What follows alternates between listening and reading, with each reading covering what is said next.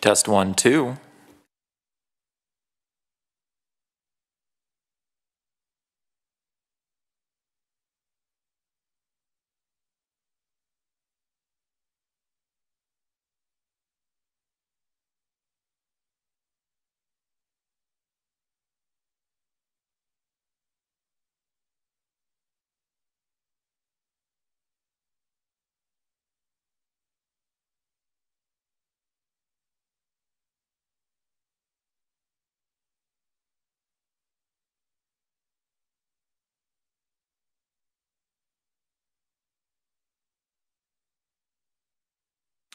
Test one, two.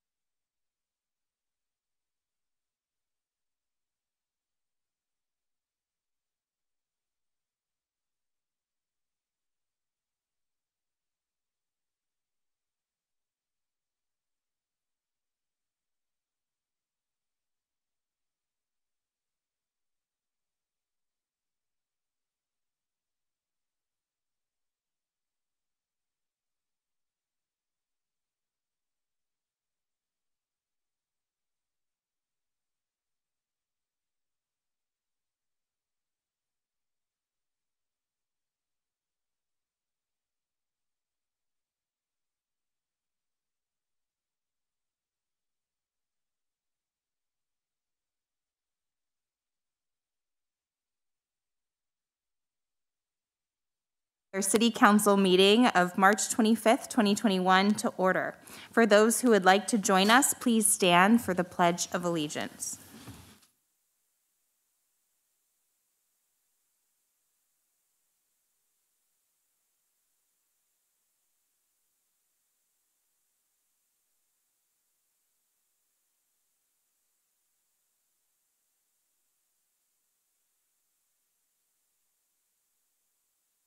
Thank you. We're excited tonight. This is the first time we've all been here together at the dais um, in a while, in a, probably a year. Uh, City Clerk, if you could please conduct a roll call.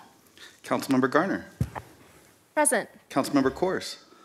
Here. Councilmember Woods. Present. Mayor Pro Tem Middleton. Present. Mayor Holstege. Here. All council is present. Thank you. So we have some business presentations, and then we have some presentations um, after that. So the Palm Springs International Airport update from our city manager, Dr. David Ready. Thank, thank you, Mayor, members of council. This is uh, really some very exciting news. I just would like to note that uh, Southwest Airlines announced that uh, nonstop Southwest service to Vegas. As you know, uh, Southwest, we've been looking for them to come to Palm Springs for, for many years. Uh, they announced service to Palm Springs, uh, and now with this announcement today to Vegas is very exciting. It's going to start on Sunday, May 9th. It's going to operate Thursdays through Mondays. Um, now, this is exciting because also we have Phoenix, Denver, and Oakland, um, and this certainly adds to our airport collection of where we can get from Palm Springs. So this is very exciting news, and we appreciate uh, not only Southwest, but also all the other carriers who have expanded in our airport. And on this slide, we see United is expanding in Delta and Alaska. They're increasing flights and expanding to their seasonal destinations, uh, and it's certainly what we've been wanting to see. And I will just uh, note one more time that, that I will say that in, in 2000, when I became city manager, we used to have to pay American Airlines $200,000 a year just to have one flight to Dallas in the summer. So this is where we've come. This is a major, amazing thing, and this is very exciting uh, for our destination. So thank you. Thank you for all your work on that. I know you've been working for 10 years or longer um, on these initiatives, as well as Scott White with the CVB and so many others. So, really exciting um, updates for our airport. The next, we have the COVID 19 case update from Emergency Management Coordinator Danny DeSelms.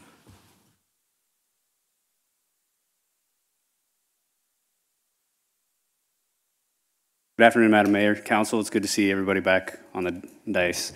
Uh, so just a quick update today. So I sent this out on Tuesday. Uh, the case count per 100,000 on Tuesday was 4.8. That's actually increased to 5 as of today.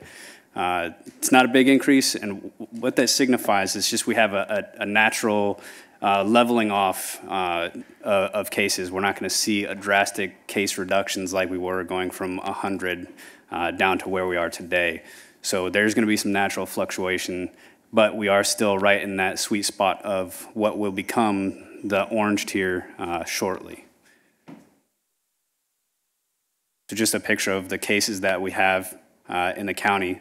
So far this week, there's been 558 cases in Riverside County. Uh, total last week was 856, so we're looking pretty good.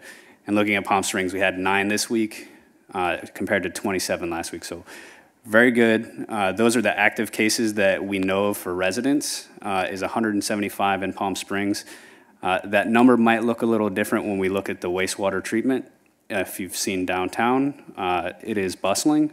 So the wastewater treatment numbers might reflect differently than the hospital case numbers. So it's good that we're just going to bounce them back and forth. Uh, for testing and vaccination, uh, Testing numbers are starting to decrease. We just want to remind everybody that testing is one of the metrics that they use to uh, adjust the tiers. So testing is still important. Uh, places all over to get tested. Uh, and then for vaccinations, uh, there's two changes coming up. One April 1st, age 50 and older. Uh, no health conditions required, just anybody 50 and older will be able to get the vaccination starting April 1st. And that is going to go down to 16 and older starting on the 15th. Uh, the state is expecting about 5 million more doses uh, next month. So that's all I have, unless there's any questions. Thank you. Are there any questions? I don't see any. Thank you so much for all your work on this. We appreciate it. Keeping us updated for a full year about these COVID numbers. Next, we have the COVID 19 wastewater treatment update from Assistant City Manager Marcus Fuller. Thank you, Mayor and Council. Uh, This is our biweekly report on our testing. So the information I'm showing you tonight is test results from last week, Monday and Tuesday. I wanted to show this overall graph, which we've been continuing to update and post on our website, which shows the testing we've done going all the way back to August 17th. And what I wanted to show is that back when we were in the red tier in last September, October, we had COVID data with viral load per liter uh, less than 50,000. As you know, we spiked during the holidays to 2.6 million. And good news is, is we're still hovering at the same uh, about volume as we were back last September, October. Uh, what's interesting this is a, a, blow, a blow up of, of recent um, tests. So the 2.6 million over the holidays. So the test data that we have from last Monday, Tuesday does show a continuing trend of higher volume of COVID present in our wastewater on Mondays versus Tuesdays, which would make sense because of the tourism we have over the weekends in Palm Springs. Um, and so as I'm showing you here, Monday versus Tuesday, the viral load and the estimated number of cases go up and down. And then unfortunately, last Monday, we did see it go up again to about 749 cases and then drop back down. Uh, and that, that, that estimated number of cases is comparing to 57 active cases reported by Riverside County. I, I think tonight, though, more importantly, what I wanted to show, show the public is, as you know, we've been testing, the lab's been testing for the presence of two mutations that they can find that are present in the UK variant. And some of those mutations are also present in other variants um, that are hypertransmissible. And when we started testing for these, we had no detection until we had a detection on March 8th.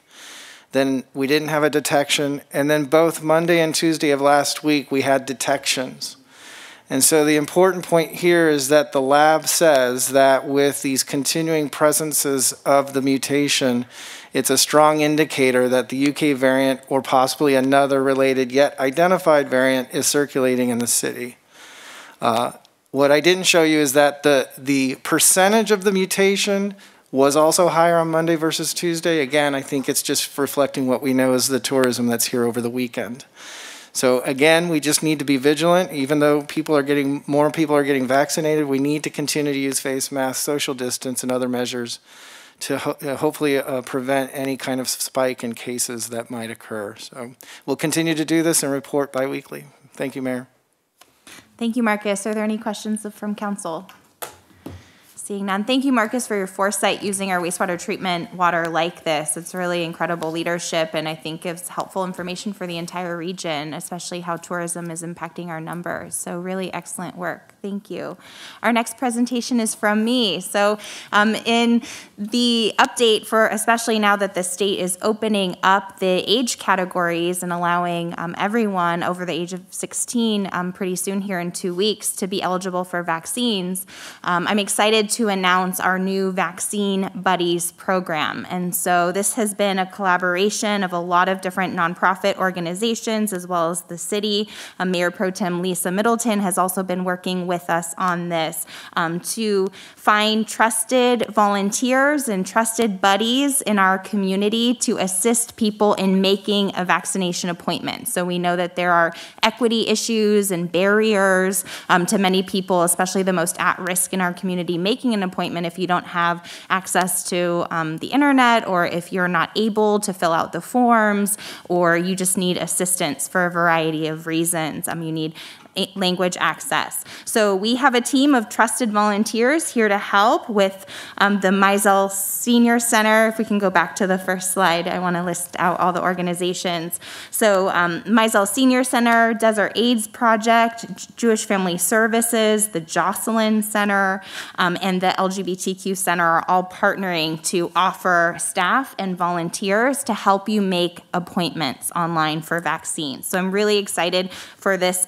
for this um, program. It will launch on Monday, March 29th, and volunteers will be standing by. For the next slide, we also have services in Spanish, and we're working on um, providing access to anyone who needs it. Um, so please give us a call. Um, you can see here the numbers for in Spanish. Um, I'm sorry, my Spanish is not good enough to read that flyer right now, um, but we will provide language access for anyone who needs it. So you should see a Valley Voice coming up about this program, and please contact us here um, or these nonprofit organizations to get assistance in making vaccines. And we'll continue our effort to get everyone who wants one a vaccine here in the city of Palm Springs. Next, final. Oh, there's a traffic alert. I don't think so. So finally, uh, we have our fun presentation. So as many of you know, today is our city manager, Dr. David Ready's last city council meeting. David is retiring after 20 years of extraordinary service to the residents of Palm Springs, and his last day is Thursday, April 1st. David has tirelessly given his life to our city these past 20 years, and his accomplishments with the past and present city council members have truly resulted in a historic Palm Springs renaissance.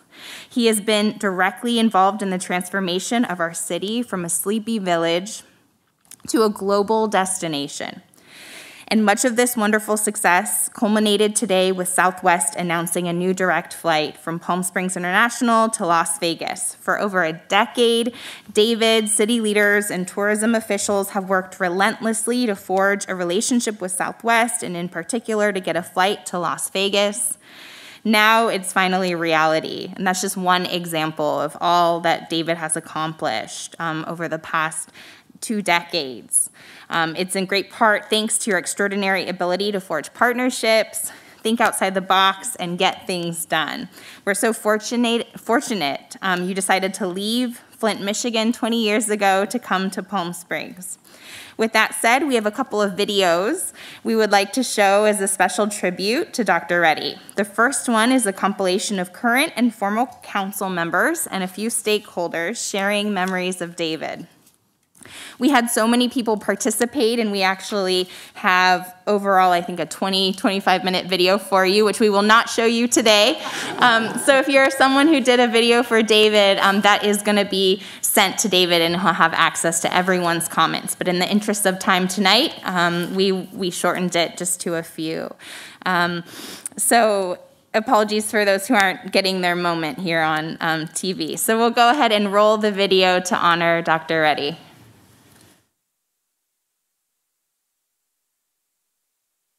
David, thank you for your 20 years of service to the residents in the city of Palm Springs. You are an incredibly hard worker. You go above and beyond to serve every single resident of this city. You have changed this city. So you've brought it into the 21st century. You've expanded our downtown. You've grown our economy and you've truly built a Palm Springs that we can all be proud of. And we wish you all the best in retirement. David, congratulations on your retirement. Thank you for all that you have done over these past 20 years for the city of Palm Springs. 20 years ago, we were a very different city than we are today. The kind of renaissance that has occurred in our city, many could take for granted, but you know better, we know better. The renaissance of our city took a tremendous amount of effort, initiative, and intelligence, all of those things that you embody so very, very well. We are grateful for your service to the city. We are grateful to your service to the public in general. I simply want to say thank you from the bottom of my heart for the work that you have done. Congratulations on your retirement, David. In 20 years, you've truly transformed Palm Springs. You've been an amazing mentor and role model on what good government is, always putting the residents and businesses first. It's been amazing to work with you, to be your friend, and I wish you only happiness and joy as you continue to learn and engage in the world. David, we would not be here without you. Palm Springs is a much better city because of your leadership. Uh, thank you so much for all that you've done, and I look forward to hearing about all of your adventures post city manager. Hey, David, Professor, Doctor, Mister, thank you for all you've done for the city of Palm Springs for the last 20 some years. Your contribution to this city has been fantastic. You've steered the ship to a place of prosperity that it is today. We've been able to even weather the COVID crisis due to your leadership in the past to prepare for such emergencies. I personally cannot thank you enough for all you've done for me to be able to live in this type of a city with a lifestyle that is beyond belief. And I think many other residents feel the same. A lot of that, David, is attributed directly to you. And because of that, I'm grateful, as I'm sure many others are. So thank you, David. Hi, David. I want to congratulate you on over 20 years of, of, successful work here at the City of Palm Springs. I, am privileged to say that I've worked with you uh, almost all that time. Uh, you, have been a mentor of mine and um, congratulate you and, and, wish you the best in the next chapter of your life's journey. David Ready, you and I worked together for four short years, but we had a little slogan. Remember this? You can season it, you can saute it, you can marinate it, you can tenderize it, but I'm pretty sure I'm not going to have that for dinner. You and I made it tough on people who wanted to come to Palm Springs because we wanted to maintain the highest level of quality this city deserved.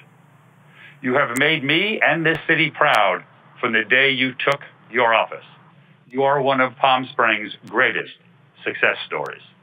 Thank you for your years of service and best wishes in your next endeavor. I love you, David. David, you have contributed to our city in so many ways.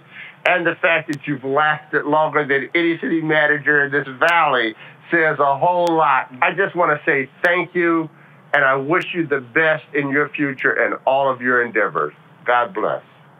Hi, everyone. I'm doing this video in front of the award winning Palm Springs Animal Shelter because I believe it epitomizes the leadership of David Ready. When the residents of Palm Springs expressed that our city needed a new state of the art shelter, David found the way to make it happen, as I believe he has with every issue he has tackled. He worked hand in hand with the Friends of the Palm Springs Animal Shelter to help raise the money and to see this beautiful shelter come to fruition. So, on behalf of the board, the staff, the volunteers, and the thousands of cats, dogs, bunnies, pigs, and other assorted critters that have found their forever homes, and especially from me, we love you and thank you, David. You will be missed. David, amazing that you've been here for 21 years, almost 21 years, is just incredible. The average length of a city manager is more like around seven years, and so you've been uh, here for three city managers worth, and speaks a lot for uh, uh, your love for this city. Best of luck, David, from uh, myself and Don. Enjoy your retirement. David, Palm Springs has emerged as a remarkable and magical city, and that is in no small part because of you. As a community member, I owe you a great debt of gratitude. But more importantly, I want to thank you for being my friend because that will go on forever. David, I wish I was saying this to you in person. You are a terrific city manager. You are a terrific leader for the city of Palm Springs. For myself, I thoroughly enjoyed working with you on the revitalizing of downtown Palm Springs. And you are so instrumental in the renaissance of the city of Palm Springs. You guided us through the Great Recession, and for two decades, you've served our community. I want to thank you from the bottom of my heart. I know you've got great things to do in your future, but we couldn't be luckier to have a man like you at the helm for 20 years. Thank you so much. David, uh, this is Harold Matzner, chairman of the Palm Springs International Film Festival. Thank you for your more than two decades of um, outstanding uh, service as city manager of our city. Uh, your personal support of our festival and film awards, uh, which is now the city's signature event, uh, has been greatly appreciated over these past 20 years. It has been a fantastic journey working together with you and the city to grow this event into the global success it is today. Thank you for being our friend and champion, and I know you will continue to be an important part. Of- Thank you for being our friend and champion, and I know you will continue to be an important part of our community. You may even wind up being chairman of the film festival. Take care, David. David, congratulations. And on behalf of the entire tourism industry, thank you. Your leadership, your professionalism, and your support has enabled us to grow our economy. And more importantly, here at the airport, look what it's done for our destination as we continue to add more routes and more airlines. Southwest, I think, is the pinnacle of our success of working together and creating something truly remarkable and unique. We're going to miss you, but congratulations, and hopefully we can work together again in the future. David, my friend, it has been a pleasure working with you these past two decades. On behalf of the hospitality community and the tourism partners, I want to thank you for the incredible accomplishments that we've done in the past two decades. From the $40 million expansion of the convention center to the formation of the PS resorts, the hotel incentive program, passing of Measure J, C, and D. That's been an incredible run, and we are going to miss you, and I'm going to miss you the most. The one thought that summarizes our retiring city manager is this. David saw what many had seen, but he envisioned and accomplished what a few have. His absence will be felt. The team at Grid Development wishes you all the best, David.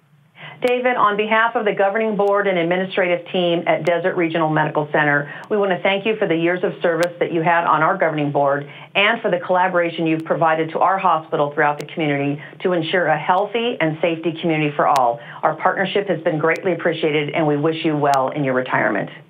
Cheers. Hello, congratulations, David Ready, for your retirement after 20 years of exceptional service to the city of Palm Springs. I present you this congressional record, which is a testament to your great work. Uh, the congressional record is part of the United States history. Uh, it will record our deliberations, our recognitions, and it will now be recorded in our United States history. I just want to say thank you for your steadfast dedication to the residents of Palm Springs, to the businesses, for your dedication in development in making sure that Palm Springs is a great and continues to be a great tourist attraction uh, throughout our country and around the globe. Uh, thank you for your hard work. I appreciate working with you for so many years, and uh, and on behalf of my family and the residents here, I, I want to say thank you for your years of dedication and your service. Hi, David. It's Hank Plant. You know, I've interviewed governors since Pat Brown and presidents since Richard Nixon. And I have to say that uh, as far as public officials go, you are among the best. I've always found you to be extremely competent and really easy to work with. And I wish you all the best in retirement. So, David Ready, city manager, is retiring. You would think congratulations would be in order, but you'd be wrong because I've got some questions. First of all, for background, David Ready and I started our jobs at about the same time. A little over 20 years ago, I sat in this chair, and he sat in his chair at City Hall. And I was older than David at that time, and I'm older than David now. Yet he's getting ready to retire, and I'm looking at 10 more years sitting in this chair. Oh, sure, I had kids late, and well, it's, you know, news. How hard can it be? I can sit here for 10 more years and be fine, but still, seems a little unfair. Or at least somebody was much better with their money than I was. From all of us at NBC Palm Springs, David, thank you for everything you've done for us over the past 20 years. Thank you for everything you've done for the city and the Coachella Valley as a whole. And we wish you all the best, and we're not a little bit bitter and jealous. Well, most of them aren't. I am. But everybody else is very happy about it.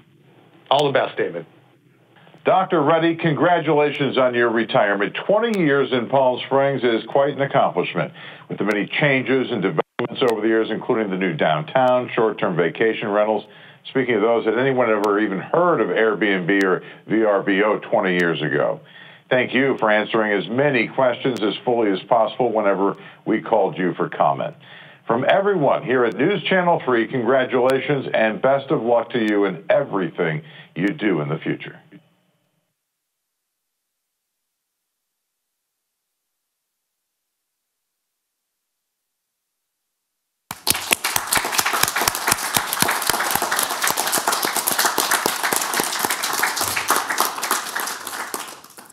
Thank you. And because we know David loves these moments so much, we have another short video um, highlighting David through the past 20 years with our residents and staff and the many, many special community events Palm Springs has to offer.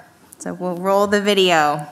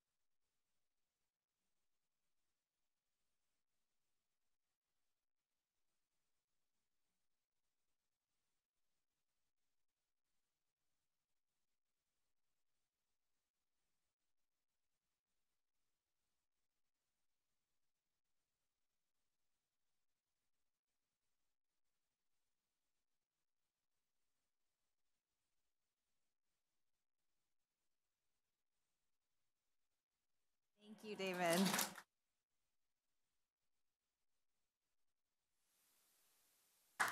Thank you, David. So we have one more special speaker, which is retired council member Ginny Foat, and then we'll present you with a proclamation. Um, and I know we have all the department heads here in the audience uh, to honor you as well. So, council member Fote.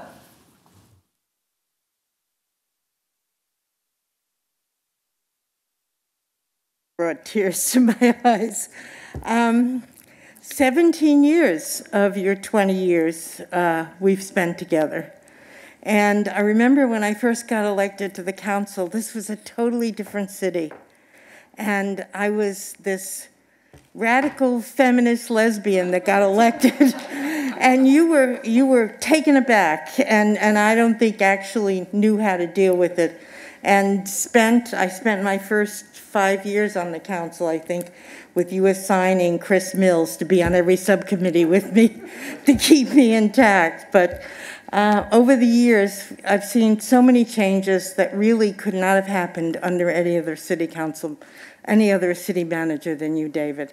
So I just wanted, I just wanted to take a moment because of the specialness that we've shared uh, marching in San Diego in the Gay Pride Parade, uh, sponsoring the, the, the, um, the team that went to Paris, um, doing all the things that the, from the Multiple Species Act to, to all the changes that have happened in Palm Springs, you've been responsible for them.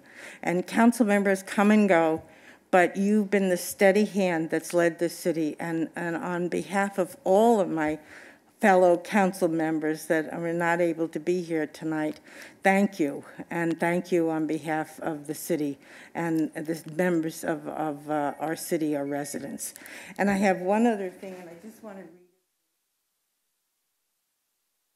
unabashedly going to do, unabashedly, uh, from a group that, that I belong to, and this says, anyone can be cool, but awesome takes practice. And this is David. Thank you for all the support that you have given us over the years to preserve the beauty of the lands of our incredible city. We send all of our best wishes to you as you begin your life's new adventures. This is from Friends of the Palm Springs Mountains, and it's from myself, Kathy, and Nikki. So thank you, David, for all you've done for that, too. Thank you.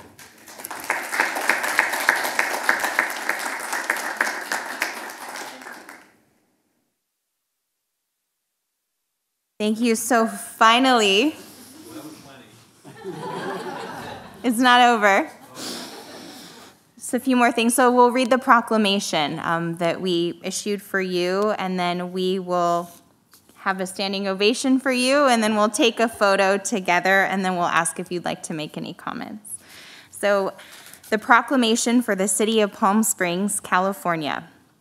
Whereas City Manager David H. Ready has tirelessly led the City of Palm Springs with honor, integrity, and the greatest professionalism for the past 20 plus years, coming to City Hall in June of 2000 from Flint, Michigan, where he previously served as city administrator.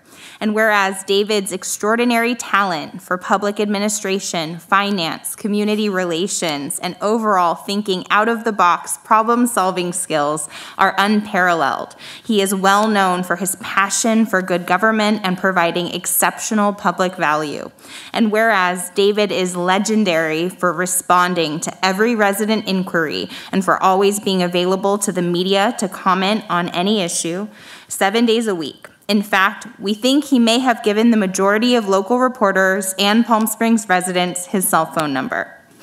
And whereas David is known to be the longest serving and most respected city manager in the Coachella Valley and the only city manager in the state of California, as we know, who holds both a Juris Doctorate and a PhD.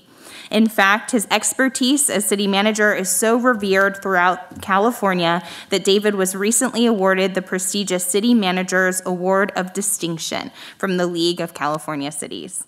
And whereas David, in partnership with Friends of the Palm Springs Animal Shelter, Shelter helped find funding and ensure construction of a much needed new state of the art shelter for our four legged friends, the only no kill shelter of its kind in the Coachella Valley, a project project which, in David's mind, represented the highest level of public value. And whereas David was instrumental in developing the city's innovative hotel incentive program, which has resulted in several multi million dollar reinvestments in the city's hotel stock, transforming the Palm Springs destination and resulting in a historic renaissance.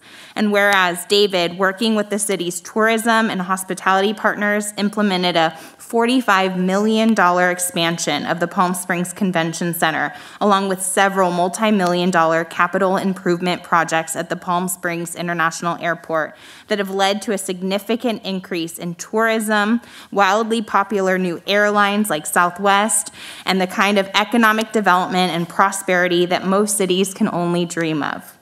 Whereas David helped lead the public education to pass Measure J, a one cent sales tax increase that has transformed Palm Springs and led to the completion of numerous citywide projects, including extensive street repaving, the renovation of the Wellwood Murray Memorial Library, a newly renovated and expanded fire station, and of course, funding for the downtown revitalization project and the new downtown park. And whereas David spent an arduous 14 years working to ensure, through creative public private partnership, the successful redevelopment of the former Desert Fashion Plaza into now what is a vital hotel, shopping, and arts district that residents and visitors from all over the world enjoy and appreciate, which was no easy task. And whereas David and the City Council's decisive leadership with the COVID 19 pandemic has centered around keeping residents safe while providing businesses, housing, and rental assistance programs um, along with the latest information about city orders, testing, and vaccinations to help residents, business, and workers impacted by the pandemic. We thank you, David, for leading the ship during this extraordinary, difficult time in our nation's history.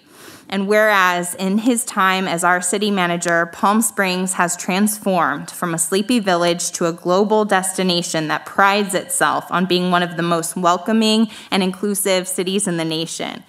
And whereas when David first arrived at City Hall in 2000, the city's total budget was $88 million. Now, 20 years later, it has grown to $258 million, illustrating the tremendous economic and civic growth Palm Springs has experienced under David's visionary leadership. And whereas, it's not gonna, this is the last one, David. Whereas, David's outstanding leadership these past 20 years has ensured Palm Springs remains the inclusive, iconic, uniquely original, world class city it is today, like no place else. On behalf of the residents of Palm Springs, the City Council, and staff, we wish you many happy, carefree days in retirement. You've earned them. When it comes to world class city managers, David Ready, you are truly like no one else. Therefore, be it resolved that we, the City Council of the City of Palm Springs, California, by the power vested in us, with deep appreciation and gratitude for his remarkable 20 plus years of service to Palm Springs, do hereby declare today, March 25th, 2021, as David H. Ready Day. Thank you. If everyone could join me in a standing ovation for our city manager.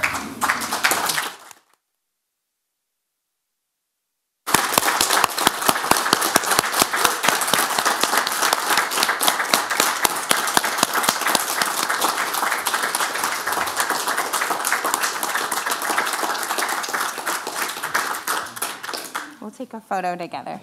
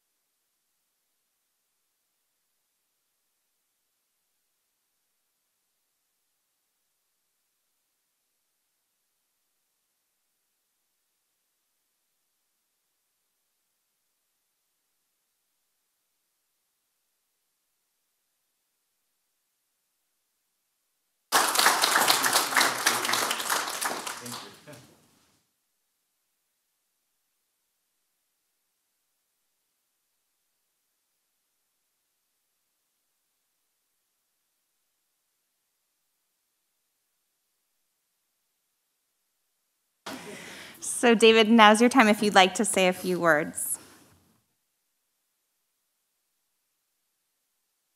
Uh, sure, but I'll be brief. Uh, Amy, thanks for getting Michelle in those pictures and for, for that. Um, thank you. Anyway, thank you. This is um, um, quite a surprise. Um, it's most appreciated. But just in a, in a couple moments, I, I would like the, the councils are such an integral part of this that I've got to thank, thank you for all that you do because this is not easy.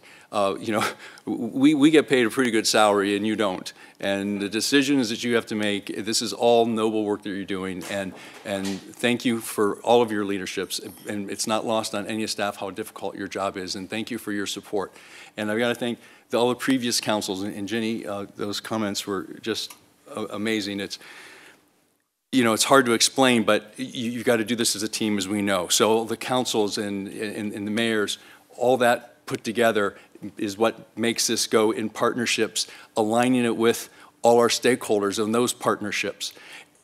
And we see time and time again how it has improved our city. But none of this all happens without our staff. And as you see, many of them here, uh, and the staff you don't see every day, the over 500 employees that we have working hard to, to, to do what our city needs. And none of this really happens without them. And so it's been my pleasure and honor uh, to work with them because it has been uh, re really an honor to do that. And, and I would note that the excitement part of being city manager in Palm Springs, and you can appreciate, there's the highs and the lows. From the highs to imagine the, the animal shelter, you know, the whole neighbor, one PS organization, the development, the downtown, the housings, the affordable housings, the new projects. Uh, and I'll tell you, there's nothing that makes people more happy than, as you know, when they get their street repaved. the excitement of that. But more it's about, you know, how do you build public value and, and what do you have to bring into existence uh, to make community life better? And that's been the exciting part of it. But there's also been the, the, the low parts, as we know in government. And the lowest part was, you know, because nothing trains you for when you wake up one day and you face that two of, of your police officers have been, have been killed. And, and that was the hardest day. And I remember Ginny, we were at the hospital and you know, knowing the family's coming and there's nothing you can do. And I remember Jeannie, I had to call the council, you know, Ginny screamed. um, and we went to the hospital, the chief was there, and you know, all those things that happen. And it's all part of the reality of what this government service is and, and, and what that means. And, and so if I could just, could we just for a moment be in silence for Leslie Zerebny and, and Gil Vega.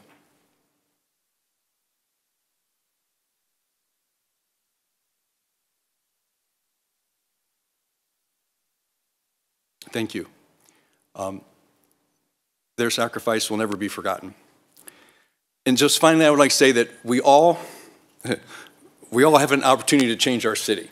And that's the exciting part that we're all here. It's why you're there, our staff and the, and the council members. And certainly it's been my privilege uh, to be your city manager. And uh, I, I, know Justin's coming in. Uh, uh as I was able to build on the previous people that did this every day, he's going to build and take us to the next level with your help and with the help of our great staff. So thank you. And, and again, I, I could go on for 20 minutes thanking everyone, but, but Cindy and Sherry and Amy and uh, and everyone that we work with every day, uh, you're so important to this operation. And I have to, one final thing, we really couldn't have done this without Marcus. Marcus has, has been there and he can write a staff report like no one else. so, so uh, Marcus, thank you for, for all your efforts. Um, and and uh, obviously, Jeff and Anthony. But again, from the bottom of my heart to all of you, thank you. And council members, I, I couldn't have imagined a better tribute this evening. Thank you.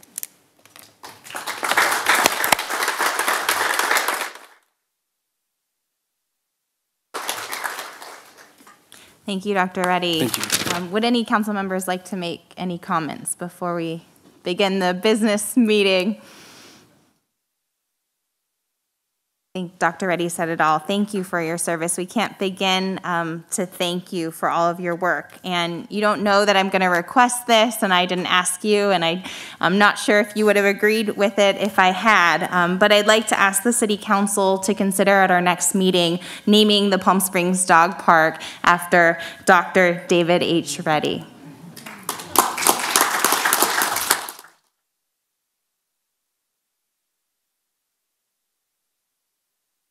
Thank you all for being here and thank you for your work to make this city the amazing place it is. Thank you, Dr. Ready.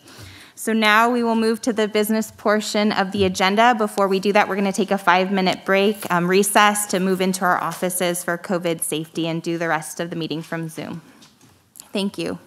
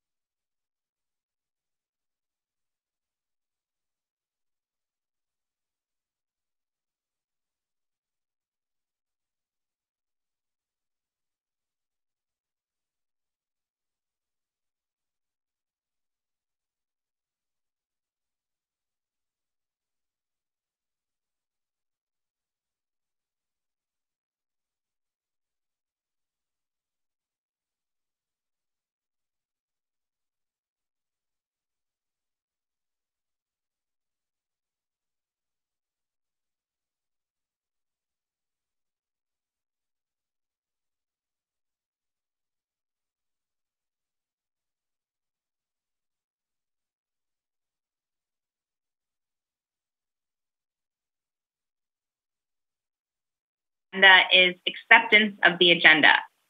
The City Council will discuss the order of the agenda, may amend the order, add urgency items, note abstentions or no votes on consent calendar items, or request consent calendar items be removed for separate discussion. I'd like to entertain a motion for acceptance of the agenda. And are there any items that staff or council members would like removed from the consent calendar for separate discussion and or vote? So first I'll go to city staff. Um, Madam Mayor, uh, I do want to note that there was a revision to item 1K uh, in which a new sample letter of support from the Office of Assembly Member Friedman was distributed to the City Council, and staff recommends authorization to issue the proposed letter to the authors of AB 43 uh, traffic safety. Thank you. Thank you. Are there any items any council member would like to pull? Mayor Pro Tem Middleton and then Council Member Garner. Uh, I would like to pull 1K for a very quick comment.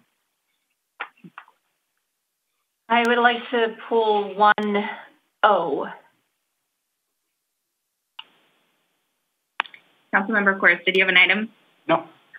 Uh, are we allowed to just give quick comment without pulling something? Yes. I believe so, yeah. Yes, okay. Um, for 1H, for the caravan for Palm Springs High School, I just want to say thank you to all of the high school students who wrote in to us. I think that's really important, and we really appreciate that you that you took the time to tell us your thoughts. Thank you, Councilmember Garner. Councilmember Woods, do you have any items you'd like to pull?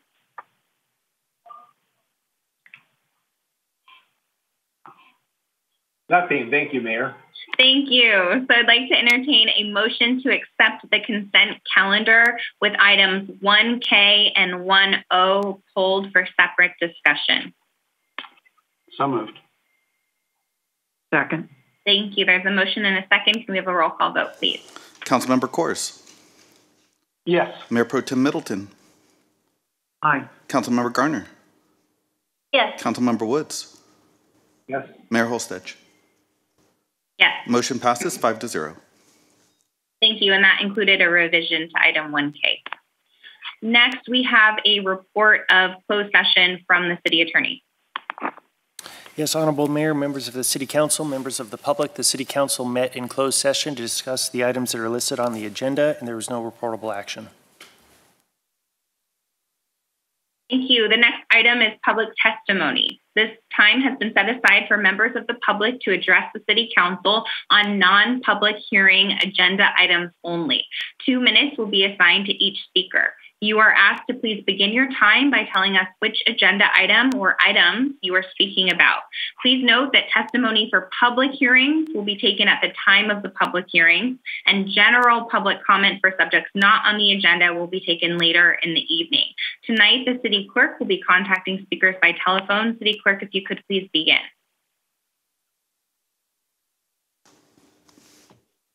Maribel Nunez, you're live with the Palm Springs City Council, and you have two minutes to provide your comments. Hello, um, Mayor, Mayor Pro Tem, and Council, Palm Springs. Thank you for letting me speak. This is Maribel Nunez uh, with Inland Equity Partnership, and here uh, in support of um, item 1.0, uh, denouncing uh, violent crimes against our Asian API um, brothers and sisters. Um, support this and uh, working closely organizing it and with Bayanihan and Apala. And I wanted to give them a thank you for putting this together and working with you all on this. And I feel that within our API community, they're part of our community.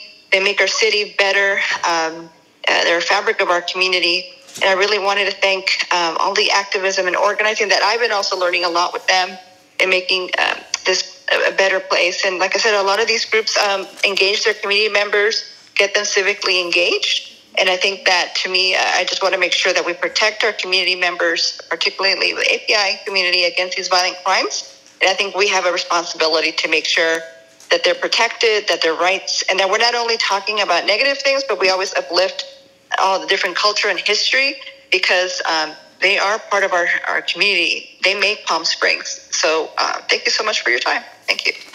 Thank you, and we'll disconnect. Madam Mayor and City Council, uh, that concludes public comment.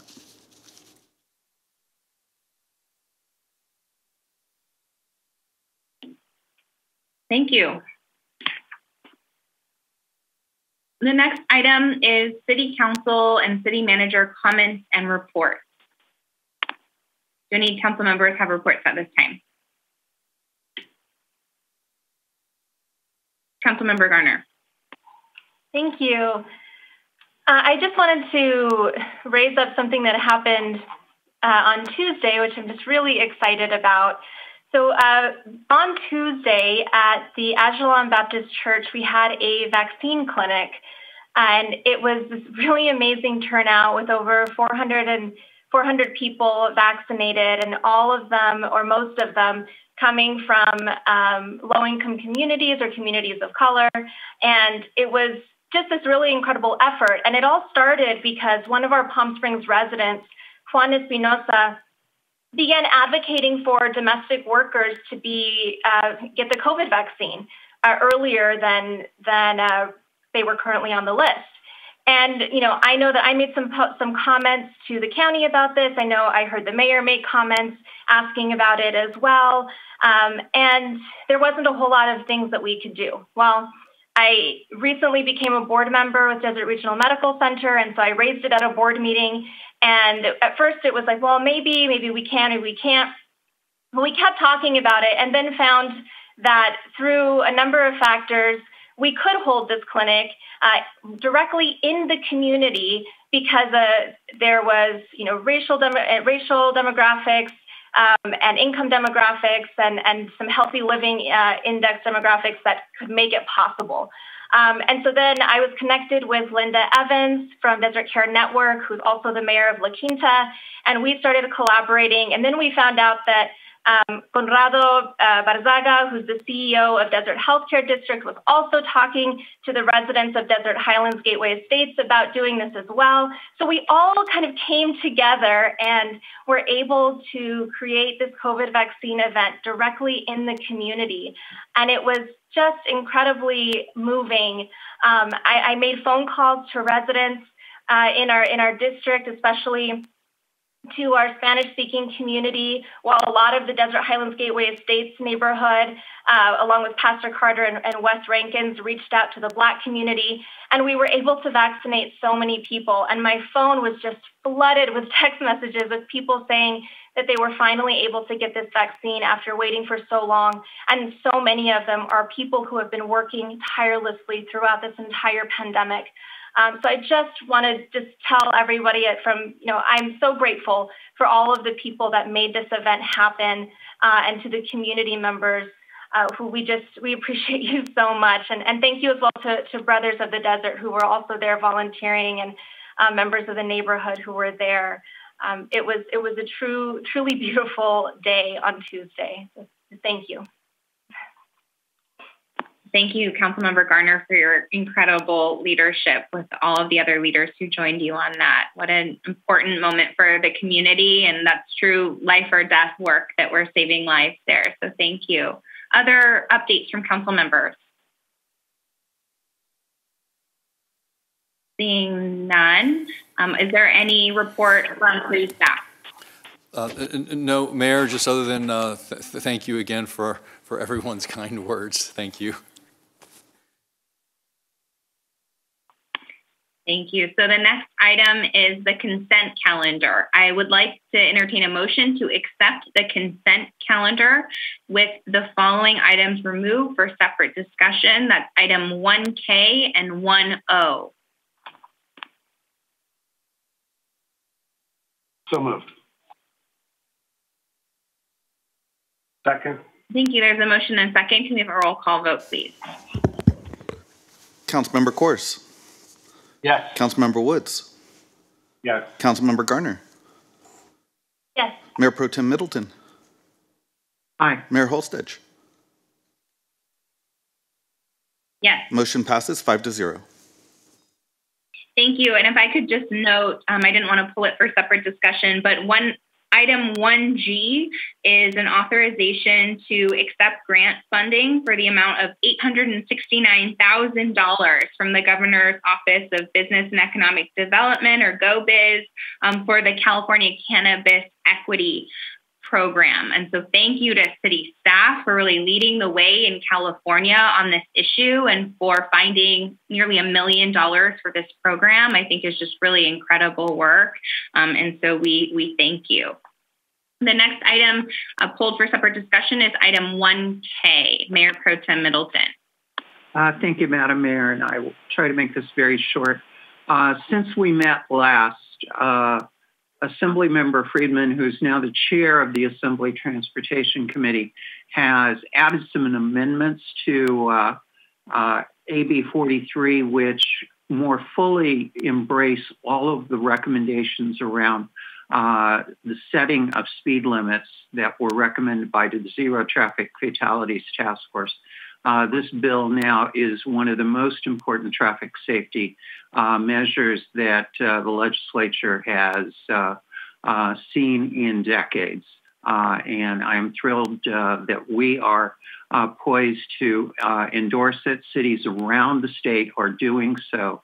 There is a companion bill to this one, which is AB 550 by Assemblymember David Chiu, uh, which addresses the enforcement recommendations that came from the Zero Traffic Fatalities Task Force.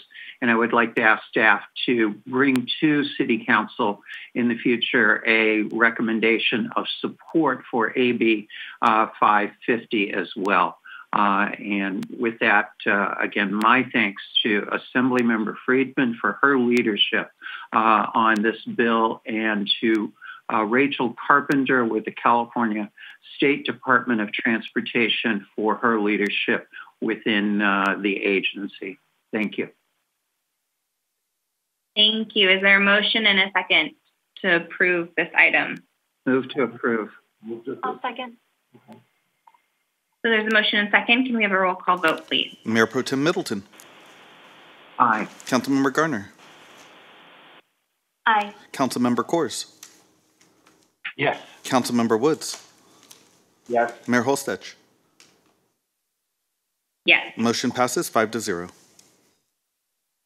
Thank you. And I didn't read the title, but that was for a resolution of the City Council uh, declaring its support for Assembly Bill 43 traffic safety. Thank you to Mayor Pro Tem Middleton for all her continued leadership on that issue.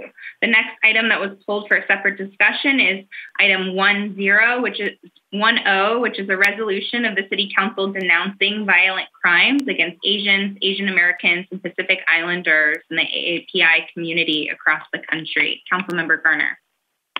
Thank you, Mayor. Uh, the reason I pulled this is, is just because I think now more than ever we really should read this out loud for everyone to to hear. Um, and I and I do want to note for council that there's a couple of um, pretty not not too big of revisions that some members of the AAPI community sent to me. So I am including those, so you will be able to hear that, and um, I, I think you'll I think you'll be fine with them. Thank you. Um, whereas the COVID 19 pandemic is a public health emergency that has caused devastating effects throughout the world and across political and social boundaries, and was not created or caused by any race, nationality, or ethnicity. Whereas the World Health Organization recognizes that public health emergencies often lead to stigma, demonization, discrimination, and scapegoating towards certain communities and groups. Whereas Riverside and San Bernardino counties have declared that racism is a public health crisis. Whereas anti Asian racism and legislation have been a long standing part of United States history, from People v. Hall and the Chinese Exclusion Act of 1882 to the 1942 executive order that led to internment camps for Japanese people in the United States whereas hate crimes targeting Asian American and Pacific Islanders increased by nearly 150% in major cities, despite decreasing overall in the last year, and 44% of the incidents reported to stop AAPI hate are from California, whereas Asian Americans and Pacific Islanders have been facing bias incidents such as verbal harassment, physical assault, job discrimination, and destruction of their businesses as they are being blamed for the outbreak and spread of COVID 19 perpetuated by rhetoric stemming from federal leadership in 2020. Whereas three deadly shootings targeting Asian American women in Atlanta, Georgia on March 16, 2021. Whereas violent attacks have particularly intensified against senior citizens, and such xenophobia and discrimination can have a range of adverse physical and mental health consequences for stigmatized groups and their communities. Whereas the mission of Palm Springs Human Rights Commission is to promote and protect the diversity of our community and to improve human relations through education and community awareness. Now, therefore, be it proclaimed by the Council of the City of Palm Springs that the City of Palm Springs will not tolerate xenophobia, white supremacy, and sexism, and condemns all hate crimes, attacks, and attitudes against Asian American and Pacific Islander communities. That the City of Palm Springs urges residents to join in calling attention to these harms and denouncing hate to keep us all safe during this pandemic and beyond. That the Council and City of Palm Springs will commit to protecting residents who are targets of hate by providing tools and resources for reporting such crimes. That the city will prosecute and curb hate attacks related to COVID 19 in partnership with the nonprofit organizations, the Riverside County District Attorney's Office, and the city's police department. So, thank you to Mayor Holstege and members of the AAPI community who helped to bring this forward. Um, and I I just strongly urge our, our, residents to think about the words that I just read and make sure that we are all supporting the Asian American Pacific Islander community now and always. Thank you, Councilmember Garner, for your leadership and for everyone who worked on this resolution. Um, and just if I could add one thing is the intent of this action is to not only denounce um, the discrimination and, and, and hatred that the community is facing, but also to convey the um, importance um, that AAPI members play in our community that we're so grateful for your contributions um, for the people who live here who work here who work at the city um, who you know run businesses and who study here and go to school. We truly value you and you are an incredible asset to our community um, and the AAPI community has a long history here in Palm Springs and in, in building Palm Springs um, and playing such an important role here um, and you know in labor movements um, here in the Coachella Valley Valley, and your contributions um, are always valued today and every day. So thank you to everyone. Um, I'd like to make a motion to approve the resolution. So moved. Thank you. If I can, I heard two at the same time. I might have Councilmember Garner second. Um, she uh, worked on this um, in depth, I believe. So there's a motion and a second. Mayor Holstege. Yes. Councilmember Garner. Yes. Councilmember Kors. Yes. Councilmember Woods. Yes. Mayor Pro Tem Middleton. Aye. Motion passes five to zero. As Thank revised. you to everyone for Thank you to everyone for your support for that important item. So the next item are public hearings. So the next item is item 2A, presentation on city homelessness programs and efforts. Public hearing on the review of the conditional use permit issued for Well in the Desert located at 441 South in and a presentation from county staff regarding homelessness programs. So these are all homelessness related, so we put them as A1, A2, and A3. So first, we're going to start with a presentation on city homelessness programs and efforts to um, go over the city programs um, first, and then we'll ask questions of staff and we can discuss that as the city council. and if I can, uh, people are being added to the Zoom meeting, but if you could um, continue to mute.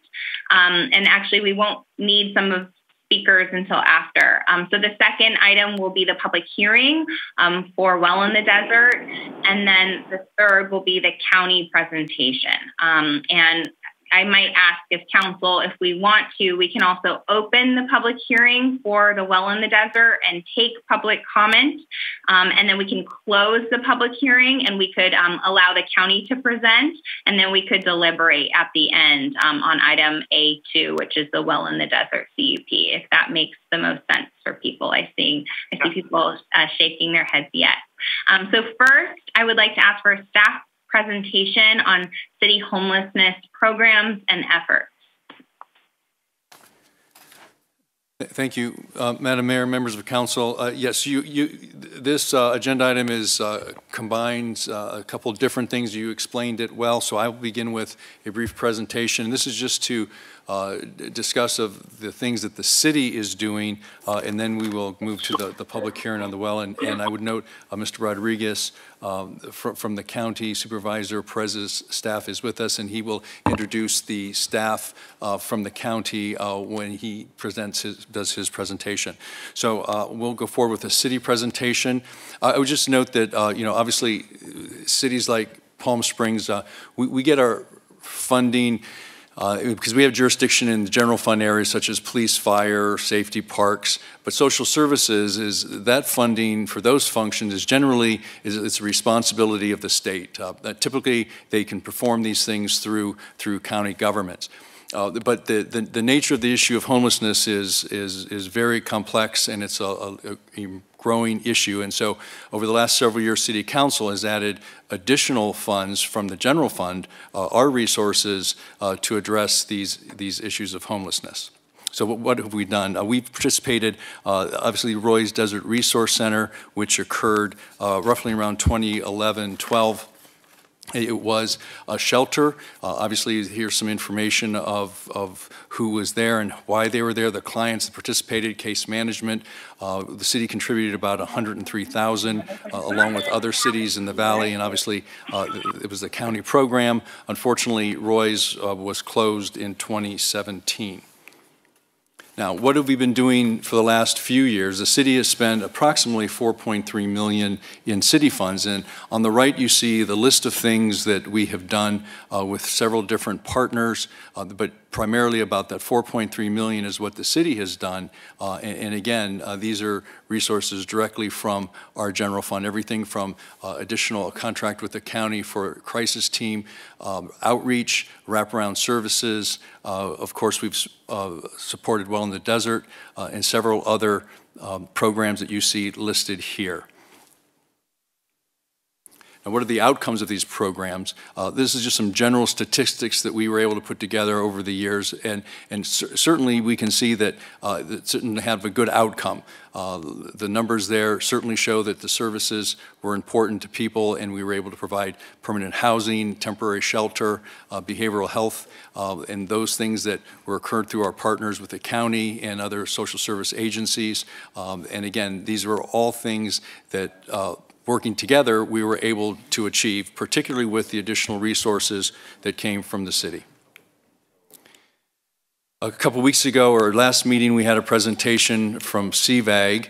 Um, the, the 103 that the city contributes annually, it is goes towards a CVAG's effort in homelessness, which is their focus on the chronically homeless. And so as they reported that in just 40 days they assisted 20 individuals from their list of 200 chronically homeless persons. So this was another uh, component of the range of things and partners that we have to try to deal with the homelessness issues that we have in Palm Springs.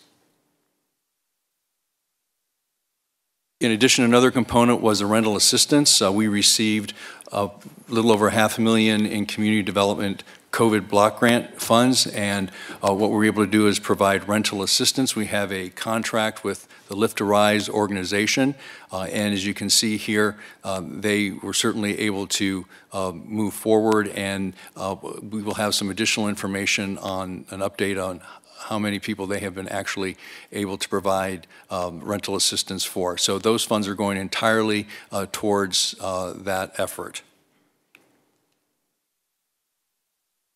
Another component is, as you are aware, uh, the state had granted the city a $10 million specific grant for homelessness. So our goal obviously is to leverage those dollars to the greatest extent possible so we can do as much affordable housing, permanent supportive housing as possible.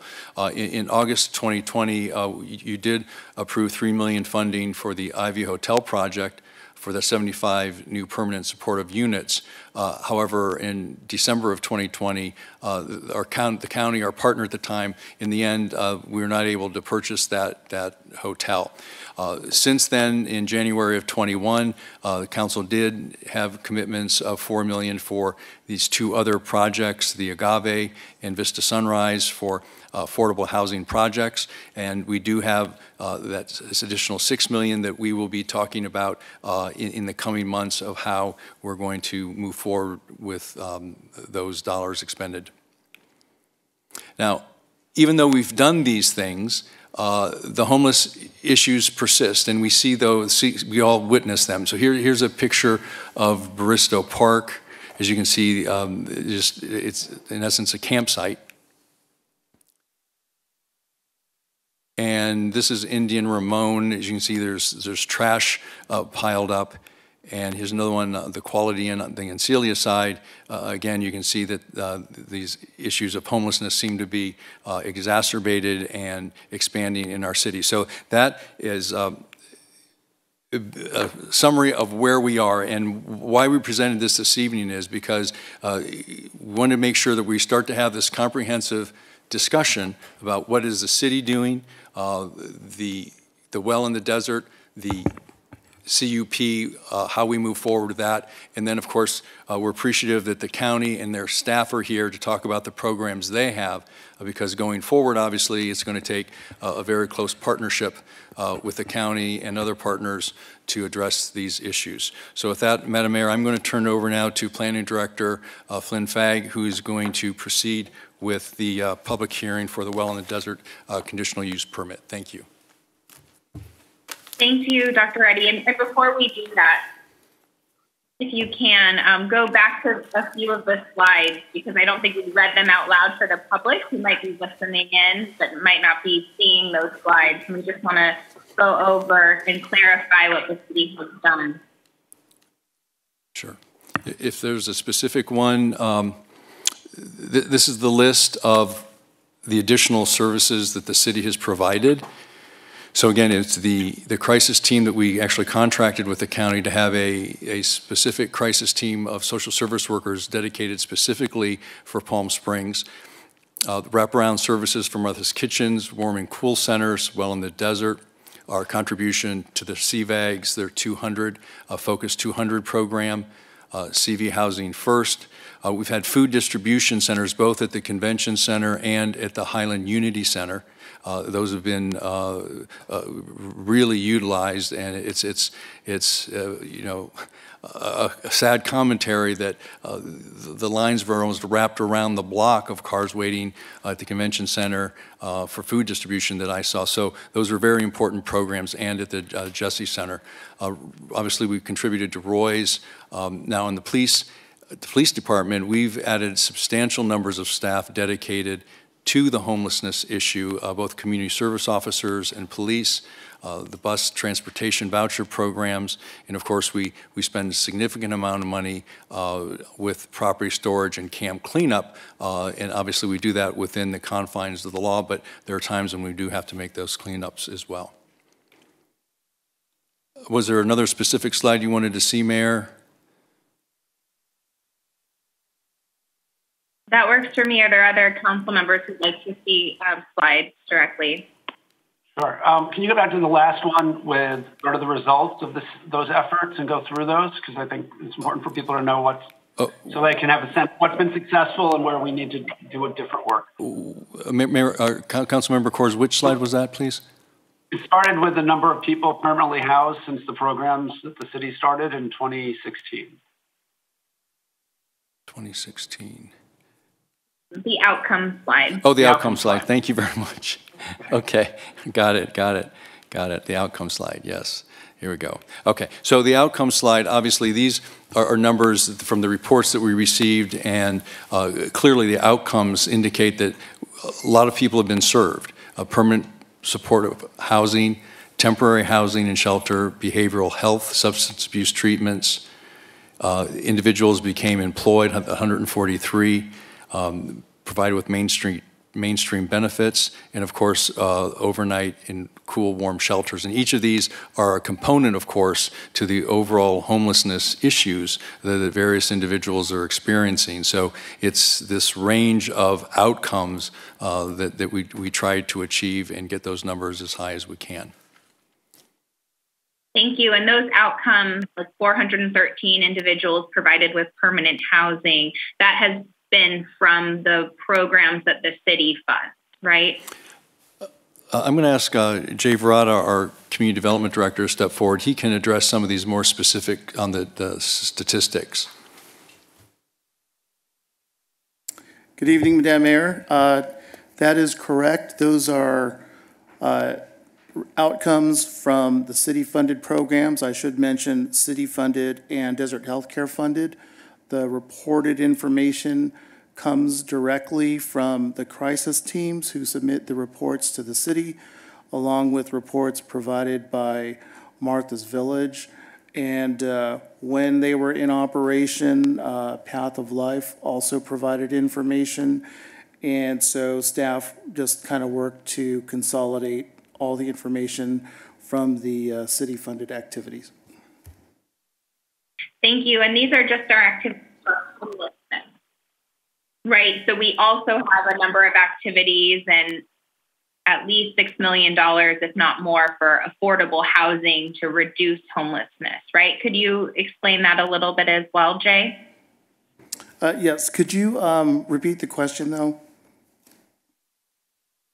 Sure. So just detailing the work that we also do on affordable housing for homeless individuals. That's not included in this presentation, but that we have also funded a number of housing projects um, for homeless individuals and units. And um, if you could give details a, bit about our work on affordable housing. Uh, the city's affordable housing efforts do date back uh, quite a ways. Uh, I believe 19 projects had been developed by the city in the past, and we currently have uh, three projects with uh, two with funding obligations from the city, one with an executed disposition and development agreement. So uh, those projects are, uh, I guess, more than just an idea. There are financial commitments from the city, from the state, from the county to help move those projects forward. Thank you. And the total amount of funding that the city's committed to homelessness services, um, that does not include the at least $6 million or $7 million that we've spent on affordable housing as well, right? In just the last few years. That, that's correct. I, I should note the um, uh, there is overlap with uh, a portion of the redevelopment funds funding some of the newer projects I mentioned and uh, that is in conjunction with some of the homeless funds because those units will have permanent supportive housing units for formerly homeless. Thank you, Jay. Are there any questions from City Council members?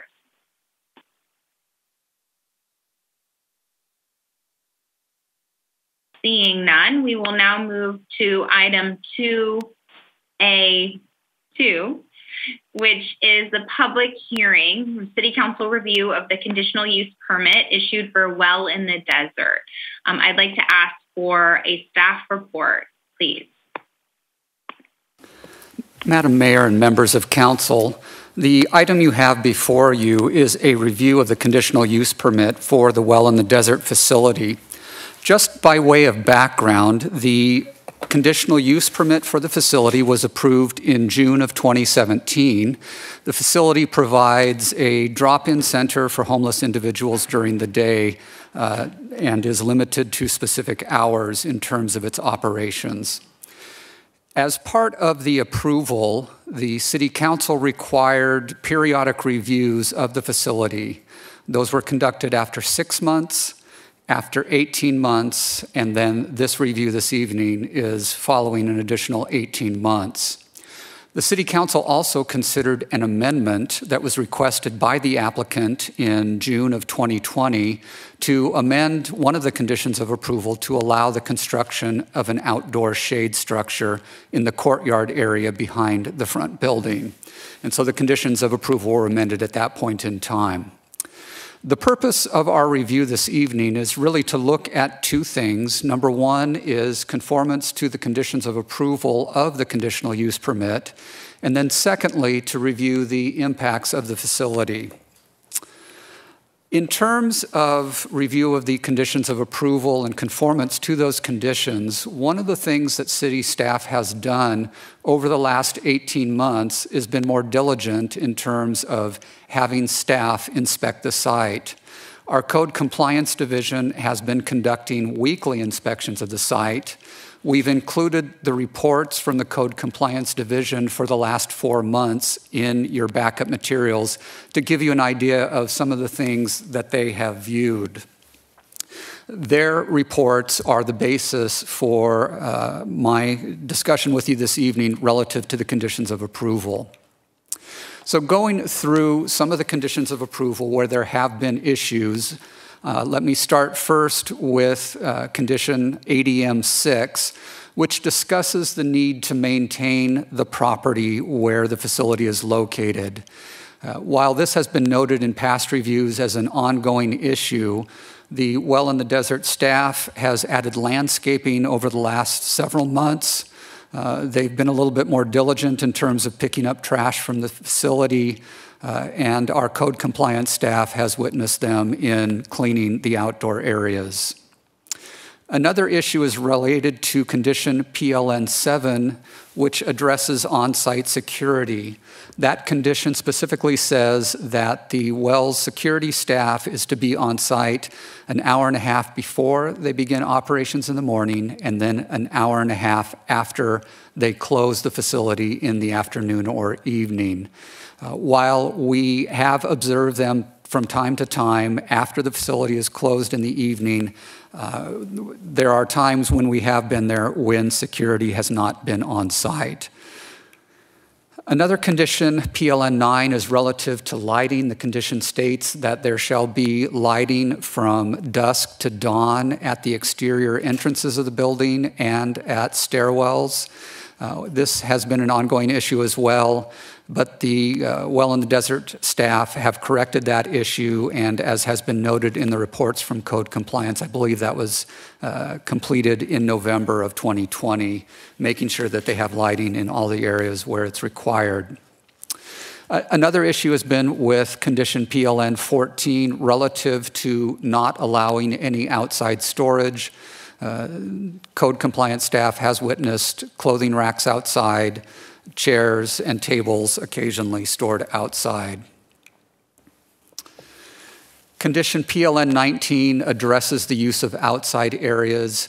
Uh, generally speaking, none of the activities at the site should be conducted out of doors. Uh, there was an exception made for the new shade structure that was added and approved in June of 2020 to address uh, COVID restrictions in terms of social distancing for the patrons of the well. So, in certain areas, that has been necessary for them uh, during this period to have certain activities outside.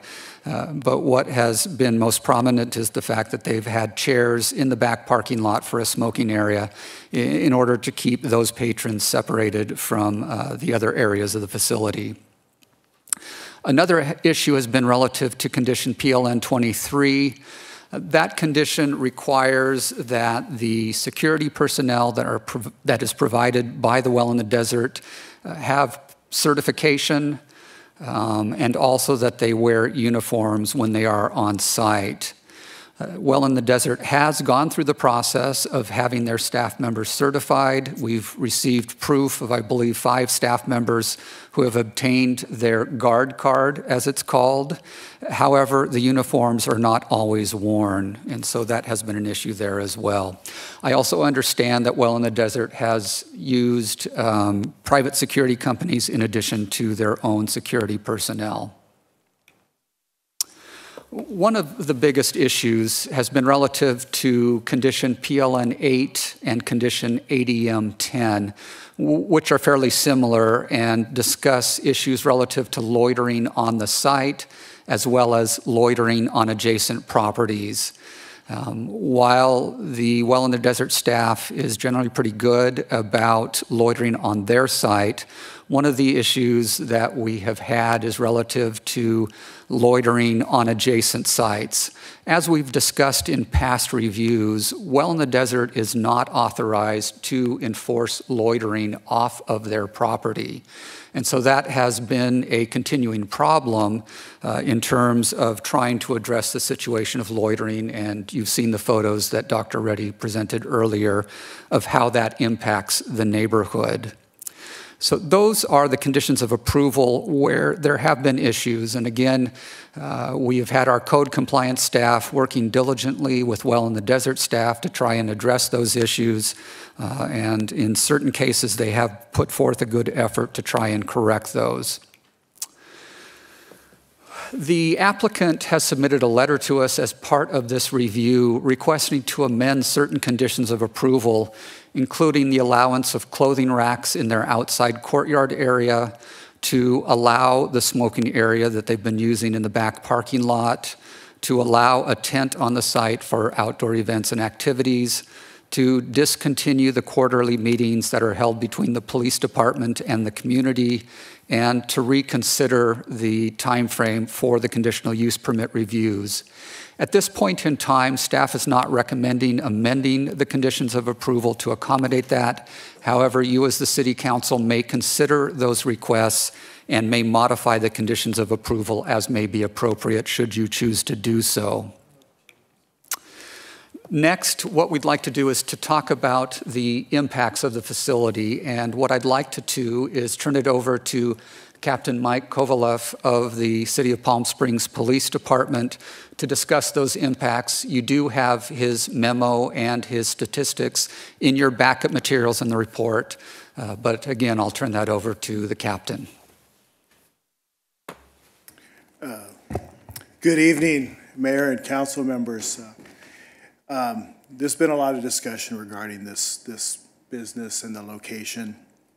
Uh, background of the history, we've expanded the area that we analyze for these statistics uh, each year because of the impacts. We started out, uh, the area that we analyzed was the south side was Ramon, uh, the north side was uh, Saturnino, the Indian was on the west, and Calle Segundo was to the east.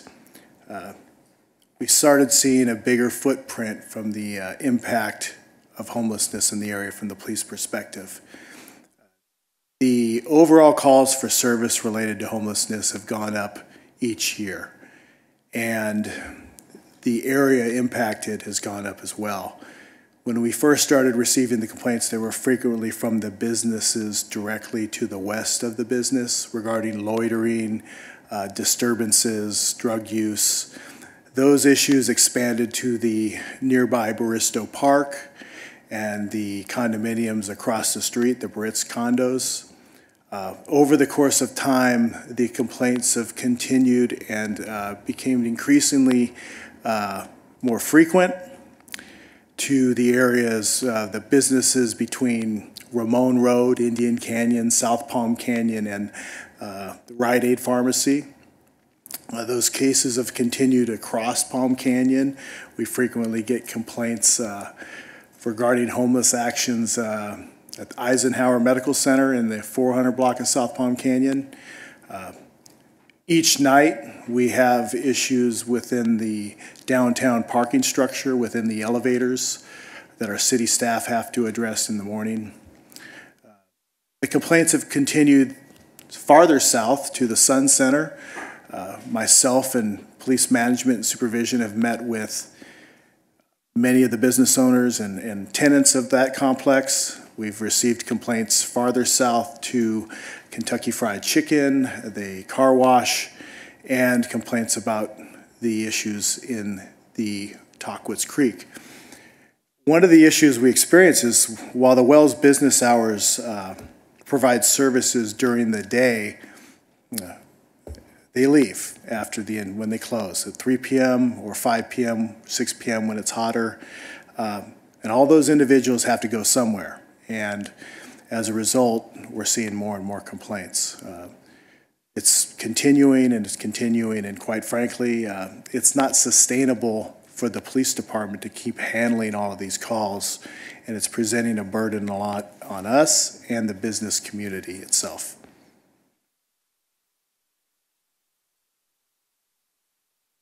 So continuing with our presentation, that brings us to a conclusion of the report on the conditions of approval and the report on the impacts, uh, the secondary impacts associated with the facility. At this point in time, in conducting this review of the conditional use permit, uh, the City Council may modify the conditions of approval as may be appropriate to address the issues that have been brought forward.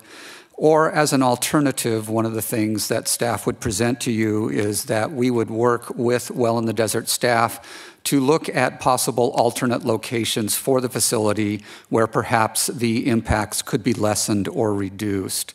And so again, as part of conducting this review, those are the options that are available to the City Council. That concludes our staff report to you, and we would be happy to answer any questions you might have at this time. Thank you. Thank you. Are there any questions for staff before we open the public hearing in order to hear public comment and deliberate? Mayor Pro Tem Middleton. Uh, thank you, Madam Mayor. Um, I think my questions are largely for Captain Kovaleff. Uh,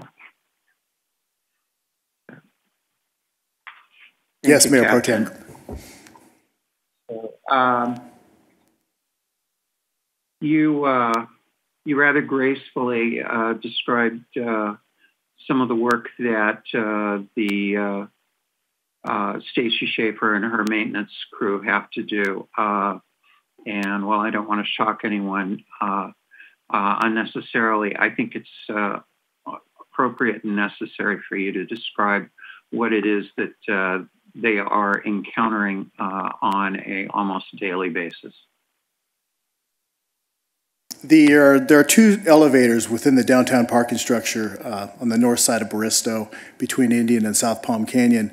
It's quite frequent, uh, sometimes daily, sometimes several times a week, where they're cleaning up uh, human feces from the elevators, urine, um, drug paraphernalia, uh, a lot of damage there. I think they've replaced 10 fire extinguishers in the last few months at $200 a piece.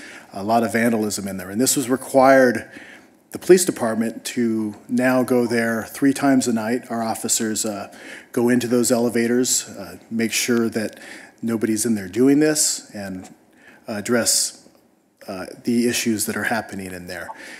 I will say this that that type of issue is just not solely um, happening at the parking structure. We get reports from downtown businesses um, and other areas of this, this analyzed region of the same type of behavior happening. Uh, I believe it's Officer Sandoval that you have spoken of uh, and the kind of uh, work uh, that went into just dealing with uh, one individual uh, who was uh, homeless that actually resulted in some success. But could you talk about how much time uh, was spent by our officer and what some highlights of what that entailed? We approach each situation um, really of a service oriented. You know, we all know that you're not going to arrest yourself out of homelessness. You're not going to enforce yourself out of it. So we're constantly trying to provide services to those that are unhoused. Um, Officer Stephanie Sandoval, one of the officers dedicated to uh, homelessness, literally spent eight months getting a couple into housing. Um, and there's there's hurdles logistically with the providers, but the main hurdle comes down to when you're when you're uh, dealing with homeless individuals, pinning them down, getting them to complete the required tasks to getting them into housing, um, and following up, locating them, and, and continuing to push forward, uh, that presents a challenge. And, and, you know, our officers, the, the last thing we want to do is arrest homeless folks. That's not, that's not what, what we're here to do. But we still have to address the problems. And, and um, you know, we're, we're there to do that, but it's quite, um, quite a, a tremendous task. And unfortunately, right now with the nature and the straight up volume of complaints, the staff of the police department dedicated to homelessness really cannot focus on offering the services. They're more about addressing the immediate problems because there's so many of them that we can't keep up with them. Uh, could you describe uh, the difference in the uh, types of encounters and the number of encounters that you've had over uh, the past year uh, since COVID started and the last few months? Yes. Um, the biggest challenge we face with certain aspects of this community is the drug use and the behavior uh, associated with drug use, whether it's theft, uh, littering, loitering, um, disturbances, fights. You know, in the past, you know, prior to 2014, possession of heroin, cocaine, crack, methamphetamine, all of these hard drugs uh, was a felony. When we, we arrested folks, we took them to jail, and they stayed in jail for some time, and they were sent to some sort of drug diversion. Um, when we passed that, we uh, Proposition 47, we, changed those to misdemeanors. So now with the frequent use of these drugs, we can write a ticket for it. Uh, Palm Springs PD, unlike nearly any other law enforcement agency in the valley, we continue to transport these misdemeanor drug possession violations to our local jails, where they are subsequently released within a couple hours. Now that there's a pandemic, the only people that are staying in jail are very violent offenders all nonviolent offenses, whether it's uh, car theft, drug possession, grand theft, whatever it is, if it's a property crime, they are going to be released fairly immediately. Their court cases are uh, delayed for months, if not years, and it's just a qu quick revolving door. And with these individuals that cause the bulk of our problems, it's empowered them it's really rendered our immediate response to address these problem individuals um, voided. It's empowered them. Quite frankly, some of them laugh when we tell them we're going to arrest them for heroin possession because they know that they're going to be out within a couple hours. Um, and it could be 10 arrests for heroin possession. It could be 15, it could be 20. There's no magic number that we reach to where they're going to stay in jail for a time or be forced into any type of treatment. So it just complicates the overall matter of homelessness, particularly with those that are addicted to drugs or whatever they're addicted to. Uh, Captain, thank you, and thank all of your officers uh, for their incredible work. Uh, I, would like to ask one quick question of uh, uh, Director Fagg.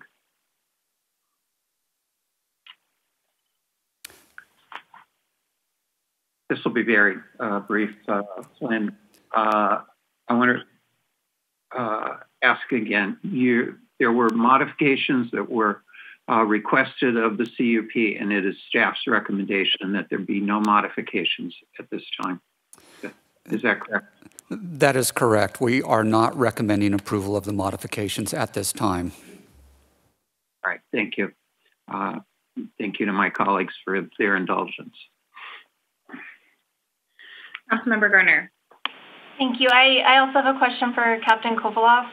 Um, I know that you have uh, discussed these issues with other agencies who are experiencing different things on homelessness in those communities. I'm, I'm wondering if you can talk a little bit about that and kind of your your thoughts about uh, how this can the situation can be improved. Yes, Councilmember uh, Garner. Um, there's obviously several different agencies out here experiencing the same thing, uh, but the bulk of the uh, homelessness issues rely on Palm Springs and the city of Indio. Um, but we're not alone. Um, you know, I've, there's massive camps along the freeway um, in Rancho Mirage. I've spoken to staff from the Palm Desert Sheriff Station, and they're dealing with issues at Washington and Country Club, uh, along El Paseo, um, along many areas. So, and they're seeing the increase also, quite frankly. But one of the things that we've learned from the city of Indio, when I asked them about how is the relationship with Coachella Valley Rescue Mission and Martha's Village, how does that work for the city? Does it work out for you? Does it work out for the businesses? The, the overwhelming response from um, their assistant chief to their line level officers was it's a great relationship. It works. It helps us. It's an asset. Um, when they ask why, I say, well, we, we have a service provider that provides results during the day, um, but you know they shut their business down and there's no long-term results throughout the rest of the day. And they say, yeah, that those types of situations, and I and I and I learned, you know, speaking to Santa Monica PD, um, Long Beach Police Department, if you do not have an overnight type of facility that's providing all of these services and acting as a hub to get them into housing, mental health, whatever the service they need, it's not going to work. And that is what we're seeing right now is this compounding of the matter of the issues and it's sustaining it, quite frankly. And that's the way I, um, my colleagues see these types of things, and that's the way uh, if you study how your response to homelessness should be, you need to have some sort of 24 hour operation to address this because it's not an eight hour job to fix homelessness. It's a 24 hour a day, seven day a week, 365 task to solve these issues. Thank you very much. I appreciate that. Are there other questions for the captain? Let's do it that way so he doesn't have to go back and forth. Councilmember Kors. Thank you, Mayor. One question. No? Yes, one question for the captain, if I can.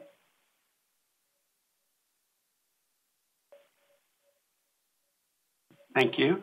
Um, I know as obviously we're going to talk um, hear from the county later, um, but as we're talking about well in the desert, I know they, you know, historically, if I've met with them, are really trying to be careful about not providing services for people who may be engaging in criminal conduct. And so, just sort of what you're seeing is there, because there seems to be a concentration right now in that area, but also hotels are being used in Project Roomkey, and just sort of what your sense of how that's working with Well in the Desert now. Well, there is an absolute surge in homelessness in that area. Um, whether it's the Project Roomkey location nearby, well in the desert, just the overall uh, issues with homelessness.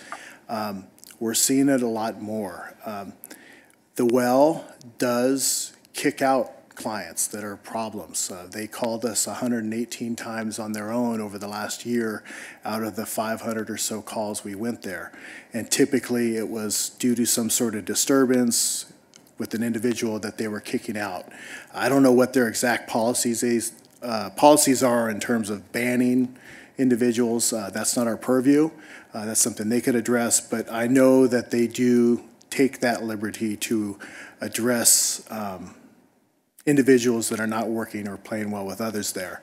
Unfortunately, a, a lot of the time, those individuals remain in the area, which uh, results in complaints to us that we have to address. So um, that's just one of the constant battles with uh, this type of situation right now. And then it's complicated.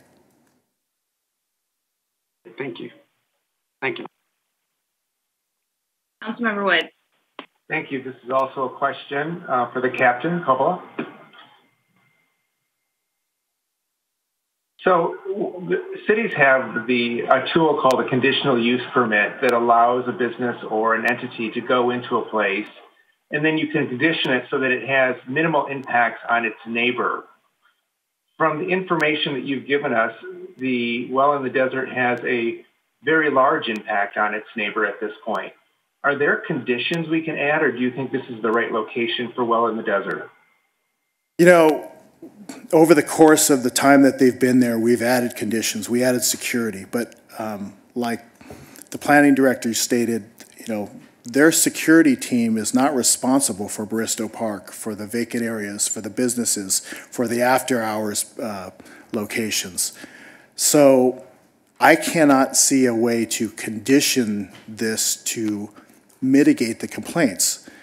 The location in and of itself, when, it's directly across from a condominium complex, um, with restaurants directly behind it, with a public park that has playground equipment, with a lot of uh, high density housing where children want to use that playground, and then all of the businesses downtown that thrive on tourism and that uh, aspect, this location is it's, it's, it presents a lot of challenges, um, and those challenges uh, have expanded. They've been there from the onset, but they've obviously expanded with the issues of homelessness. And I, and I, I'd be, you know, I have to say that I cannot say that the well in the desert is the source of all of these homelessness issues. That's, that's, that would be completely unfair.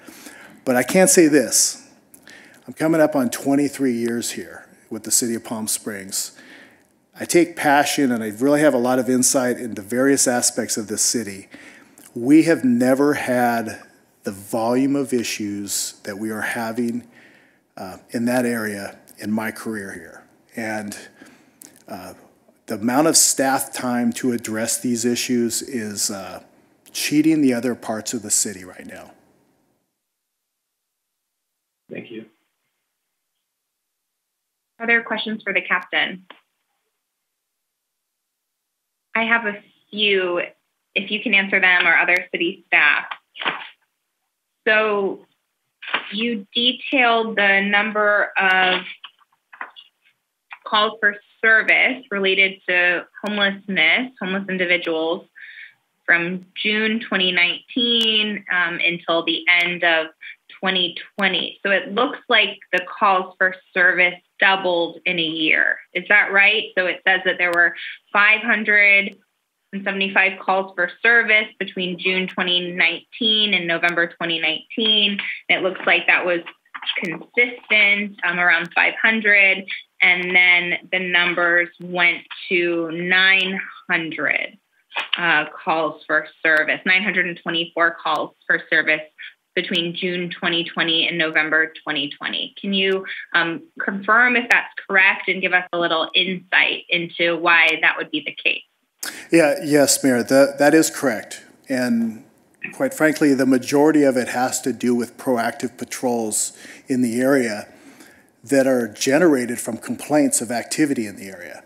Uh, we've had to direct resources, patrol checks, property checks, and resources there that are all related to homelessness. And um, that has grown each year because the complaints about the activity have grown. Uh, if we just ignored it, um, we'd be remiss in, in failing those that are complaining about this activity. Thank you. And you detailed the work and the burden on the police department um, to police this area. Do you know, and I don't know if you know this number off the top of your head or if it would go to city manager, um, but a sense of the cost, the additional cost um, to police this area or to provide service? You know, that would take a lot of an analysis to, you know, how much time are, are on the calls, um, the call volume, how many officers are involved in each, um, each call. Um, not off the top of my head fairly, but I would, it would be, um, a lot. I don't think that would be the. It would be a lot of money, to, uh, a lot of our resources and time. Um, and the and the time just can't you can't uh, you know pin it on the police officers. You have to that that calls to our dispatch center, that calls to the medical aides in the area um, for our fire department and AMR to respond. Um, you know, a police officer's benefit package with salary is a couple hundred thousand dollars a year with all the benefits and everything. And right now, we, we have three officers dedicated to homelessness. And it's not, they're not all focused on this area, but, uh, you know, it, it's a lot of resources and time. And what's really uh, troubling to my patrol staff is in the past, we've been able to handle homeless activity with the three officers and a couple community service officers throughout the daytime, seven days a week. These days, our patrol staff, 24 hours a day, are having to address these issues, whether it's the downtown parking structure or the various businesses in the area and frequently have to patrol them. So that costs uh, would be quite a bit. Thank you. And then I have another question. I'm not sure if it's for the captain or city staff. So, Well in the Desert provided numbers about the number of patrons served and the services that they're providing, the number of coffee, snacks, water, showers, and clothing and rides to provided. So, the numbers from the Well in the Desert say that they're serving 3,700 3748 people, uh, total patrons in January 2020. So I assume, are those unduplicated numbers, meaning um, they're serving 3,700 people a month, or are they duplicated numbers, meaning they're serving the same X number of people per day, and total that calculates to 3,700 in a month? Madam Mayor, I believe in terms of the numbers that are provided, uh, those may include duplicates of individuals who come back for services. So it's not uh, 3,700 unique individuals. Thank you. Has the applicant provided unduplicated numbers for their clients? I, I don't believe that they have. We might ask that question of the applicant. Thank you. And I've, I've asked that a few times in getting these numbers. Um, and it's, I think that's really important. You know, we're talking about how many people are homeless in Palm Springs. How is that increasing? We have our point in time count. Um, and then we have you know, and then the specific issue of how many the well in the desert is serving. And I think it's really in, important for the council to know in the community how many total patrons um, unduplicated. So I'm trying to look at the showers number, um, you know, trying to calculate what would that be the unduplicated number, but it's really difficult. So maybe that can go to the applicant um, if they're speaking during the public hearing. Those are all the questions I have of staff um, before we open the public hearing. Are there any other final questions? Seeing none. At this time, I'd like to open the public hearing. The applicant will have up to five minutes to present their case. If requested, the applicant will have two additional minutes at the end for rebuttal. The public is invited to speak on this public hearing item for up to two minutes. City Clerk, if you could please contact the applicant.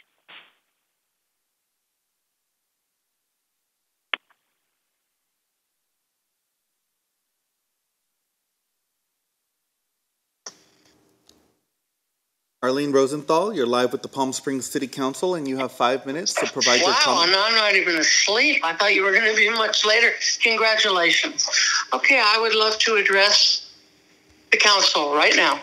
So, Mayor and City Council members, I'm real pleased that you asked me to speak for five minutes about what has become one of the most difficult problems the whole United States is facing and in this case, Palm Springs. Homelessness.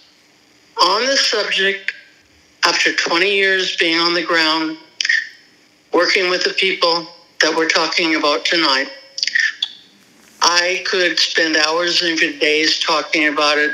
Homelessness, homelessness is not new, and it will always be a part of our history, unfortunately, unless it be given a priority over profit and insensitivity.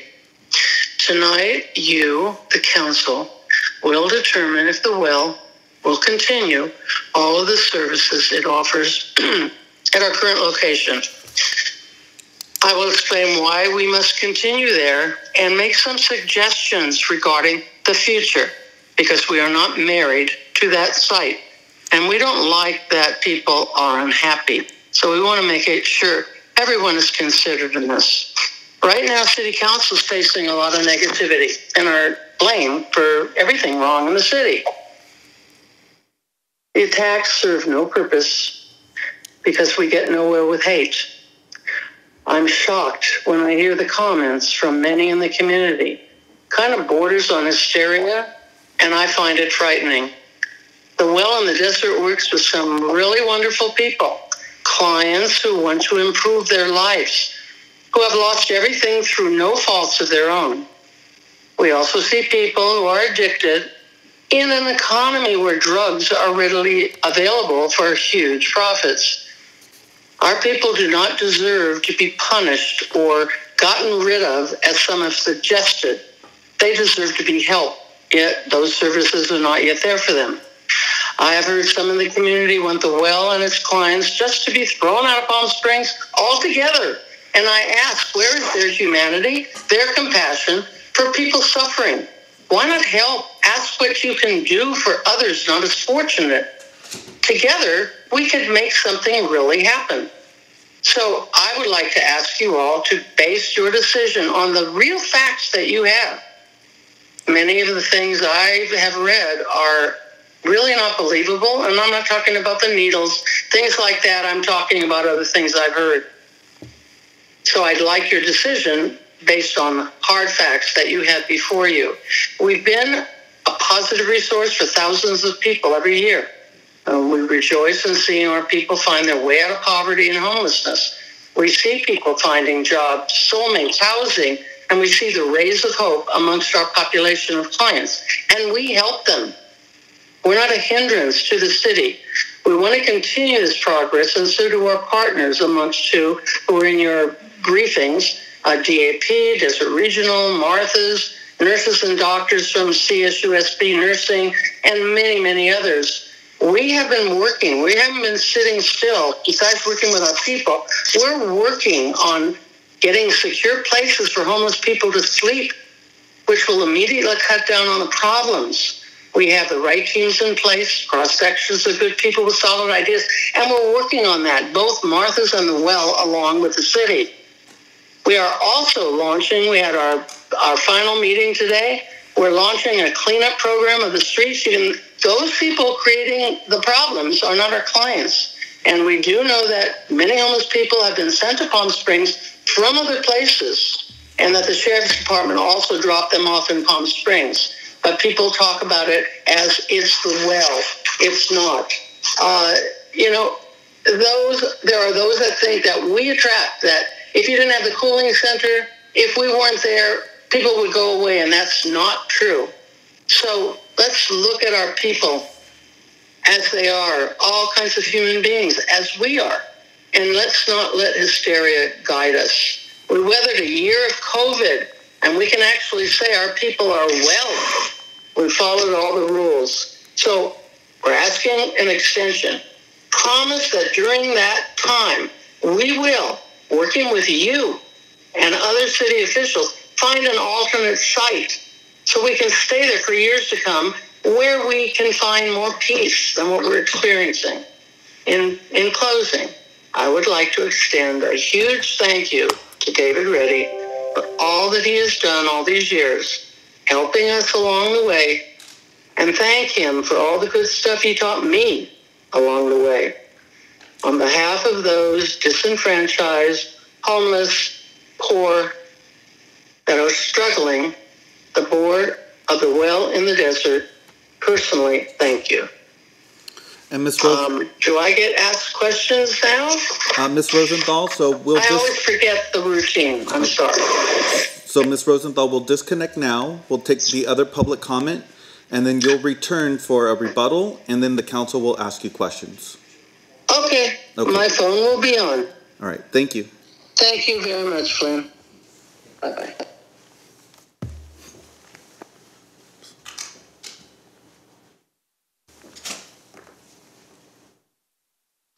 Uh, Ms. Pitts, you're live with the Palm Springs City Council, and you have two minutes to provide your comments.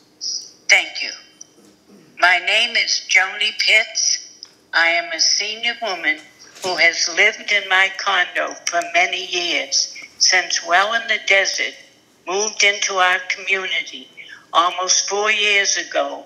The decline in the quality of life in my neighborhood has diminished.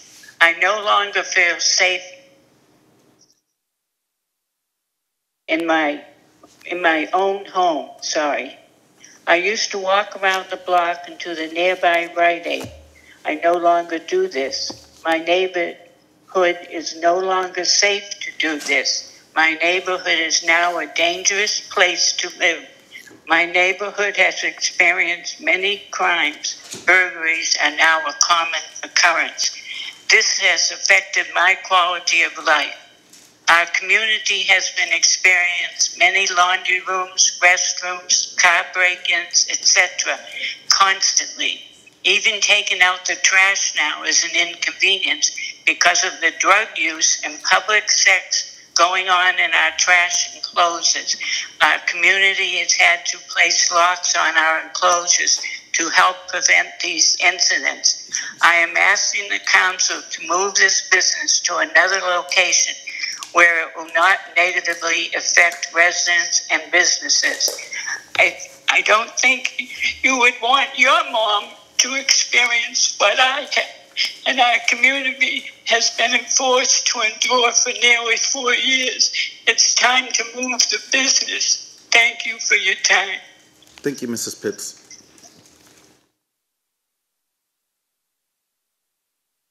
Stephen Jaffe, you're live with the Palm Springs City Council, and you have two minutes to provide your comments.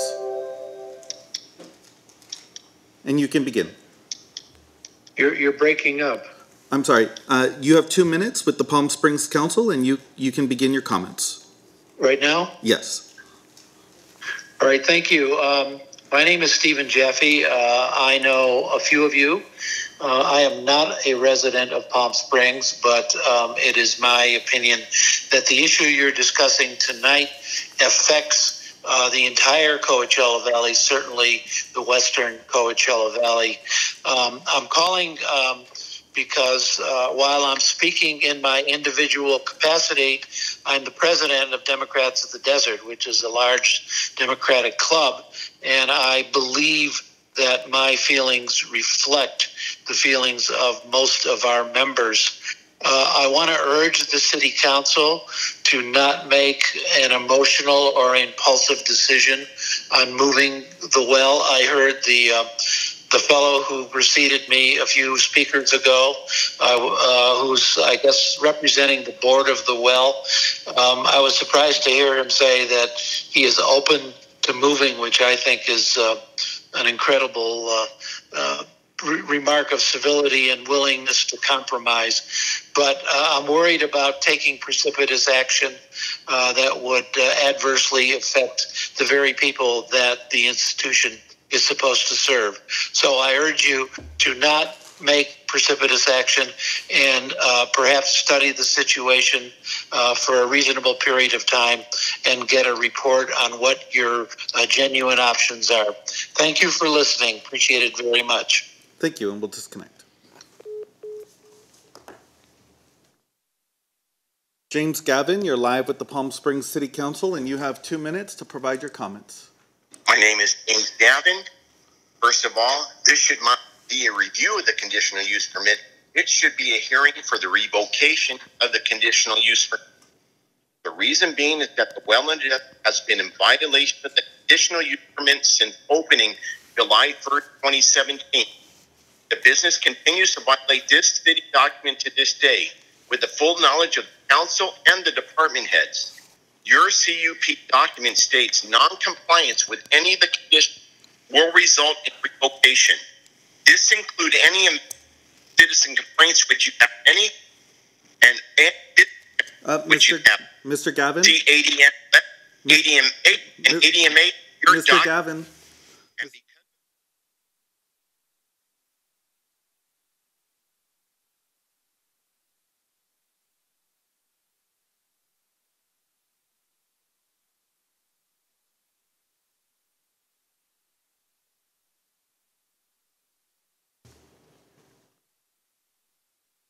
Hello, Mr. Gavin. So Yes. I, I restarted your time uh, because we were having a difficult time hearing you.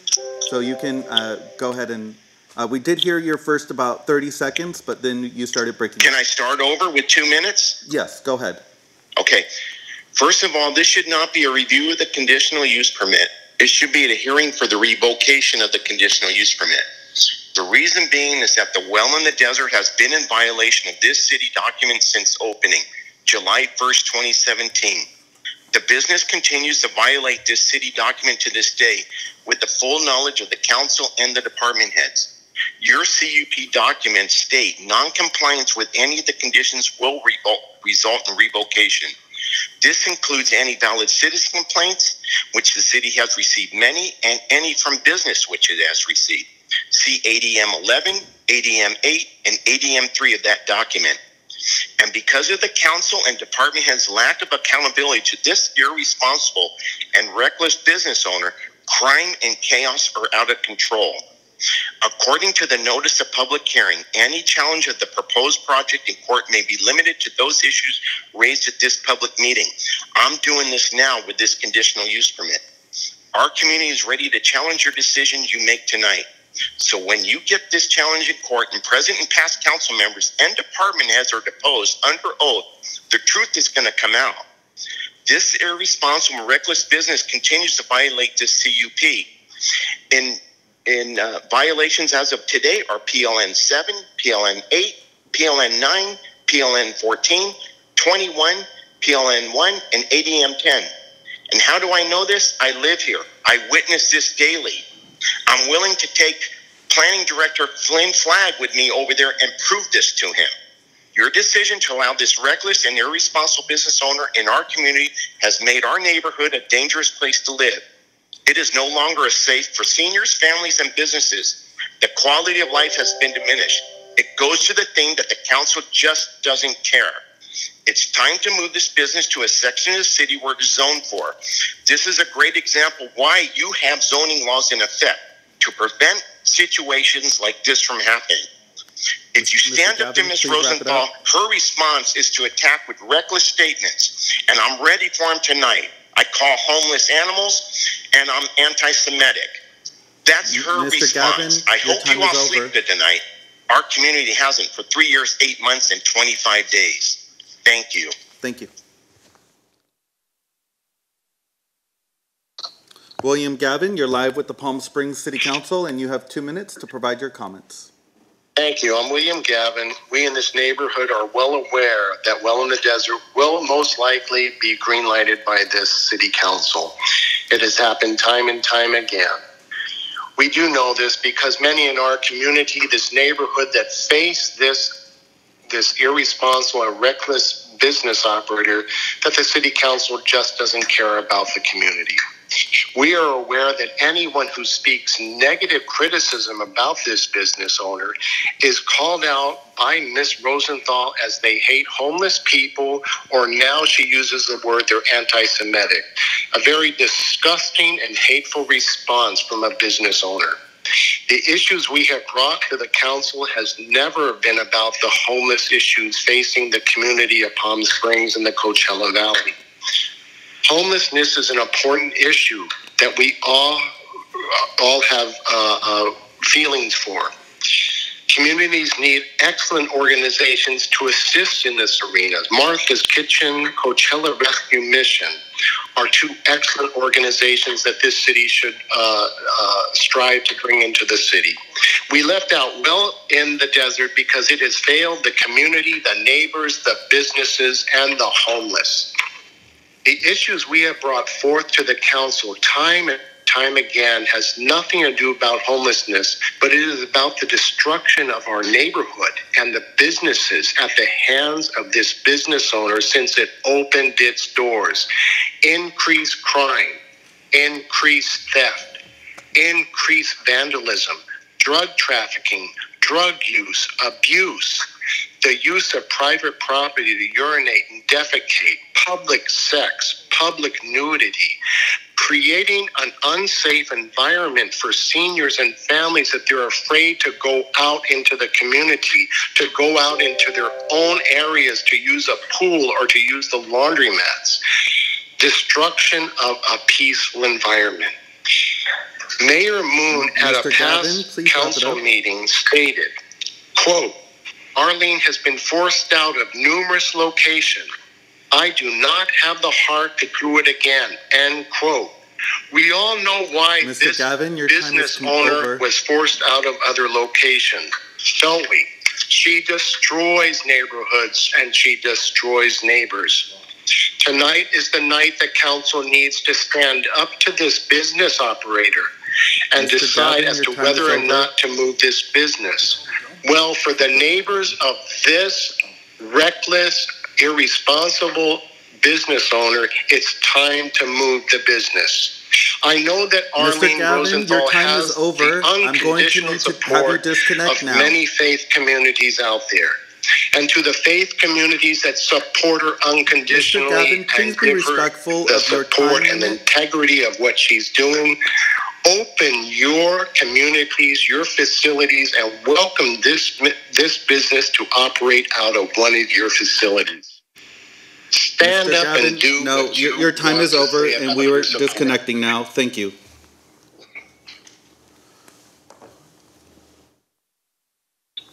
Brian Voles, you're live with the Palm Springs City Council, and you have two minutes to provide your comments. Brian Voles? Hi, good evening. My name is Brian Balls. I live in Baristo neighborhood, specifically a village tradition.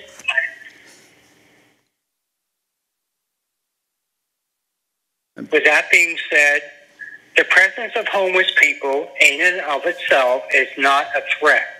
However, we have experienced threatening behavior, disturbance of the peace, and trespassing on our property. The inability of Desert in the Well to operate um, efficiently uh, contributes to this dilemma. Um, Desert and Well should, appro- should provide appropriate, humane services and not minimal services like referrals to drug rehab, housing, uh, transportation, and a homeless services network. Otherwise, we are drawing them here to set up camp and without anything to offer. Tourism and businesses are being intimidated and threatened by this lack of effectiveness. I know and expect homeless routinely to be outside the walls. We are living in a gated, walled community to be harassed. And just a few days ago, we found homeless in our pool, as well as intimidating walkers by on the sidewalk as they pass by our development. Specifically, Baristos Park is perimetered by residents with children. And there has been evidence of drug dealing, unstable and threatening behavior, and lack of lighting, which unfortunately is missing at night. And for what I understand, has never ever been utilized. The trash and sanitary conditions are, of course, to be expected. In conclusion, if you want to provide services and actually provide the right kind of services and don't just want to push them to another town or location, obviously it's a failure and it's not a world class solution that I've heard we think we possess earlier in the broadcast. So, what do you Mr. expect Bowles, we please wrap it do when this center closes at night? The police are not social service advocates, nor do they perform the service of, of social service advocates. I thank you for your time and consideration. Thank you.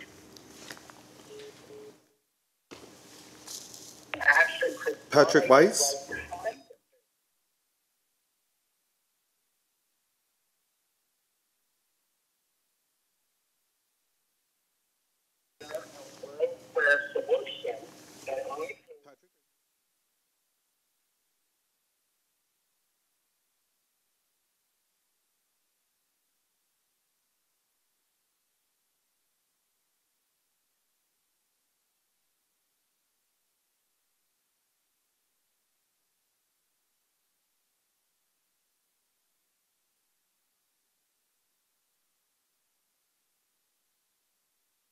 Okay, Patrick Weiss, you're live with the Palm Springs City Council, and you have two minutes to provide your comments. Hello, this is Patrick Weiss. Can you hear me? Yes, we can hear you. Hello? We can hear you. Okay. Um, dear Palm Springs uh, City Council members, the only way we can get many people off the streets is a homeless shelter in the West Valley that is permanent. We have heard tonight of the success of Martha's Village and Coachella Valley Rescue Mission in the East Valley by the officer who spoke tonight. NIMBYism is always going to be a problem. The 10 million or portion of should be going for a permanent homeless shelter. Unfortunately, it looks like half has already been spent. Since it is state money, using eminent domain to acquire the property can be done. Also, the use of homeless dumping into Palm Springs needs to stop. We should only take care of those who become homeless within the boundaries of Palm Springs. I'm glad to read AB 816 is now moving through the state legislature, allowing local governments to be sued who do not do anything for their homeless, like La Quinta, Palm Desert, etc. The state needs to legislate homelessness directly. Otherwise, the issues may continue, where Palm Springs suffers while other city, cities ignore their local homelessness issue. So, uh, the only permanent solution to people being on the street is to have a, a, a homeless shelter, which is 24 hours. But I don't see any resources or plans going towards that. Also, I was part of the, uh, I was being invited to the Palm Springs Homeless Task Force, and it seems like you have not had a meeting for at least three months, which was on Zoom, and I don't know why those meetings were cut off. Thank you very much. Thank you, and we'll disconnect.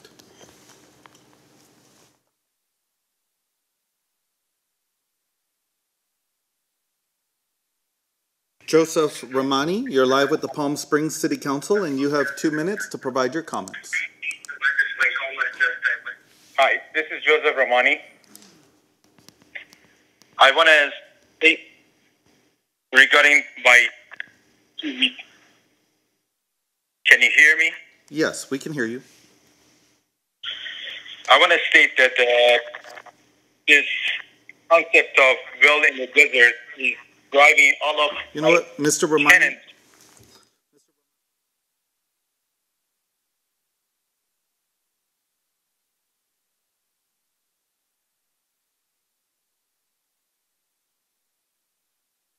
Okay, Mr. Romani, uh, you can go ahead and start over.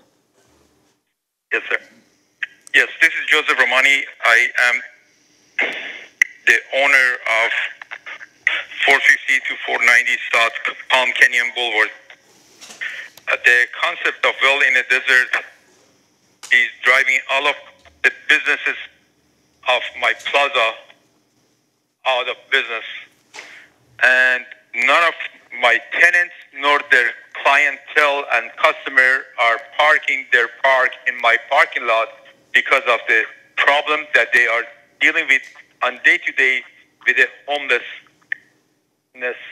and all the problem which is caused by the transient from the world in the desert.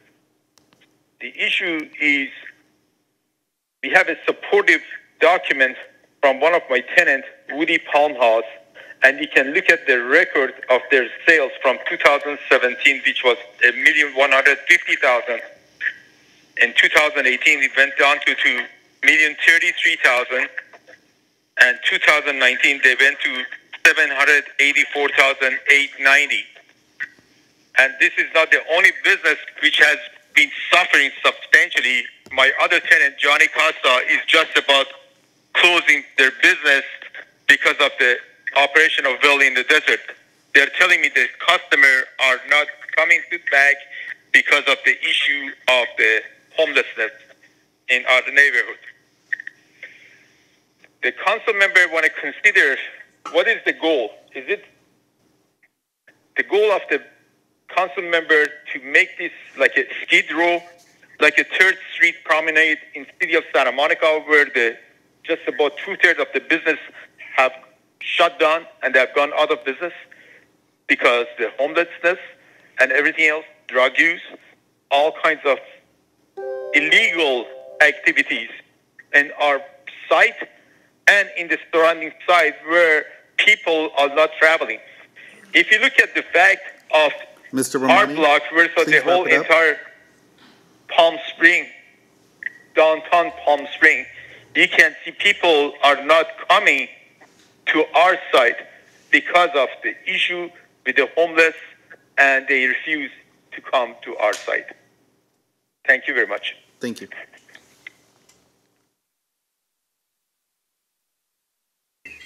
Uh, Mark Rosnosti, you're live with the Palm Springs City Council, and you have two minutes to provide your comments. Hello? Yes, you have two Yeah, minutes to provide your comments.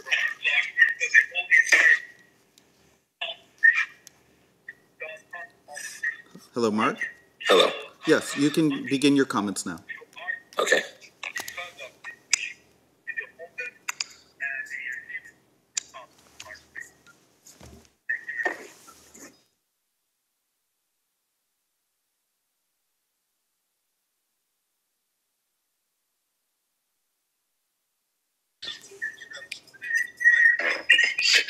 To thank the mayor and the city council for giving us time to speak tonight. Um, we own a business in, in the heart of downtown Palm Springs, uh, right in the heart where Captain Kovaleff was talking about. Um, we're right down next to Rite Aid, uh, the parking structure.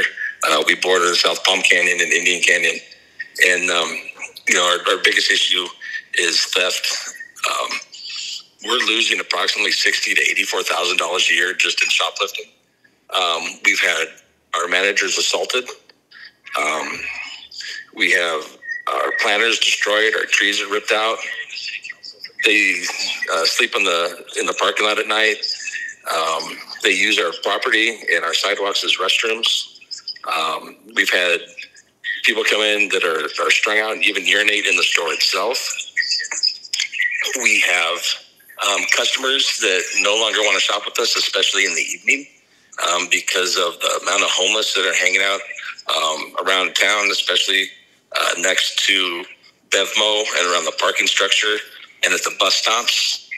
Uh, we have people at the hotels that have walked over to the store in the evening and have been afraid to walk back and have taken Ubers back to their hotel because they don't feel safe. Um, we just, you know, Palm Springs is a destination town. And when we have tourists that come down and they're afraid to walk downtown and walk back their hotel rooms, it's it's it's hard to hear. And when they ask why we don't do anything about it, our hands are tied. Is there a need for a homeless? Um, um, place a place for the homeless to go? Absolutely. But in the evenings, once Well in the Desert closes, it we in downtown turn into the kind of the wild, wild west. We need a place where they can go, and it's a 24 hour place where they're not turned out in the evening to be on their free will and cause chaos in, in, in businesses. Um, I know I'm not alone. Our business next door, um, their hands are tied. Um, we just we just ask for help. We need help um, with the homeless and um, just them staying in, in downtown and, and kind of destroying our business and driving our customers away. We know there's a need, um, but we don't believe this is the answer. Um, but I think the great city of Palm Springs and the awesome businesses that we have um, can come up with a, a better alternative to get them into a 24 hour shelter um, where they're not turned out in the evenings and made to go sleep on the sidewalks in the streets and fend for themselves so much. I thank you for your time. Thank you. Natalie, you're live with the Palm Springs City Council, and you have two minutes to provide your comments. Thank you. Hello, I work for Joseph Romani, who you heard from tonight and at previous meetings. He manages the retail center located at 490 South Palm Canyon Drive, which is about half a mile from the Well in the Desert Cooling Center.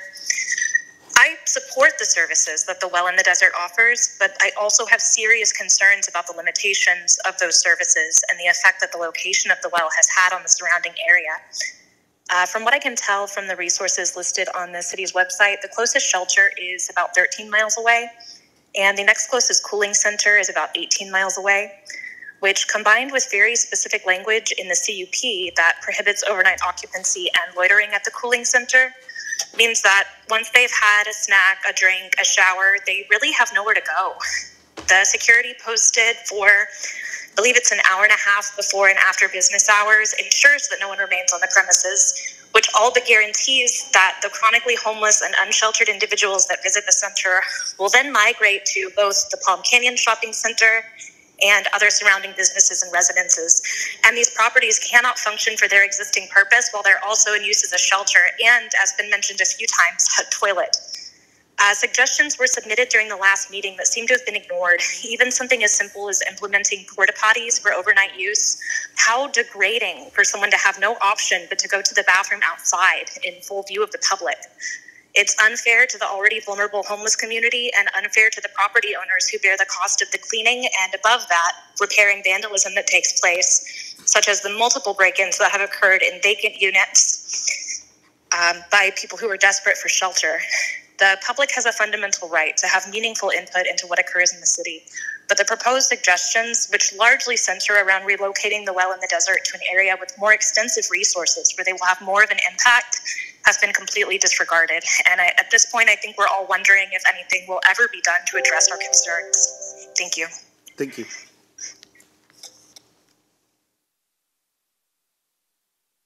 Denise Gawaldis, Yes. you're live with the Palm Springs City Hello, Council. hello, council.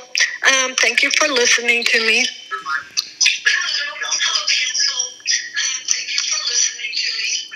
Uh, I've lived here all my life, and this is the first time I've ever had to speak at a council meeting. So, forgive me if. Um, anyway, I'm very distraught um, witnessing um, the slow destruction of my hometown. What um, they, I'm going to turn off my TV. Sorry, distracting. When the city was first considering the conditional use permit for the well in the desert, there were many businesses and residences residents that spoke out against it for the very reasons Captain Kovaleff spelled out. So I don't need to repeat any of that. I'm just asking that um, maybe we can find a better location away from downtown. It's not working. Businesses are suffering. Residents don't feel safe. Um, we're a resort town, and it breaks my heart to see it disintegrating before my eyes. And poor little Joni Pitts. It breaks my heart. And um, anyway, I thank you, and I hope that you can take our feelings into consideration. We're, we're sick at heart. Thank you. Thank you, and we'll disconnect.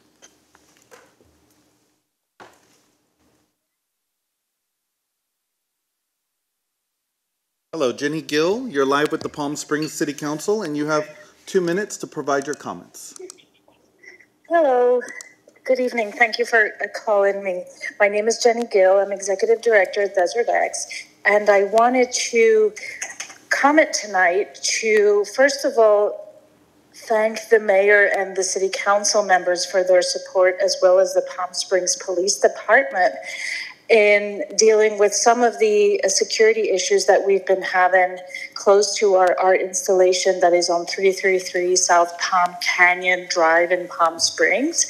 We've had, since we opened 12 days ago, four reports from visitors who have uh, contacted me to let me know that they've had um, aggressive and violent encounters with uh, different people around the site on 333 South Palm Canyon.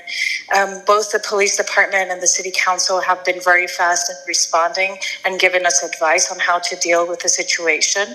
But I did want to make everyone aware of the what it seems to be like an increasingly violent um, encounters in downtown Palm Springs in broad daylight with visitors both from Palm Springs and outside of town that are coming into um, our cultural event and to see some of our art installations.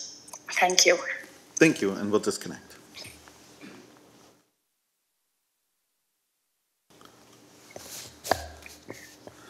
Franco Luca Sormani, you're live with the Palm Springs City Council, and you have two minutes to provide Yes, your comments. good evening.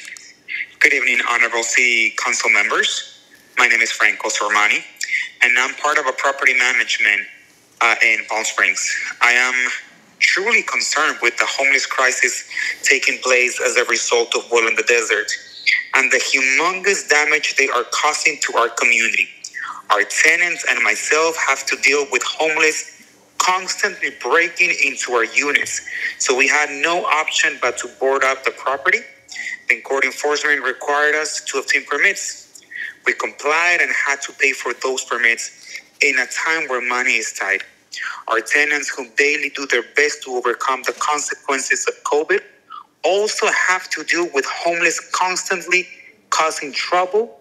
They defecate, they urinate, leave their belongings. I myself have witnessed two homeless performing sexual activities in our parking lot. They use drugs and then leave needles all around.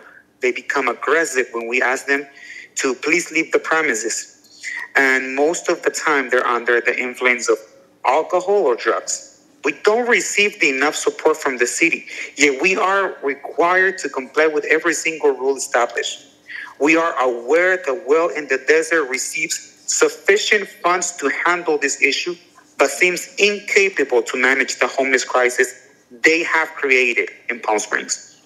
Instead of being a support for the community, they are causing for Palm Springs to become another skid road. Thank you very much. Thank you, and we'll disconnect.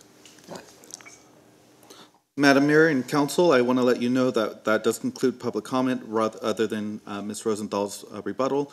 Um, and we were able to reach everyone who uh, registered to speak tonight. Um, and I'll reach Ms. Rosenthal now.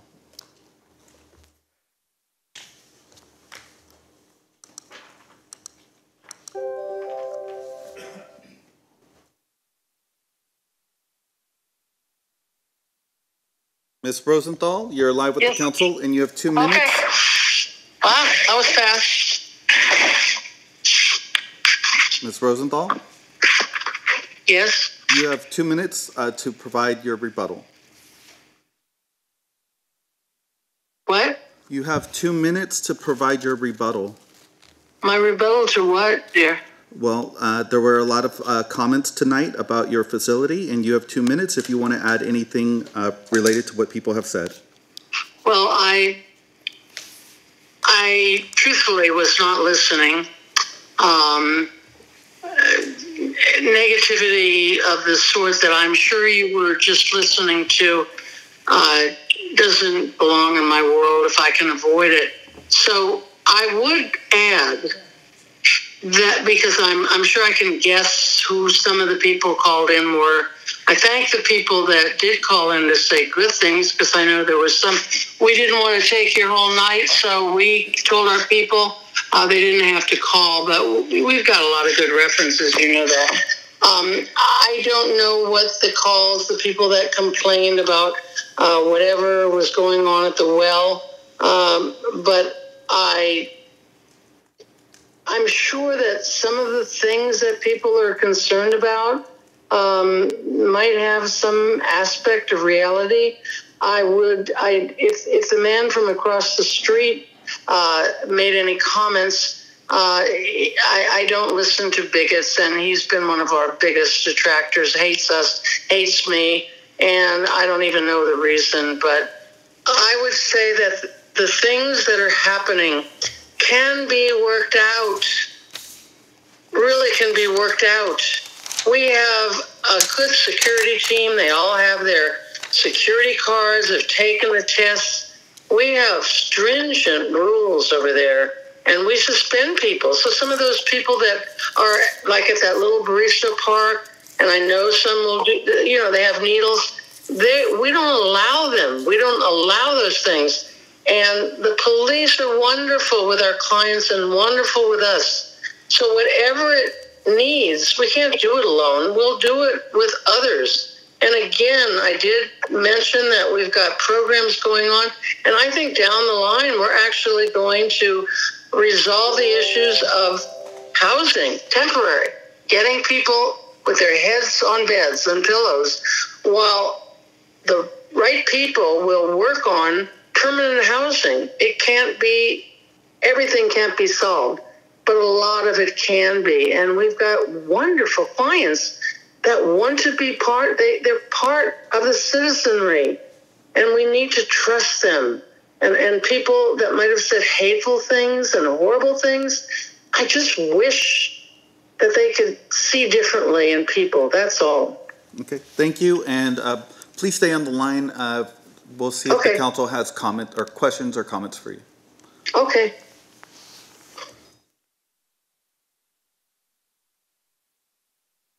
Madam Mayor, that does conclude public comment, and um, Ms. Rosenthal is still on the line.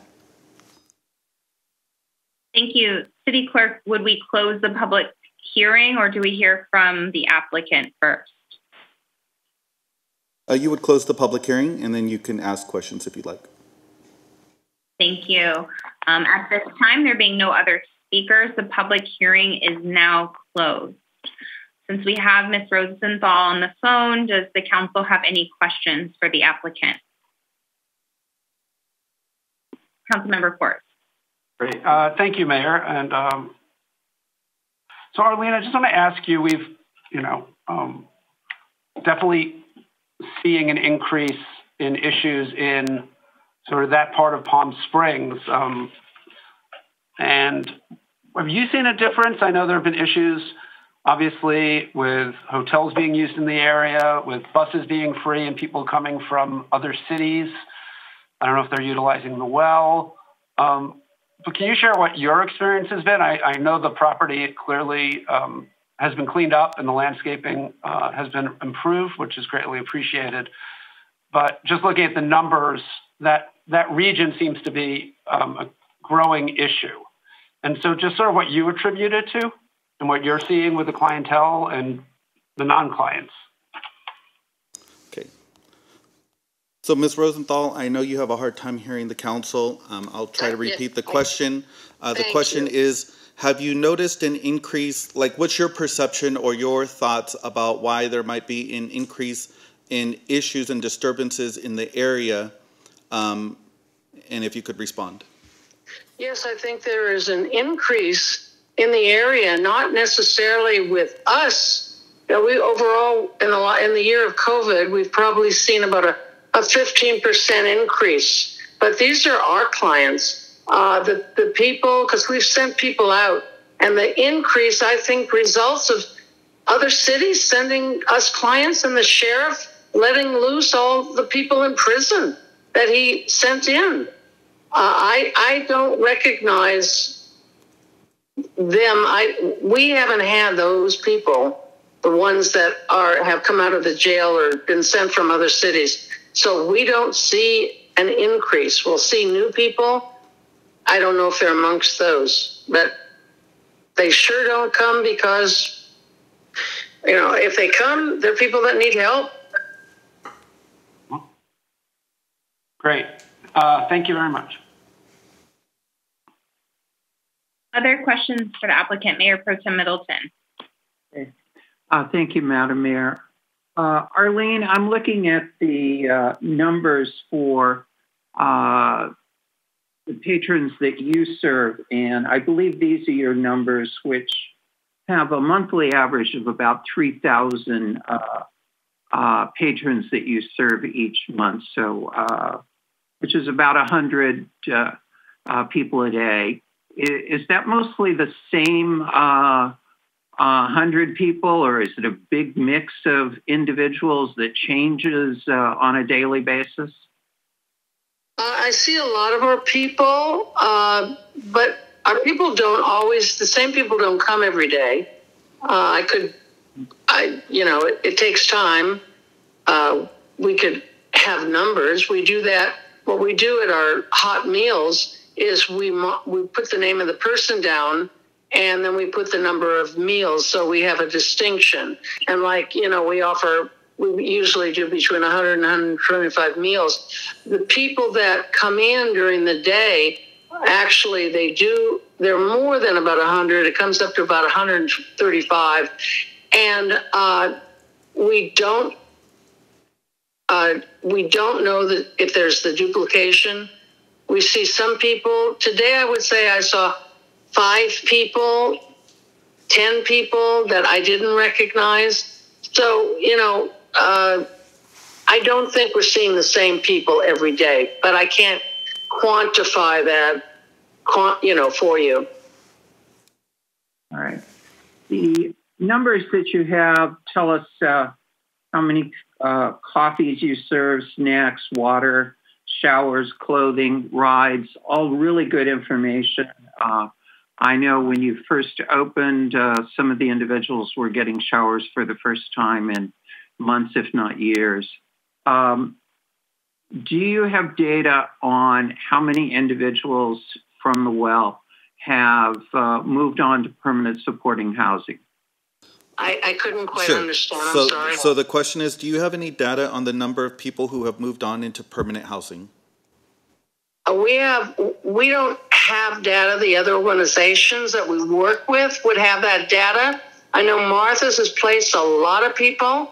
I can tell you that uh, yesterday, in fact, five of our people were transported down to the rescue mission, and they're going to be going into one of their programs. And so, you know, that was five off the streets there. Uh, not everybody finds permanent housing. Some leave. We've had people get jobs. Uh, uh, someone in Alaska. Many of our people don't stay here. They move on when they have their feet on the ground. You know, and not everybody is homeless. People have apartments, and people share homes. So not all of our clients are homeless but I've seen a lot of people move forward. It's very heartening to, to find out that this happens, but we can't track everybody. They don't, it's almost impossible, really is. You'd have to probably talk to the service providers that work with us.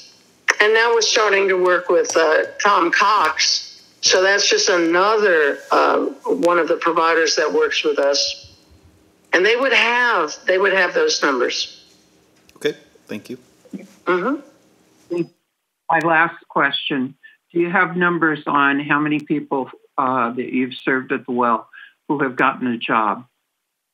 So the question is, do you have numbers on the number of people you've served that have No, received employment? No, no. It, you know what it is? It's what we see, who we don't see. People giving us reports when we don't see somebody that we've known for a while. We'll say, you know, hey, what happened to so and so? Some cases we get she or he died. We'll get so and so got a job and moved out of town. But no, we, we are not able to track that because people don't always tell us.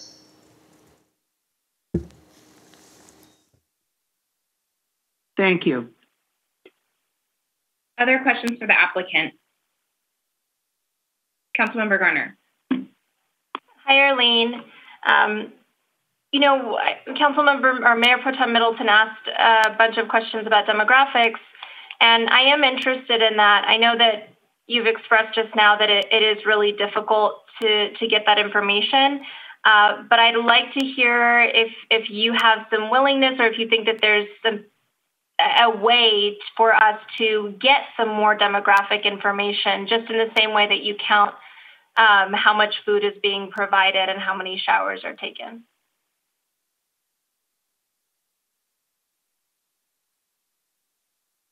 So I'll repeat the question. Uh, Councilmember Garner would like to know if you have a willingness to start collecting demographic data um, similar to what Councilmember Middleton was asking about, similar to how you collect data on how many meals are served.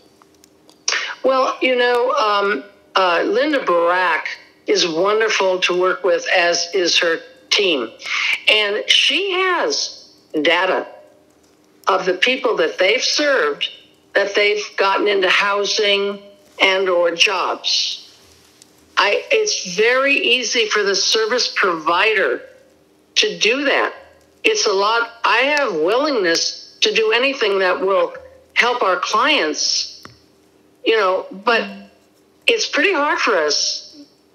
It really is difficult for us when the service providers don't know that. I used to ask the rescue mission all the time, well, how many of our people that are you seeing? How many have you helped move on? And they could never give me data. Uh, But Linda does give data.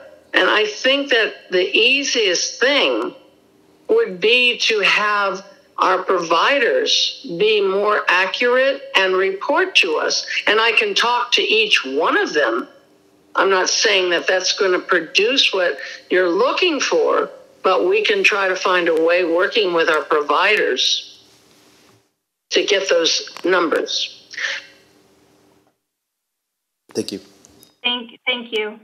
Uh, my, thank you, Arlene. I appreciate that. Um, sorry, I just lost my train of thought. Shoot. Um, I, sorry, Arlene. If there is there, what is the one thing, or, or, or what do you think that that you need or the well needs in order to be able to um, better support unhoused people? So the question was, what do you need in order to be able to support um, and, and house more people? Well, we're not housing right sorry. now. We give are me, hoping give me one second. to. Let me let me make sure I got the question correct. Give me one second. Sorry, I, I, I used a, just a different term. I'm, I just want to know what what the well needs in order to be a better supporter of the homeless population. Um, is it a larger space? Is it you know what is it that could be could better serve the community? Okay, so the question is, what do you need to be, be able to better serve the homeless community? Is it a better, bigger facility or, or something else? Well, I think that if there were a facility that were bigger, that had all the amenities that we don't have and that we have, uh, I think it would go a far way because when you're under the gun all the time and you have people calling the police they're so good. They're so good with the homeless people, and they're good with the well. But when they have to be called out on on little things all the time, and sometimes by the same people, you know, they're coming to our property. I we called when we can't handle the situation. We'll call the police, but we're careful and make sure that they're really needed. So we try to handle all our own security. So if we had a place where people would stop harassing us and and hating us, and I know that NIMBYism exists everywhere you go, but some people are going to have to get over it and and do YIMBYism. I said this before. Yes, in my backyard. Listen, I live out on five acres in Sky Valley. If I've asked myself this question all the time, so I can try to understand other people. If they develop the next five acres next to me, into being a homeless city, what would I do? I'd go next door and and rattle the gate, the fence, and I'd say, "What can I do to help?" This has got to be.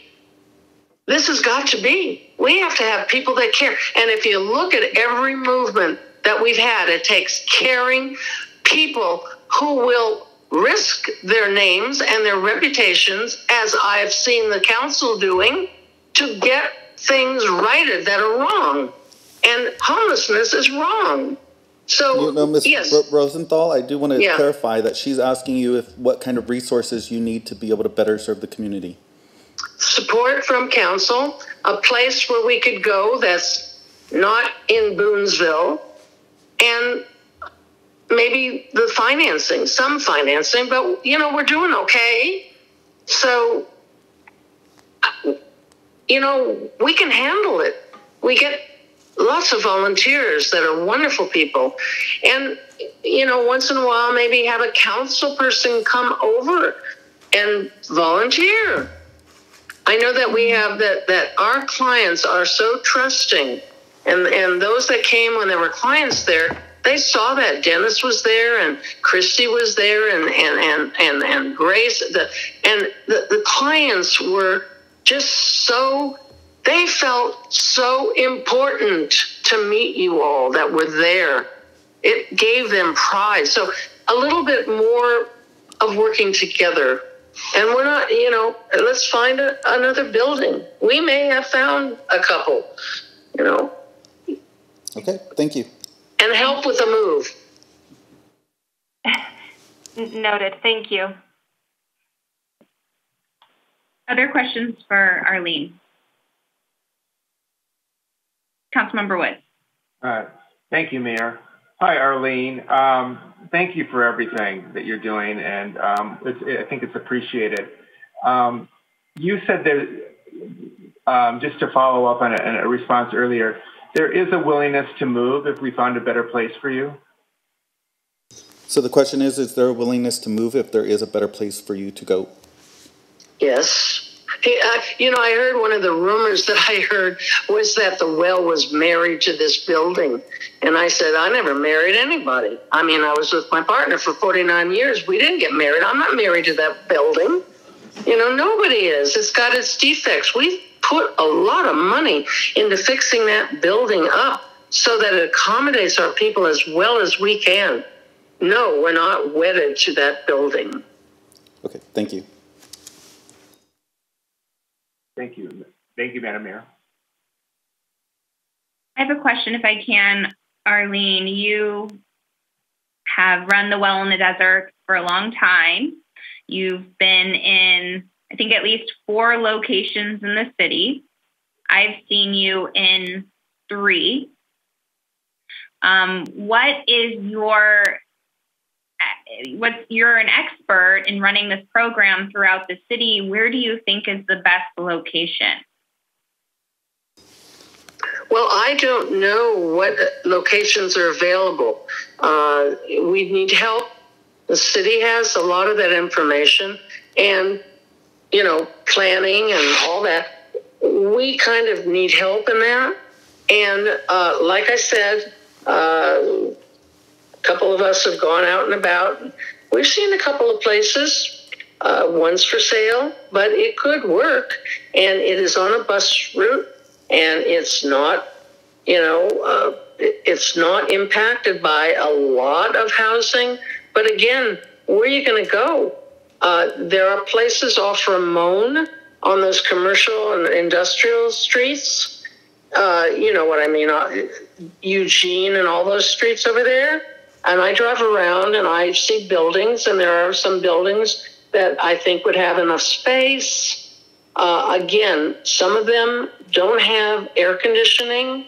They only have evaporative cooling, and we have found from uh, a couple of the places that we're in that you know in the summertime you really don't have a cooling center.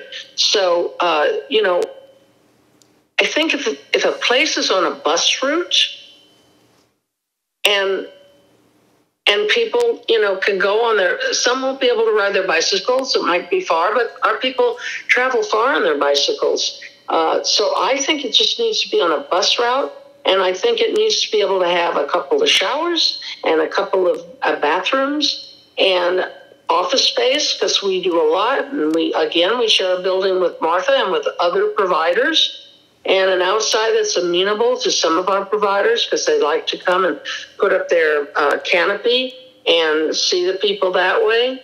I, I don't think it's uh, I don't think it's an impossible thing. Okay, thank you. Thank you. Any other questions for the applicant? I'm not seeing any. Thank you, Arlene. We appreciate um, your time tonight, and I know it's late, so thank you we will, uh, we're going to, if it works for council, um, pause this conversation and not deliberate because it's related to um, the county and their report, and um, they're also waiting on the line. Um, and then, if we can, council, we can deliberate at the very end. Does that still work for us? I'm seeing heads nod from all the council, so there's consensus around that. Um, so we will go ahead and move to item A 2A3, which is presentation from county staff regarding homelessness programs. City staff, are we prepared to do that at this time, or do you need a short recess to bring them into the Zoom? I believe we're going to start with Greg Rodriguez, and then. Uh, Greg, do we need to bring people in on? Yeah, yeah. Can we, Aaron? Can we bring uh, this other county staff in on the Zoom? Thank you.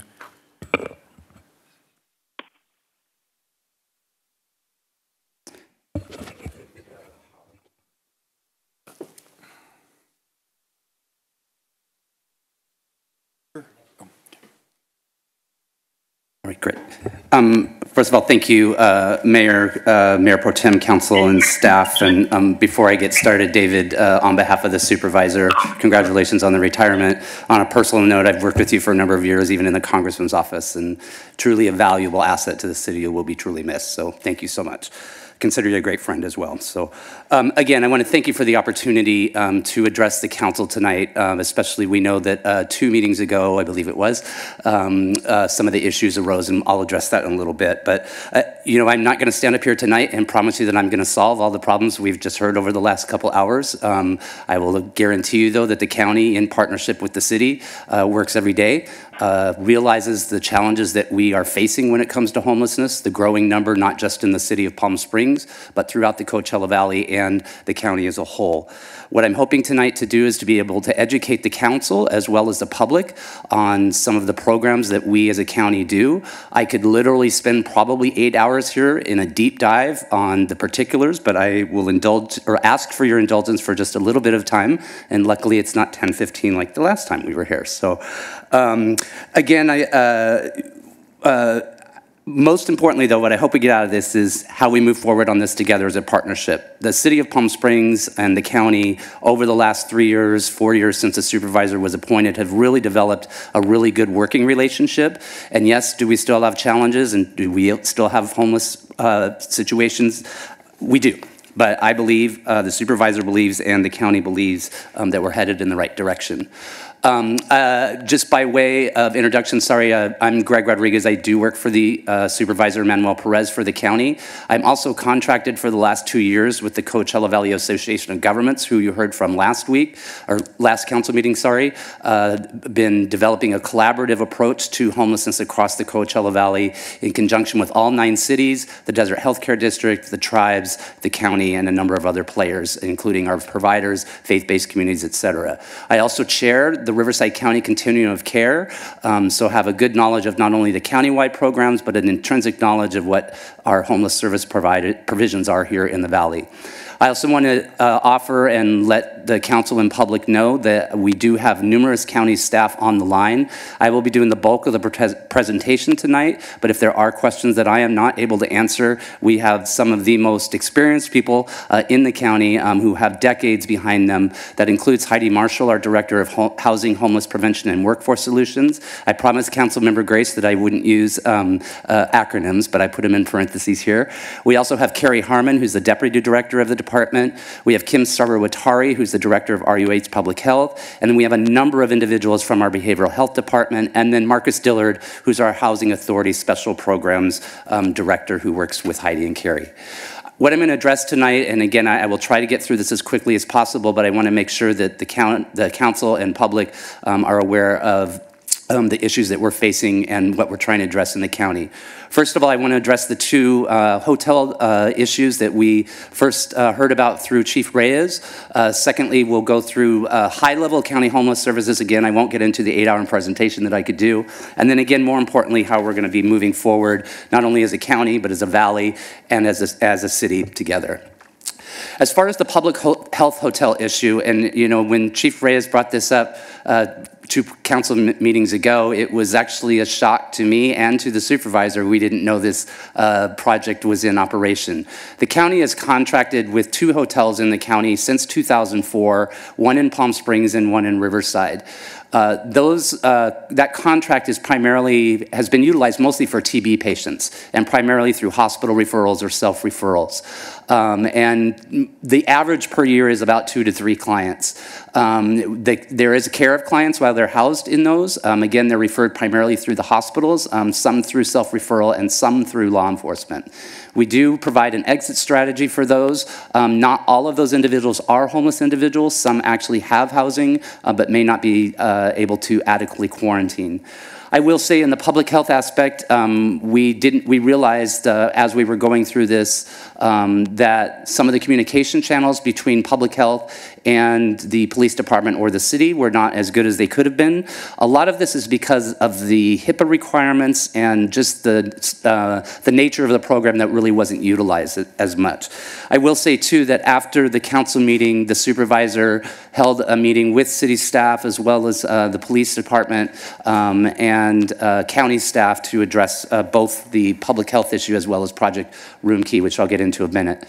Um, I know that council had asked for some, some statistics. Um, so you can see in 2019, prior to COVID, there was only one person housed in the Palm Springs Hotel, and that was one referred from a hospital. I know they, the council and, and the police department have also asked for cities of origin um, and obviously to either confirm or dispel the notion of dumping. Um, I will say that the county is not actively dumping people into the city of Palm Springs, nor is the sheriff's department.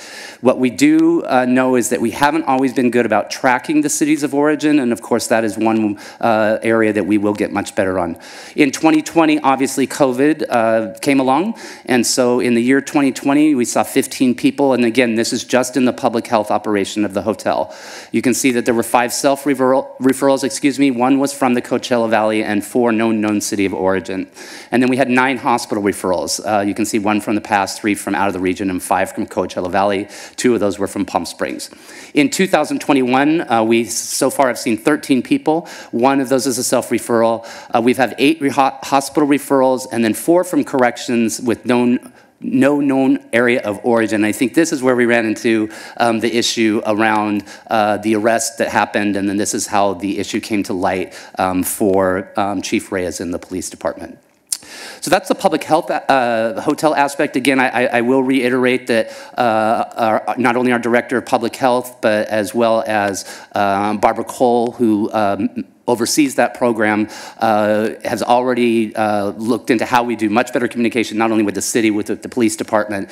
And again, as we move through COVID, luckily with vaccinations, uh, we anticipate hopefully that number going down that we have to do and are looking at other opportunities and other methods of housing people that need to be uh, quarantined or isolated. The second hotel project was Project Roomkey, and uh, the County of Riverside started this program in March of 2020, well before actually the governor announced this, this was a statewide program. Um, the reason we did this was because of the fear of a, a, potential enormous outbreak amongst our homeless population, specifically our most vulnerable seniors over 65. So we established the program, uh, again, with seniors 65 and over, pregnant women, or those with severe medical needs. We provided food on a daily basis, uh, case management. This is much more extensive than what the public health operation is. Um, and there's extensive case management from county staff, behavioral staff, as well as DPSS staff, um, and our uh, housing uh, and homeless prevention staff as well. And then each, each um, client that we put into a hotel room, we developed a housing exit plan and really tried to manage uh, the expectations of the client as well as the need for them to exit. Just wanted to provide a little bit of data as well, countywide, and um, this has been one of the most successful housing initiatives that we've done. I'll get into the lessons learned in just, in just a second, but countywide, we have had 908 individuals placed in hotels. 348 of those have been permanently housed. Uh, in the Coachella Valley alone, 214 people have been placed in hotels. Uh, the breakdown of those hotels, because I know that was a question from the council, was six hotels in Palm Springs, six in Indio, two in Desert Hot Springs, and one in Cathedral City, and actually one in Blythe, if we're going to talk about the fourth district. 96 people in the Coachella Valley um, were, were permanently housed so far. And then Palm Springs specifically, we've had 103 133 individuals placed in hotels. 29 of those are still in hotels currently, and then 58 have been permanently housed. Also wanted to point out that um, we actually had hotels begging us really across the valley, but especially in Palm Springs, uh, when COVID first hit and they heard of this program. We had more hotels offer us than we were actually capable of providing, and you can see that the economic impact to Palm Springs is $1.8 million in, in hotel revenue um, to date. I wanted to get into some key observations. And uh, I, am going to start with the success of the program, and I know we've had challenges, and I'll address those in just a second. But if you look at the rate of permanently housed people out of the number that were placed, that is far more successful than a shelter operation. It's just about on par with the CV Housing First uh, program that the uh, CVAG presented on uh, in the prior council meeting. Um, the uh, prioritization uh, for Section 8 and other voucher programs. Um, there's a lot of rules and regulations on how we can use Section 8 vouchers, but we made sure that we prioritized for the, our senior residents in Project Roomkey so that we could assist in the successful exit to permanent housing. The third bullet point here is a quick reaction versus thorough communication. And I think this is where maybe some of the breakdown happened, especially in a communication aspect. But the county, as I said, quickly reacted because we were really fearful of a public health outbreak amongst our homeless population. Not necessarily in our congregate uh, shelter facilities in the East Valley because we um, uh, addressed some of the precautions that needed to take place, but more importantly, those on the street. And especially because of the transient nature um, of, of the homeless population. We'd like to say that um, homelessness knows no bounds, city boundaries in the Coachella Valley here. While there are concentrations in Palm Springs and the Eastern Valley, there's also concentrations in Desert Hot Springs and Cathedral City, but we do notice that clients move across the valley on a regular basis. Where you know we could have done better is, and I know we did let the city know that we were doing this program, um, but we could have done a more thorough communication effort. I think also too, and this came up in earlier comments, is really looking at the concentration of services and the hotels uh, in relation to other service providers as well. Um, the county um, of course, too, we make our best efforts on placement. Um, there's been a lot of questions on uh, how we determine where people come from, um, what the case management aspect is, and what the program management is. And we really did try our best effort um, to place residents that were homelessness in Palm Springs into the Palm Springs Hotel, and then, of course, house those in hotels from other locations uh, in the city of origin. Uh, I will be the first to admit that wasn't always the case, but we really did try um, to make that a key focus as well. So those are the two homeless programs. And so the next section I really want to focus on a little bit is kind of county homelessness services. I'm going to give you kind of a little 30,000 foot overview here. But I really want to reemphasize again that the county, we realize that homelessness is an issue. We realize the, the problems that we have not only throughout the county, but especially in Palm Springs as well. I'm a resident of Palm Springs. I see it on a daily basis. I will commit it to you that not only does your council, um, but the county, uh, the county uh, staff, um, our office, as well as the service providers take this as a very serious problem and are working daily to make sure that we can find really positive solutions to this. Um, the county um, established a 10-year homeless plan a few years back uh, that's being under revision. I'll get into it just a second. But they've really shown a, a, a, commitment to addressing homelessness across Riverside County. In fact, it was a couple years ago that they established a position within the ex executive office specifically for homeless services. While that position has been eliminated, on the second bullet point, the reason that was eliminated is because a year ago this month in March, instead of the um, fragmented um, services that we had throughout the county through a number of departments. We established the Department of Housing, Homelessness Prevention, and Workforce Solutions Department. What the beauty of this is, is it's allowed those, that fragmentation um, to decrease, if not almost eliminated. It's decreased the silos amongst county departments. It's increased the amount of communication, and more importantly, has increased the strategic initiatives um, coming out of the county in partnership with our cities, all 28 cities within the county to address homelessness. We also, uh, the continuum of care, again, that I chair, and the Board of Governance, um, uh, we have a strategic planning and action plan process underway right now um, that is going to specifically look at addressing regional and collaborative approaches. And obviously, one of those reasons would be the Coachella Valley. Our homelessness management information system uh, are going under an upgrade right now. In fact, we've gone dark as effective as of yesterday for a full implementation by April 6. We heard a lot about data in the last questions, and data is extremely important when we're trying to not only track our demographics of our homeless population, but more importantly, how we're providing services, and even more importantly, how we're exiting them into uh, permanent housing. It is critical, and we as a county um, require that anyone that is receiving any federal dollars, state dollars, or county dollars are required now to input information into our HMIS system. Um, not only does this data help us track how we're doing as a county, but it provides you and our other elected officials and elected bodies with uh, real-time statistics on where we can go, but more importantly, how we can improve it and do better. And then also, we all know the biggest issue that we're all facing is the resource challenges, but there's also opportunities. It's important to note that even just two years ago, the only funding that was coming in for homeless services in the county was through the Housing and Urban Development, or HUD. So it was federal dollars about nine, to the tune of about $9.5 million a year. What we've seen over the last two years, thanks to Governor Newsom, is a commitment by the state and, of course, the State Assembly and State Senate uh, for increased money through allocations of special program funding. Additionally, we've seen that COVID, with all the challenges we've had, has actually been somewhat of a godsend for homelessness funding um, with uh, not only Project Roomkey, but other additional resources. We also know that there's additional resources coming from the American Rescue Plan, and the county is looking at how we can best not only utilize those funds, but leverage those funds with other individuals as well. We know still, though, that it's not enough, and um, we will continue to, of course, advocate for more resources. I want to run, uh, sorry, I went backwards. I want to run through really quickly just the county's homeless COVID-19 response. Again, a lot of this was in partnership with our cities and a lot of our community-based organizations. I talked about the fear in the beginning of uh, spreading of the pandemic within our homeless population. We immediately mobilized all our providers in the valley and throughout the county to provide PPE, uh, safety information, and how they can still provide services during the pandemic in a safe way. I will say, unlike many other counties in the state of California, we had an extremely low rate of infection within our congregate uh, shelter settings, and we should all be very proud of that uh, statistic.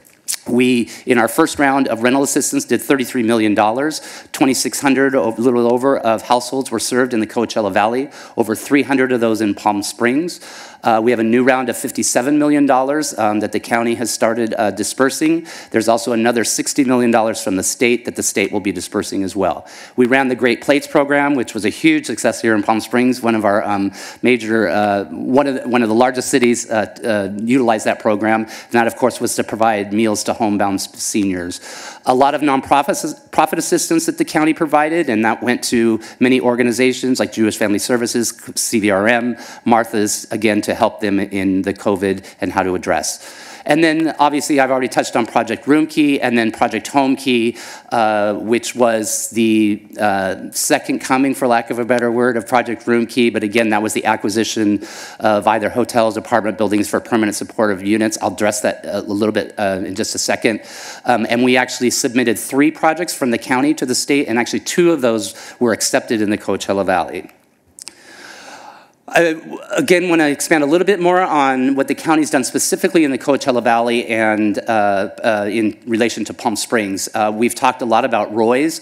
I uh, only want to emphasize that, of course, the county was the major funder in addition to really the support from the very beginning of Palm Springs and the city of Rancho Mirage. Not every city participated uh, to uh, run that shelter. There were a lot of challenges, not only in location, but it ended up that we weren't providing daytime wraparound services that was the original intent which of course I know that um, uh, former council member uh, Foat intended. And so it really just wasn't operating uh, when we closed that in, to the, to the extent it should have been when we closed that in 2017. As you heard uh, previous council meeting before, uh, uh, we work very closely with CVAG and the CV Housing First program. The county is one, is the number one municipal funder um, of that program, and then additionally, we work in partnership with them on a daily basis on um, behavioral health services and other supportive services through the county.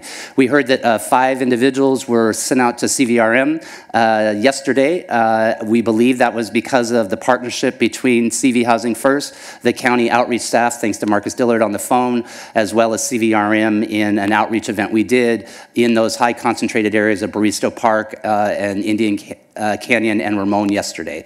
Um, so we would like to think those five people um, are going to get some help going forward. Uh, many of you are aware of the cooling centers. The county um, funded three of those the last two summers. I really want to give a kudos to Palm Springs, though, that when the pandemic hit, they maintained the activities through January, February, correct me, David, if I'm wrong, um, and then the county again took over uh, for funding those as well.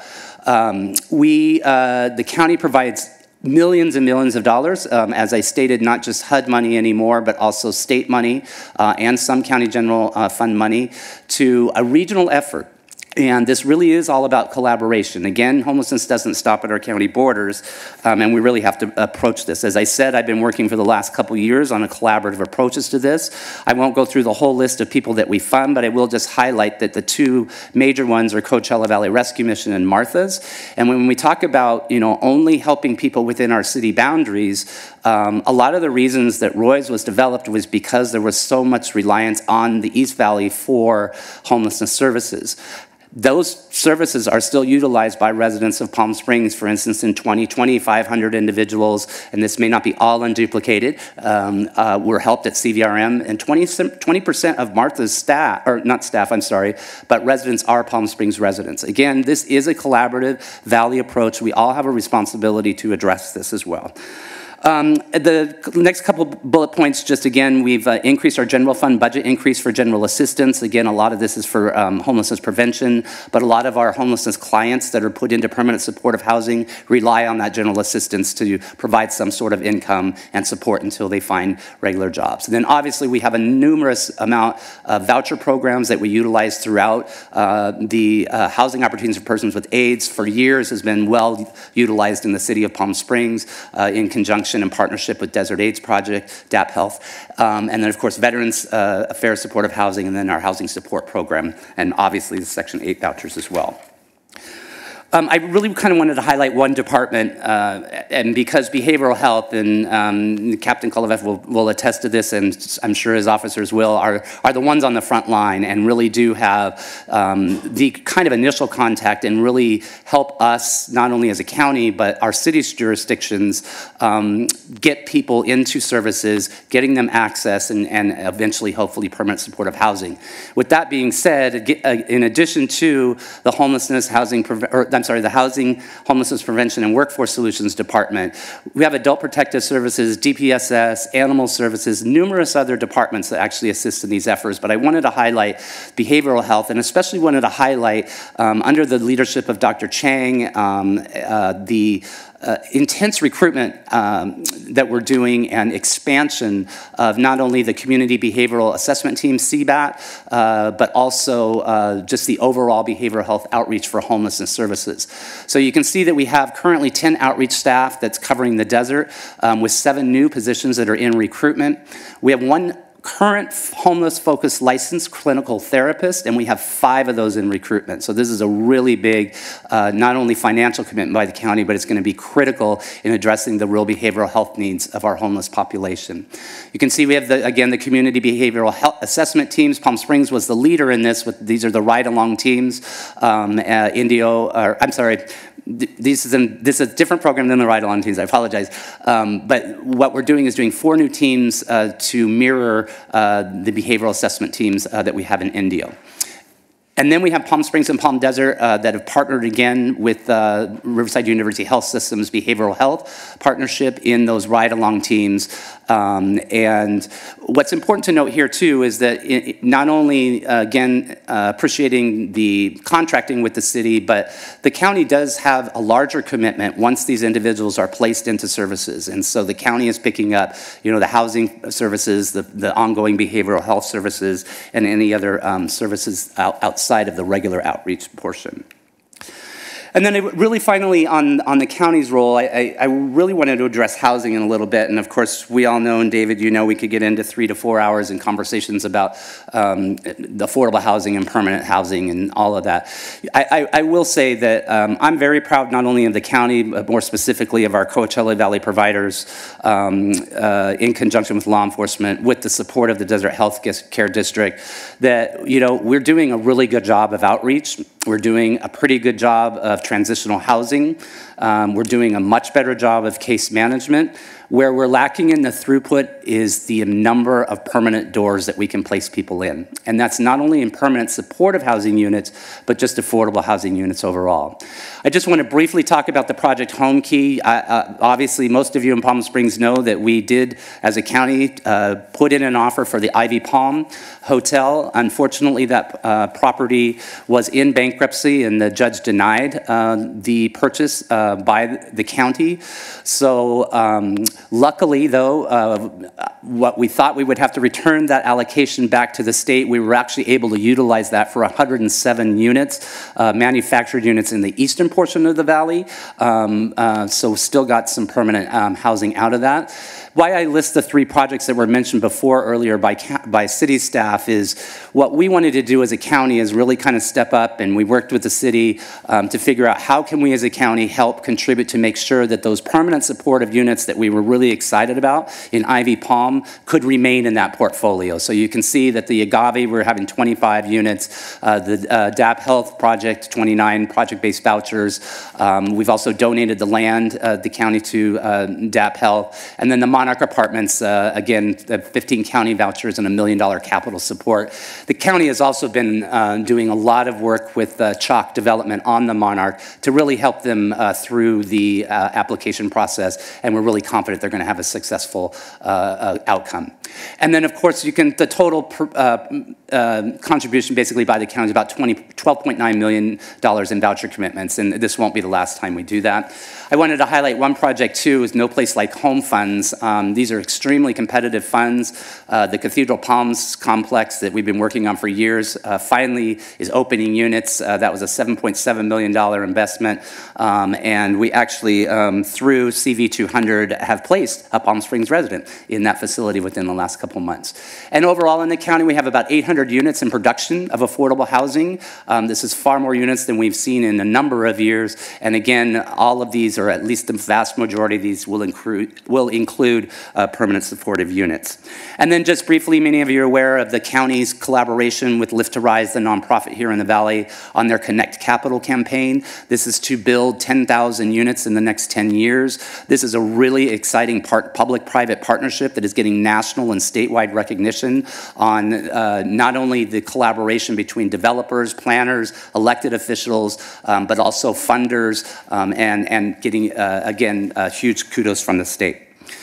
So my main thing I want to focus on tonight is how we move forward and how we move forward as partners. Um, and again, I will reiterate that I have really enjoyed the working relationship, um, not just with staff within the city here, um, but the entire um, council, um, as well as the rest of the region uh, in trying to address homelessness. Um, I, what we need to do, we need to continue to advocate for the resources. We know not only on uh, state and federal level, but also county general fund allocations as well. I've been a huge proponent of that. Um, my executive office may not like that so much, but I'm going to keep doing that and uh, enjoy the partnership of the, of, of, the city as well on that as well. Additionally, though, too, and I have long talked about this, is looking into phil philanthropic um, partnerships, and I'll get into some of that in just a second. Um, but we know we have a very philanthropic community here in the desert, and uh, uh, we can raise money along around a lot of good causes. And I think if we really have a good vision, which I think we do, um, that we should be able to tap into some of that. I think we need to look into continued support of regional funding and programming and collaboration. Not one government entity can do this alone. The county cannot do this alone. We do not expect the city to do this alone. Um, we can't count on law enforcement to take care of this alone. It really is a collaborative and regional approach. And I think we've set a really good framework for that. I think we also need to be utilizing, and I'm excited to announce the, they are not in place yet, but uh, will be soon, uh, new county regional outreach teams. Uh, this will be for not only medical care, but behavioral health and case management services. Again, this is getting back to the continuum of care and the Board of Government's uh, goal and to Heidi's department's goal of really looking at how we can provide a point of contact within the county, somebody that our law enforcement officials, our city partners can contact and work with to deliver uh, services as well as work with our uh, providers. Uh, we need to look at a second round of Project Homekey. I know um, the Housing Authority is already keeping an eye on that. We're already looking into possible um, uh, properties that we can purchase. This is a unique opportunity to tap into uh, sufficient, I mean, and um, enormous, actually, for lack of better words, word I'm trying to find, um, state resources to actually really develop some permanent supportive housing units in a much quicker time than what a traditional affordable uh, housing uh, project might do. I get back to communication and partnership. And then again, I think, you know, a lot of this, and, you know, we will take a lot of the blame on this, and I will personally on, on some of the miscommunication on whether we're dumping or not, or, or the hotel operations. And we always look at a way to better communicate and, again, partnership. And, you know, I, I I, Heidi and I have been talking about this the last couple weeks since I first came up at the council. And, you know, the county really wants to be a good neighbor. And, you know, we've tried to show that, um, again, over this relationship that we've tried to build two years. And um, that, that will be our goal moving forward. Um, I wanted to touch a little bit on really looking at are we creating enabling environments with our homeless services or are we providing real solutions? And, you know, for the lack of sounding cold. um, it's a discussion that needs to happen. And we know that when there are concentrations of enabling services in locales, it does attract individuals into those locales. When we really are focused more on a housing first type solution, when we're really focused on intense behavioral health, intense case management. Those are the ways that we can actually get people off the street. We've got to make sure that we are not creating environments um, that uh, make people feel comfortable that they can get three meals a day, um, shower, and then don't have to worry about um, what implications that means on our law enforcement, our emergency rooms, um, or other public uh, services that uh, strain our budgets, not only at a city level, but county level as well. And then my final point I'm going to go into is we've heard a lot about shelters, and we know, and I give uh, former council member Foat credit for a lot of the, the, initial discussions back in the day when the CVAG Homeless Committee was formed, because that was the original intent of that committee was to develop a shelter type system uh, in the west part of the valley, um, and that was what Roy's was supposed to be. Uh, what we do know now, though, especially that CV or that I'm sorry, that the housing first model is really the preferred method, and I will give huge credit to CVRM and Martha's for adapting purely shelter-based programs into incredible examples of what a shelter slash um, housing first operation could be. So I really believe, and we heard this mentioned tonight, that this is probably the next step that we really need to look at. I'm going to give you just a kind of photo rendering. Um, and this is a project that um, uh, both uh, Councilmember Kors, Councilmember Holstege, uh, almost all city staff, Jay, um, David as well, um, have begun discussions about six months ago. And these discussions actually started with private business owners um, on how we can look at uh, not a shelter, but a navigation access center, whatever fancy word you want to use in 2021. But what this does provide is an access point.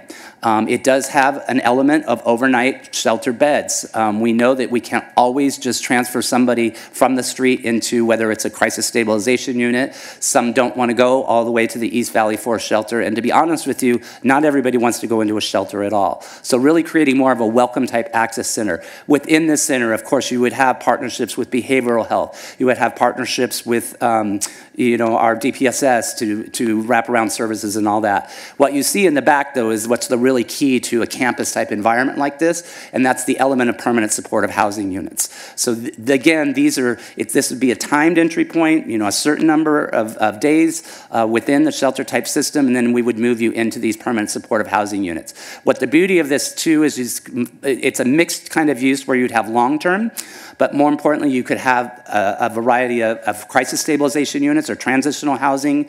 You could also have some discharge units. We know there's a big problem, not, a, not as big as it used to be, but there is an issue with hospitals not having a place to discharge homeless people. Um, and of course, we do not want them discharged to the, to the street as I said, we've been working on this for about six months. We're having a, a very good meeting. I'm, I'm, hoping on Wednesday to uh, go through some discussions. I really want to emphasize that there is no set location at present. Um, we, uh, you know, there's a lot of stuff to be determined out about who would operate it, um, whose purview of responsibility, what the financing will be. There's obviously going to have to be, again, a collaborative approach on not only financing, but operation as well. I will say that in my research over the last year, um, it's these type of models that work. It's the campus model. Um, we hear a lot of uh, people, you know, why can't we build a tiny home village and all that?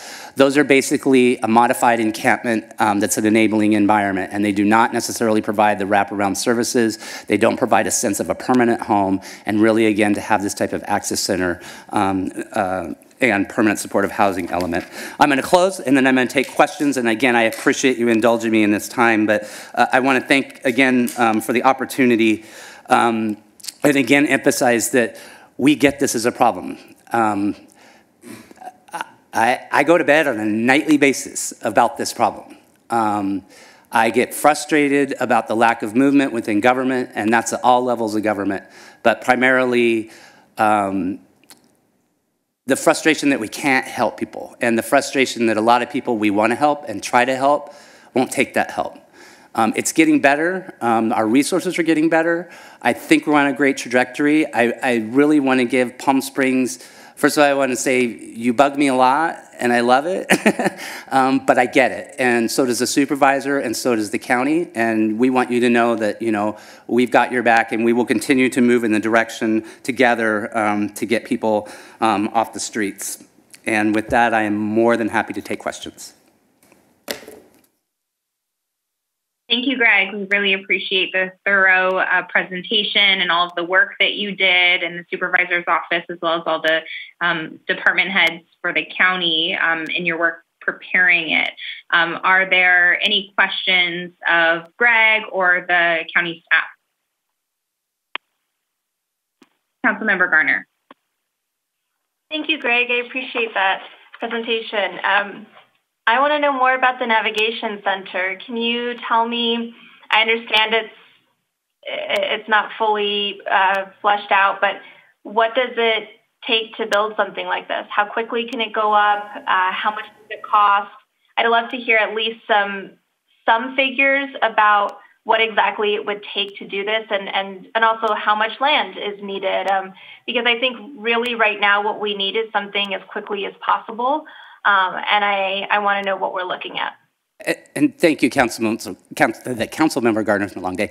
Um, and I should have addressed some of that because I had those notes written on my paper. But um, uh, in that rendering, what you saw, that's not a traditional like stick-built building. There's a company out of the East Valley, and it's more of a modular type concept. And so the production time and construction time from what we're told is six to nine months. So for a building of that capacity is pretty amazing. Um, obviously, we would need assistance from the city um, on, on moving that through planning process and all that. We know that there are a couple parcels of city land that could be donated, so that would of course reduce that cost. Um, what you're looking for on the structure that we're looking at that I showed you the rendering, and again, this can be, you know, the size can be reduced or increased. And the nice thing about the modular is you can, if you started with a smaller um, footprint, you could always add on to that footprint as well. Um, but what that one was looking at, I'm going to try and test my memory on the discussion, but I believe it was 170 permanent supportive units, uh, 50 to 75 shelter beds, and then of course the office space for all the wraparound services was about a $6 million capital cost where and where the discussion needs to go not after the capital. I'm not as worried about capital um, as i am about operational. And then this is where we have to make sure that on an ongoing basis you're looking at probably for a facility of that magnitude um, about 1.4 to 1.5 million dollar annual operating budget. With that being said though as i've actually started to do some research in the last couple weeks on because if we had an element of permanent supportive housing units in there um, that could be a revenue revenue source for uh, the project there. Um, additional other, you know, state funding as well. So those are kind of the rough figures.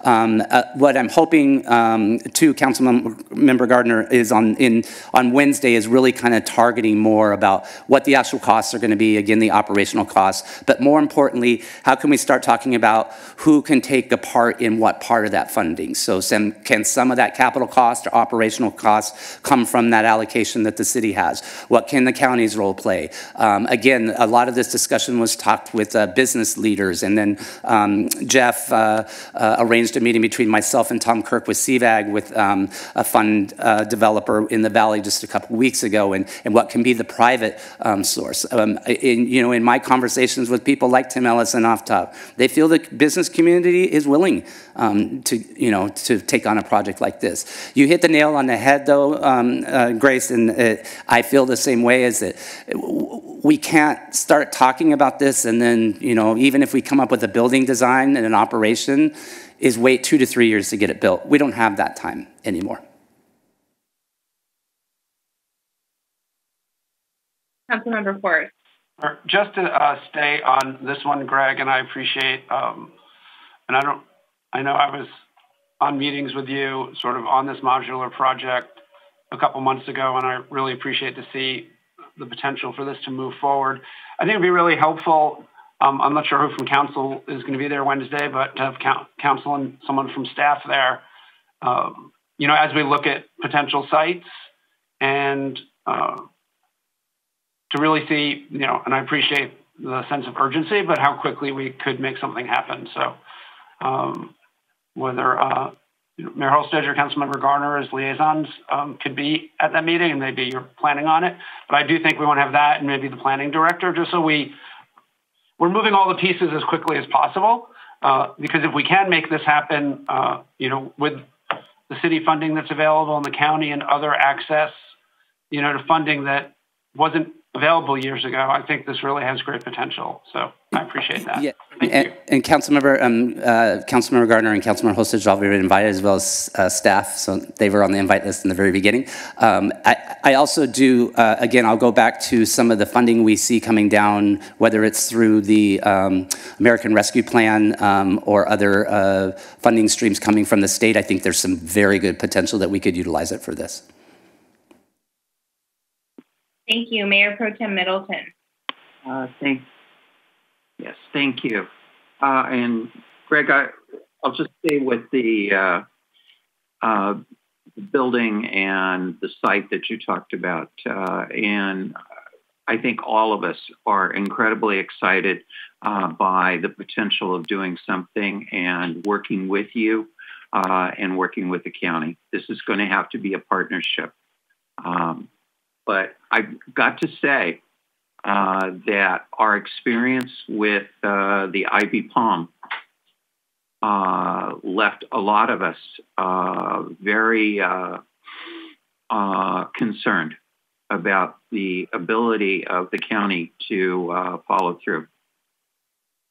Um, and yeah, res respectfully, Mayor Pro Tem, is um, we were ready to follow through on that project. We had funding all lined up. We had um, uh, uh, all the wraparound services you could imagine, um, an expedited timeline.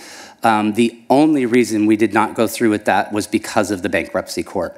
Unfortunately, and you know that decision was made, uh, I want to say November 7th. Um, and as you're aware, that pot of money um, for Project Homekey had to be expended by December 30th. Um, we did look if there was the opportunity to purchase another property. There would have been no way we could have closed escrow or, or, or, or continued. But I, I, guarantee you, Mayor Pro Tem, we were fully excited about this project. Uh, we were ready to go. Um, and we were really looking at it as a model for when we expect the round two to come around.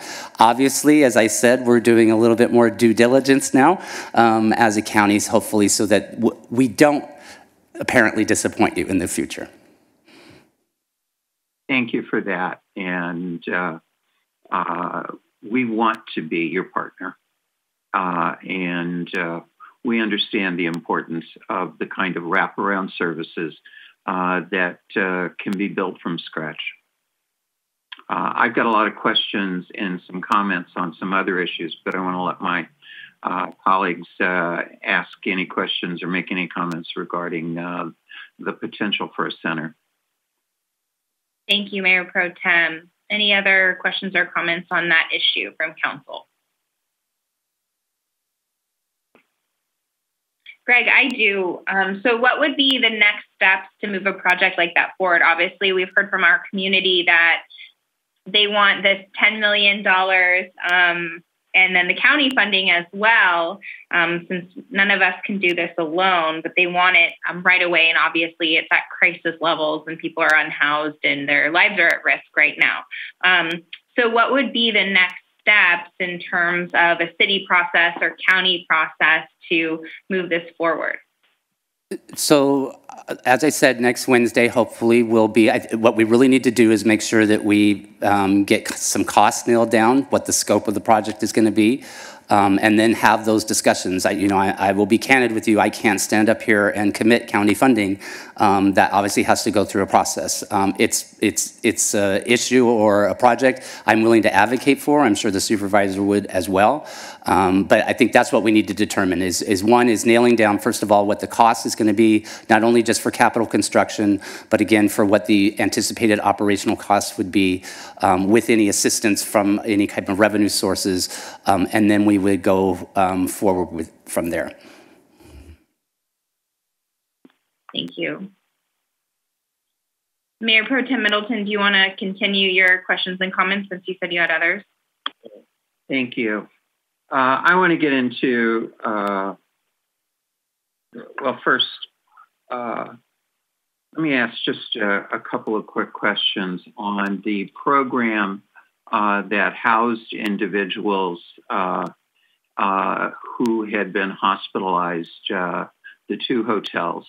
that program, as I understand it, started back in 2004. I think we can all appreciate that there are situations where individuals need to be housed following a hospitalization. Uh, but uh, it mushroomed, and there were only two hotels. One of them was in uh, Palm Springs. I'd like to, to know what criteria went in to the selection of the hotel that was used in Palm Springs. I, I, I will probably turn this over to Kim Saruwatari, but I, I do want to just clarify a little bit that um, in the public health hotel use. It's not just it's not people just discharged from the hotel. It's specifically individuals who have a communicable um, disease. So, like I said, that's either TB and then of course now would be COVID. I, I'm not pervy, and I don't know if Kim does on how that hotel was selected. Um, Kim, are you available? Hi, Greg. Yes, I am. Good evening. Um, so I was not um, in my current position back in 2004 when the contract was negotiated. But what I can do is tell you that we look at hotels um, that have certain precautions for communicable diseases. So, for example, they have outdoor entrances to the rooms. There's separate ventilation to the room. Um, and then, and those are very important just so that we're not um, mixing airflow in the event of a communicable disease. Um, we also look for hotels that are willing to work with us in terms of um, not going in and doing cleaning in the rooms uh, if, if, a person is communicable or while they're communicable. Um, we uh, look for somebody who is willing to work with us in terms of providing services. So we provide nutrition services through our programs. Um, and we do shopping for the individual to make sure that their basic needs are met. So uh, it's really a combination of communicable disease requirements meant to reduce any possibility of transmission to anybody else uh, in the facility, and then also the ability to support the services that are needed to um, meet those daily needs. All of those sound uh, incredibly important, and I appreciate that. Uh, does your review also include uh, uh, working with the local police department, the local code enforcement department, uh, to determine whether or not uh, this particular hotel has been one that has been uh, problematic in terms of it, community issues? Mayor Pro Tem, uh, to date, it had not included those types of discussions. Um, part of the reason had been uh, trying to protect the confidentiality of the patient themselves. Um, but I do think that uh, this has been a, a, great, well, I don't want to say great, but um, a learning process to go through and see the the um, potential need for much better communication all around. Um, but historically, no, that has not been done. Uh, from your, the tone of your voice, I think I understand that you, you, realize that's something that does need to be considered uh, in the future. Absolutely. Thank you. Thank you. Uh, and as we go through this conversation on hotels, I'm not going to mention the names. I understand from our city attorney uh, that, uh, and he can correct me if I misstate this, uh, that there is no reason, uh, uh, as we understand under HIPAA, why we cannot identify the hotels. Uh, but uh, in fairness to the request from the county that we not identify them, I'm not going to identify them right now uh, or in the course of this evening. Um, but I will, before this evening is over, uh, ask the city attorney to take actions to uh, with notice to the county uh, so that the public is aware of what facilities have been used. Greg, you uh, gave us some some data on the hotels that were being used for Operation Roomkey. And I think this is fairly recent data, but it shows that, uh, uh, at least as of the date that you gave it to us, uh, there were 191 rooms that were being operated under Operation Roomkey. 51 of those are in Palm Springs, uh, which is uh, a little better than uh, 25%. it is, there were another 42 that were in operation in in the balance of, or excuse me, uh, 51 in the Coachella Valley. And of those 51 in the Coachella Valley, 38 were in Palm Springs. That's a very significant number.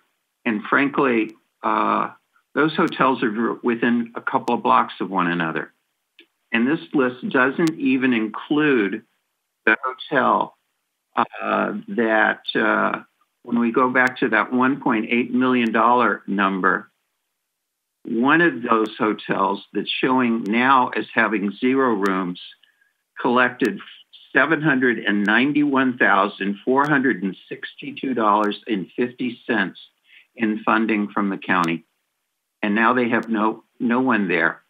Uh, and we've received numerous reports from our police department regarding uh, activities that took place at that hotel. Thank, thank you, Mayor Pro Tem. I, if I could address the first thing about naming the hotels, it wasn't specifically only about HIPAA issues. What we were worried about is um, retaliatory efforts against the hotel owners themselves. Uh, what we were worried about is retaliatory efforts against the clients that were there. Um, additionally, not necessarily publicly announcing them, so you got a greater concentration of people around there. So it wasn't specifically HIPAA issues around there. I'm going to try and address as much of the numbers as we can, and, I, I and I, I, might turn this over to Heidi or Carrie. Um, I'm going to get back to the point that a lot of this was done on the fly and because of a public health crisis. Uh, we'll be the first to admit we probably didn't track all the data, especially the data that you're asking for us now. Um, but with um, the uh, I, I, go back to what I mentioned in my presentation is when when we first started this program, we got far more interest from hotel motel properties in Palm Springs than any other jurisdiction. Um, we also, uh, if you look at the numbers of those placed um, throughout the valley, uh, a vast majority and the highest demand was actually from um, the city of Palm Springs. As far as the hotel that you mentioned that has zero and was one of the highest um, uh, economic impact to the city. Um, we felt as a county, it was made quite clear to the county uh, a week and a half or two weeks ago that they did not want anyone else in that hotel. And, and, and, I will get back, and again, this is not a defensive means either, and we realize, and as I mentioned in my report, is we did realize that there was a concentration um, in you know, in an area that was discussed in the earlier section tonight um, and felt that, you know, by, by eliminating that property, um, we could hopefully help a little in that. Um, we know that in the beginning, and I don't remember if Captain was involved either uh, at that time, I believe he was, but I know Chief Reyes was, that at that uh, individual place that we were talking about, we had had some issues um, with drug use and, and unwanted visitors. And, and the county immediately held a call, uh, in addition with Heidi and Karen and myself and, and, and public safety here in Palm Springs, and immediately implemented security. Should we have done that in the beginning? Probably, but again, we learned that as well.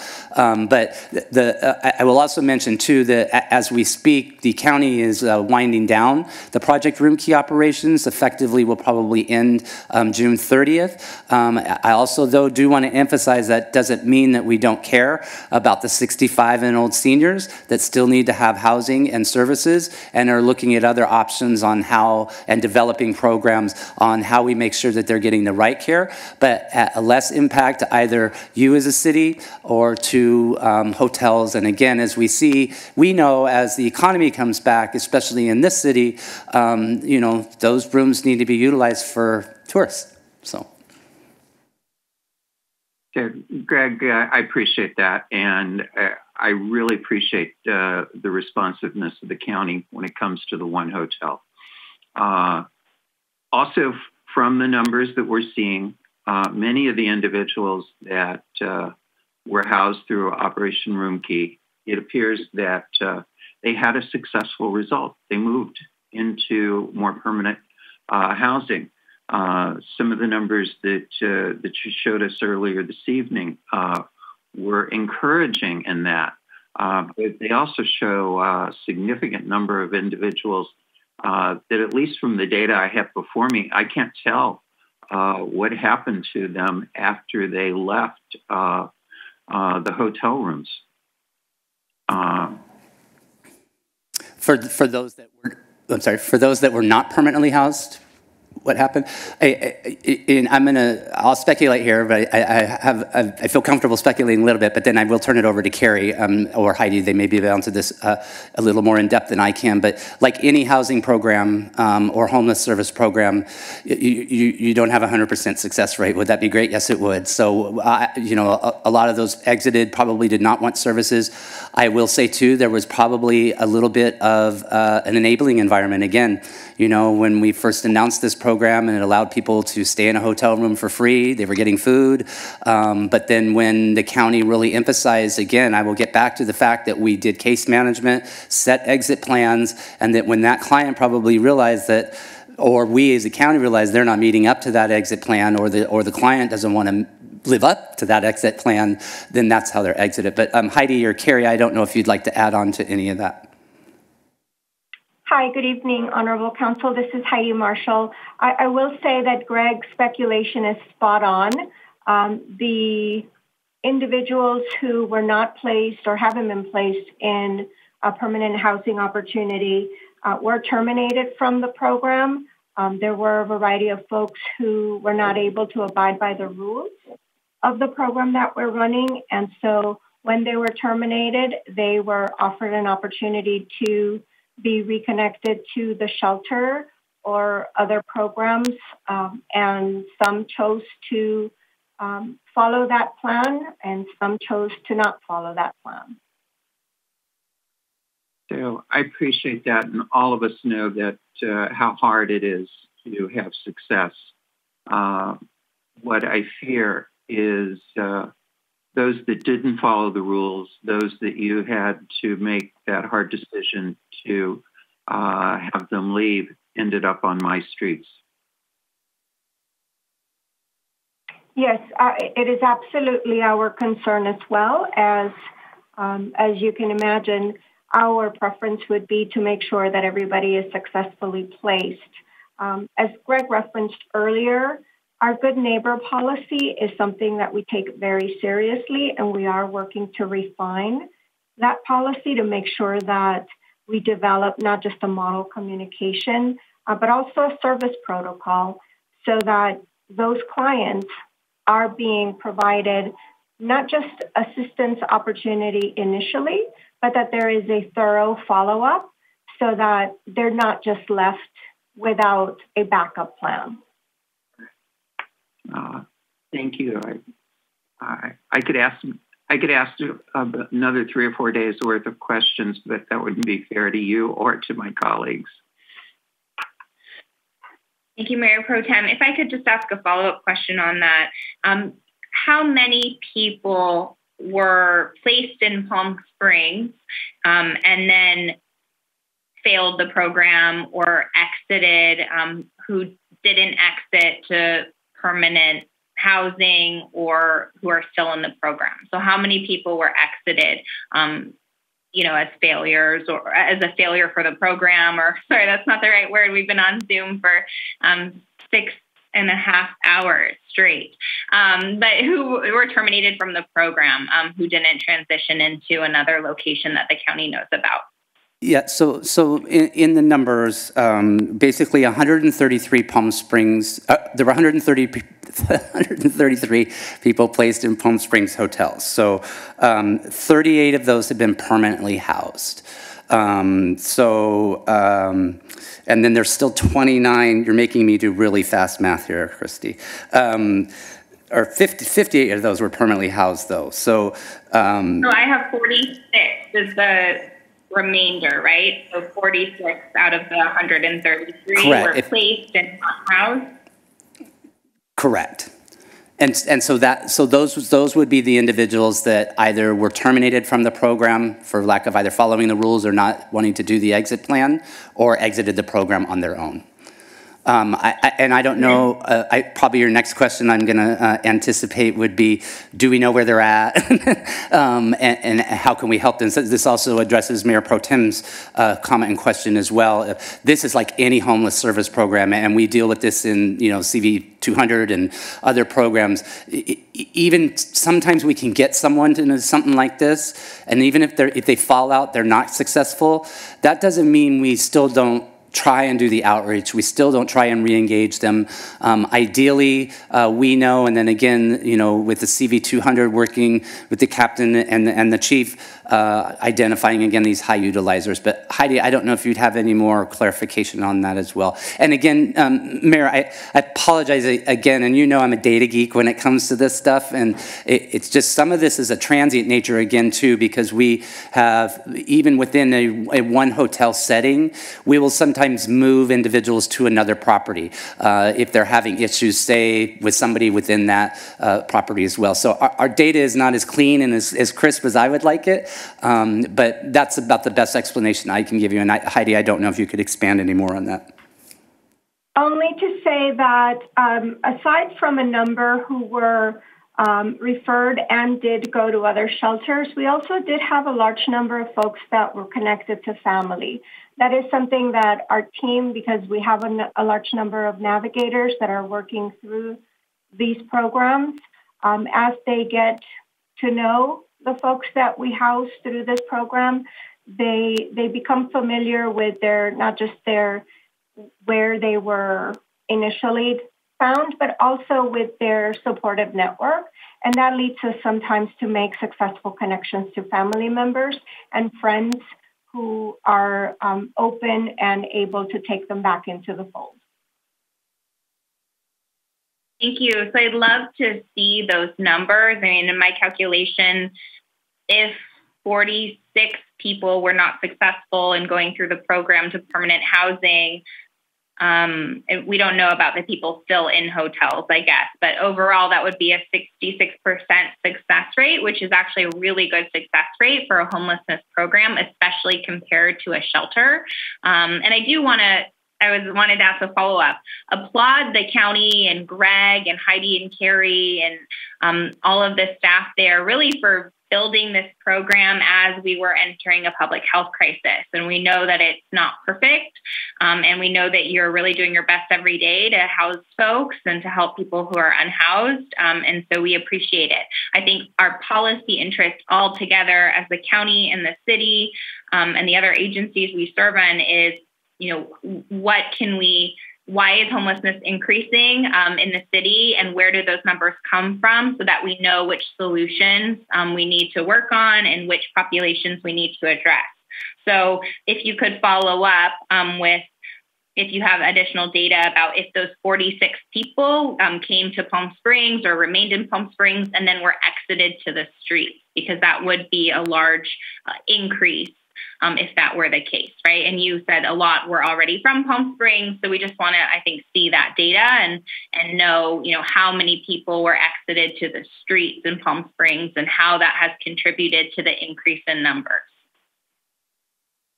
So Mayor, I, will work with county staff to see if we can dive into that data a little bit better. I, I, do want to point out one thing that you mentioned about the 60 some odd percent success rate. That's almost unheard of in homelessness services. What it does show and what Project Roomkey, even with all the headaches and challenges we faced, is housing first works. You put a roof over someone's head and you provide the services, it works. Thank you, Greg. I was just going to say the same thing. Housing people right away, it works um, without a lot of barriers. So thank you for your work doing that over this last year. Um, I just have a few other questions. I don't know if we want to flag them and answer them now um, or you know provide an update but you didn't go into in depth the shelter the overnight shelter uh, provided by the county during the pandemic. So first it was at Palm Springs High School in my district, and then it was at the Methodist Church. Um, and you didn't give us the data about how many people came to the city or remained in the city for that shelter, and then what their exits looked like. Um, I, I, would have to get you that, Mayor. I wasn't, I didn't have that prepared. I, believe I presented that at another council meeting or CVAG meeting. I can't remember anymore, but um, I, can, I can get that data for you. Um, what we did notice, though, Mayor, is that um, uh, uh, much of the clientele, and in fact, in all three locations, Desert Hot Springs, Cathedral City, and Palm Springs, that we saw this summer were many repeat from the prior summer as well. So, but uh, let me delve down. I'd be happy to get that information to you and staff. So. Thank you. That would be helpful. Do other council members have questions or comments? Councilmember reports. Great. Uh, thank you, Mayor. Um, just while we have the county on, um, and echo the appreciation for the work and the concerns and sort of the path forward, because uh, ultimately it's about solutions. Um, as we're getting to the end of March, it's going to be summer soon, um, and appreciate you know the efforts to have summer shelters in the West Valley, in not just Palm Springs, but Desert Hot Springs and Cathedral City. Are there any plans in place for those at this point for this upcoming summer? So there there's already been conversations started. I'm not waiting until May or June this year. um, there, there are some serious conversations to have. Uh, obviously, you know it's the resource issue. I've been lucky enough to somehow wrangle that $300,000 the last two years um, you know, there is the opportunity with some of the, the funding sources. Um, you, you, know, again, um, Councilmember Kors is, we really have to look at these as, are, are, are these part of the solution or are they an enabling aspect as well? Um, we had very little placement in the first year of this. We didn't really have a lot this last year either, primarily due to COVID. That doesn't mean we shouldn't look at doing them, but to specifically answer your questions, already in conversations with Coachella Valley Rescue Missions, already uh, scouting out some of the locations and then, uh, you know, again, trying to decide how we move forward. Yeah, great. And, and I appreciate all the data and research that has been discussed tonight, but also over the years on shelters are not the permanent solution. Uh, but when it's 110 degrees out at night, just from a humanitarian um, aspect, I, it's just important to do uh, nonetheless. Uh, so I, I, appreciate that. Um, and the other question, I guess, and I don't know if this is really for you or for our staff, or but just how we work together right? Even if we're able to do the kind of project we talked about earlier, the modular, you know, campus project, the element with obviously drug use, severe mental health, and the criminal elements are not likely to go to those projects, right? And that's a lot of what we heard about in some of the public testimony. Um, and how we can work together on those. I know there are a lot of limitations, especially um, which the captain shared on what our options are, but has the county sort of looked into what options there are in those situations? Yeah, we look constantly at it, and um, you know, I've got a whole behavioral health team on here um, that could address the behavioral health aspects and the substance use. Our county is a national leader when it comes to substance use treatment, uh, especially in our peer-to-peer uh, programs as well as our behavioral health programs. You know, I, I didn't mention, but it is one element too. Um, the short answer is, Jeff, yes, we're constantly looking at ways to, to deal with this. I think, you know, I, you know, as a bleeding heart liberal, I'm going to agree with Captain Kovaleff on Prop 47 and some of the limitations that's put on us. Um, I would never be one for criminalizing home, homeless, especially because they are residents. I, I will say, you know, uh, what the county will continue to do is expand not only on its behavioral health treatment, substance use treatment.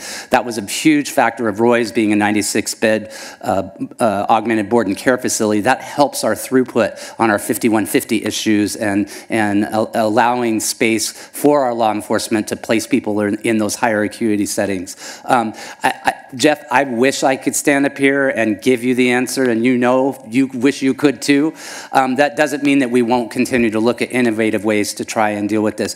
I, I, I'll go back to the, um, you know, we have some really good outreach efforts, and, and I will again give Tom Cox credit. And we did a really good event yesterday that we coordinated, you know, with the various outreach teams so that we're not stepping on each other's toes. But really through the CV200, and, you know, we're looking at again the regional coordinators through the county is identifying what, you know, the high impact areas and, and what the major issues are. Because, you know, drug use or, or um, behavioral health might be more acute in Palm Springs than say it is in Mecca.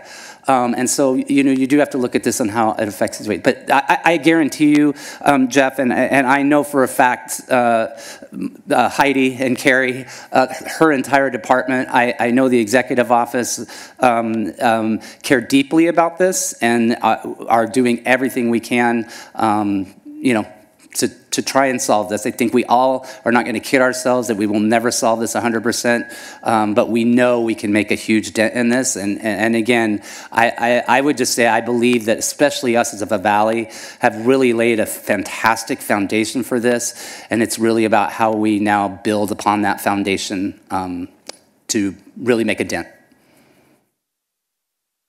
Thank you. Councilmember Wood. Thank you, Mayor. Uh, Greg, I want to take advantage of the staff that's here and just ask a couple of questions. Um, first of all, um, I applaud your computer program to collect better data that you're rolling out on April, I believe it was April 6th that you're rolling out. I hope that really does help us understand the movement of homeless people and the success rate of homeless people. But, you know, we as a city council are getting a lot of heat from our local constituents and our, our, business community that we're not doing enough. But is it not true that it's the county's responsibility and the county is the one that gets the funding for homelessness? Well, the, there's many jurisdictions that get funding for homelessness. In fact, you as a city receive $10 million in a state allocation as well. And, you know, we can, um, and, you know, we can we can go back and forth legally. I'm not an attorney, so I can't give you a definite interpretation. There are um, interpretations on both sides of is it a joint responsibility? Um, is it solely the county's responsibility? I, would just say in, in my work, or at least the intensive work I've done over the last three and a half, four years, that the only way to solve this and address it is a collaborative approach, everybody working together. I think the Coachella Valley is a perfect example of that. Through CVAG, where you've got literally this year, probably all nine cities for the first time contributing money to CV200, the rapid resolution programs, uh, leveraging the Desert Healthcare District dollars. Uh, county contributes to that as well. Um, you know, Dennis, to be honest, you know, this is a county of 2.4 million people. Um, there are 27 other cities in the county who are experiencing many of the same problems. Um, we do not have the discretionary budget um, to solve all of it. Um, I wish we did. I know county staff wishes we did. That will get back to my point is that's where we need to all work in partnership on advocating for that.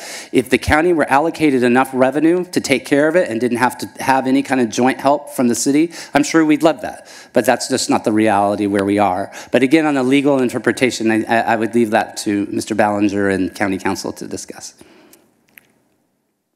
So the other question I want to ask is just a situational question, and that is, um, let's say that I'm addicted to drugs. Let's say I'm homeless, I'm addicted to drugs, and I have a mental health issue and I am either sleeping in the wash in Palm Springs or I'm sleeping in the door front of a store. And in the day, I might go to Well in the Desert. I might get a free free meal um, at any of the churches that are offering free meals. How do you find me? One, the first question is, how do you find me, and what's my geographic movement through the process to, to be to, to heal? I mean, where do I go? What do you do with me? And then secondly, as the storefront that I'm sleeping in front of, what can the storekeeper do? So obviously, no, not every client is the same. Um, everybody has different acuity levels, but I'll take your example.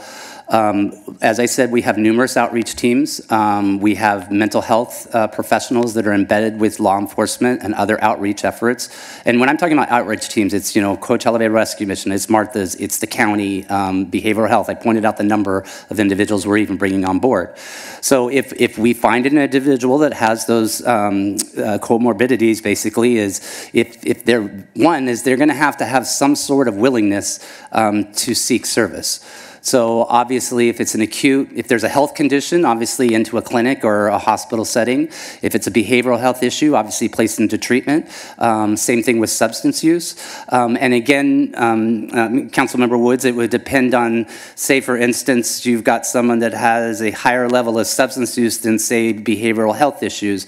Well, let's tackle that substance use first because probably the majority of behavioral health issues are coming from that substance use. Same thing would be vice versa.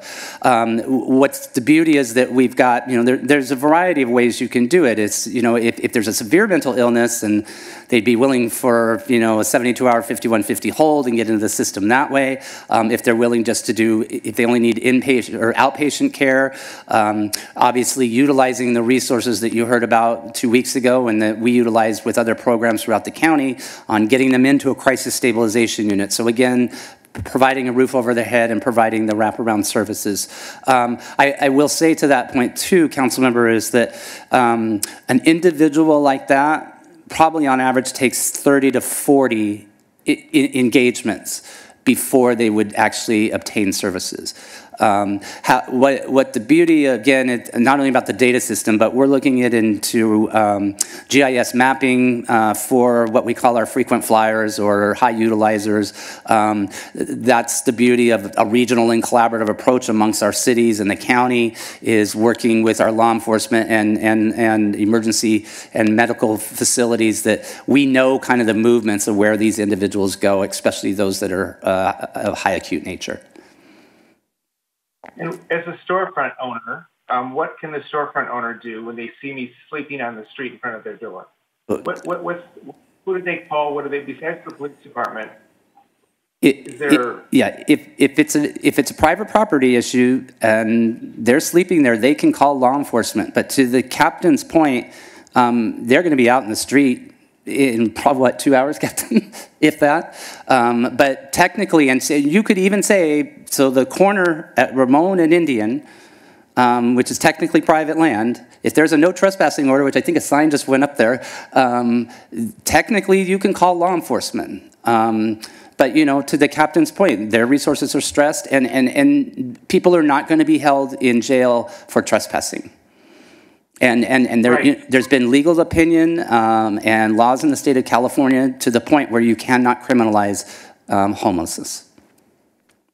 So I'm trying to understand, Greg, how one gets into the, you have outreach. Are they, is it through, well, in the desert that you're farming me, like people like myself who's homeless and, and, and have some, some, some morbidity issues? Or is it, are you actually going into the field like when we do the count and finding these people and trying to help them?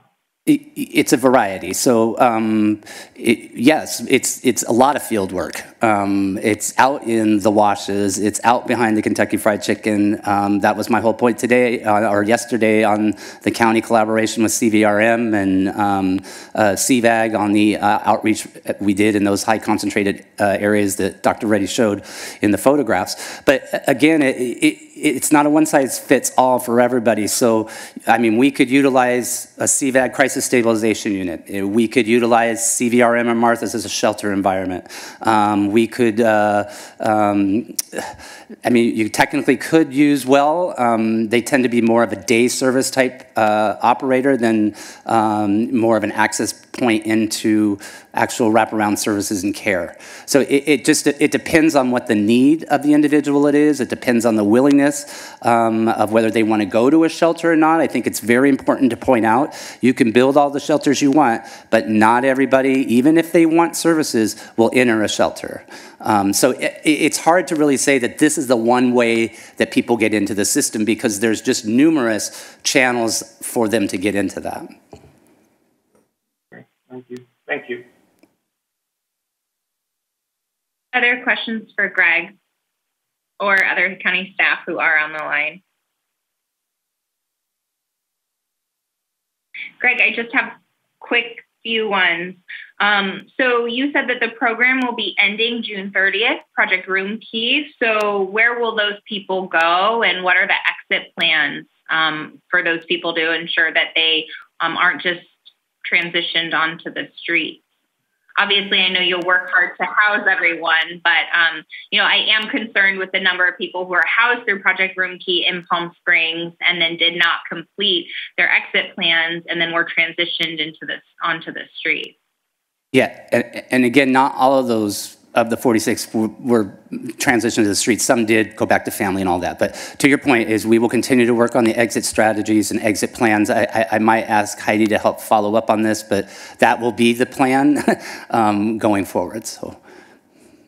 And obviously, this is a free country, and people who are homeless don't lose their rights to go where they like. But um, I just want to make sure, as we're thinking through these programs, that there aren't those impacts to the total number of people who are homeless, which um, you know harms all of the great work that we're all doing together.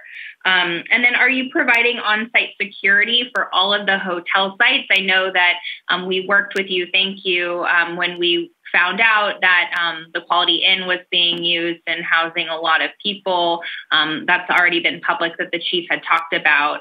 Um, and thank you for working with us to provide on-site security. So are you seeing other public safety impacts in other locations? Um, because I think we are, um, that might benefit from, for, from private security. Yeah, and um, Mayor, I'm not as involved in the details of the other operations, so um, Heidi or Marcus Dillard might be able to answer that better from the staff. Yes, I can absolutely help um, with that one. The strategy with regard to security was that we went ahead and provided um, those services for the larger hotels. Some of the hotels have their own security on site, and so it's a combination um, of where it was needed and who who was going to provide that service. As far as the continuity of service, while the program eh, or project is ending at, as of the end of June, um, the folks that remain are, are now very well known to our staff. And because they're long term clients, we do have a permanent placement plan that we're working on for each of them. Um, the fact that they are still in the program means that they are abiding by the contract and the program rules, which means that there is a higher likelihood um, that we will be successful in identifying a long-term permanent placement for each of them. Mayor, if I could, thank you. Mayor, if I could add mm -hmm. on to that too, is uh, again, this gets back to the uniqueness of the client. Is you know, some people take a little bit longer to get certain paperwork that's needed. We call that doc ready in the homelessness service. So you know, depending on again what the acuity level is, not just and I use that word not just in a healthcare aspect, but in their level of readiness to enter actually the housing. And then you know, we may be facing challenges on actual doors available, but you know, the departments work daily on that. So. Thank you, and thank you for all your work. And we've heard you that really the problem in this system is the lack of permanent supportive housing and homes for people to end up with. And that's why we've dedicated, this whole council has decided to dedicate a large portion of the $10 million that we um, obtained um, for permanent supportive units. Um, and, you know, I think that your work on that is really important. Um, so, you know, with that, I we appreciate you you being here. Um, we appreciate your ongoing partnership. I think some of what you heard from the council and the public is that these are structural problems. I think it's pretty clear, at least in my opinion, that the county is not spending enough resources on homelessness and housing. And that's not to say that any individual on this call is not working incredibly hard. I see Greg working 80 hours a week on this issue. Um, you know, and I know I've worked personally with everyone on this call from the county. Everyone is doing incredible work, but it's a structural issue that there isn't enough resources dedicated to this issue, both at the city level, the state level, the county level. So we appreciate your partnership in trying to find more funding um, in order to alleviate um, you know, homelessness and to house all of our unhoused neighbors um, and residents. So thank you very much, Greg and, and county staff for all of your work here and being late, uh, being here late with us tonight. Mayor Pro Tem Middleton. Thank you. Uh, Greg, I sent uh, you uh, and uh, the city manager on uh, a week ago a very long list of questions. You provided some very good answers uh, to those questions. Uh, Captain Kovaleff has also provided a very uh, good report. Uh, I'm going to be asking the city attorney to work with you and with the captain uh, to make sure that there's no information that should not be released to the public, but uh, uh, that all information that is not protected that was in the uh, my questions, your responses, and Captain Kovaleff's uh, uh, report be released to the public.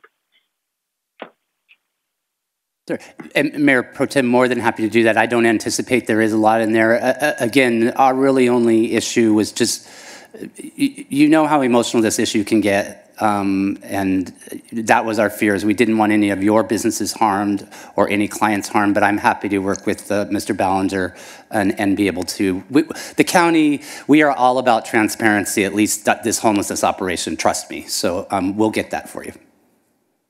I appreciate that, Greg, and I your, your effort. Other questions or comments for Greg and the county staff? I, I just want to say thanks to the county staff for being on, and, and I want you to know as a city, and I, I know you've recognized this already, that when you've asked um, for questions and input from them, that they're very available, and I just want to commit to you that anytime um, they're more than willing to come on. So. Thank you. We really appreciate that. And I think what we've learned through this process and working together, especially during the pandemic, is um, we ask that you come to us first and that you notify us ahead of time um, for a lot of these programs, just so we can help you. Palm Springs has been a really open and willing partner in this. Um, and our residents have been really um, supportive um, in our businesses, and we want to continue that partnership. And I think um, it only helps when we all work together um, as opposed to seeing impacts later on or not being notified about programs, which you know we've we've addressed here tonight. So thank you with that, I um, I got a request to take a 10 minute break, um, and then we will come. We will go to recess for 10 minutes, and then we will come back and deliberate about the Well in the Desert CUP, and then move on to the additional items for the night. So we will go ahead and recess for 10 minutes.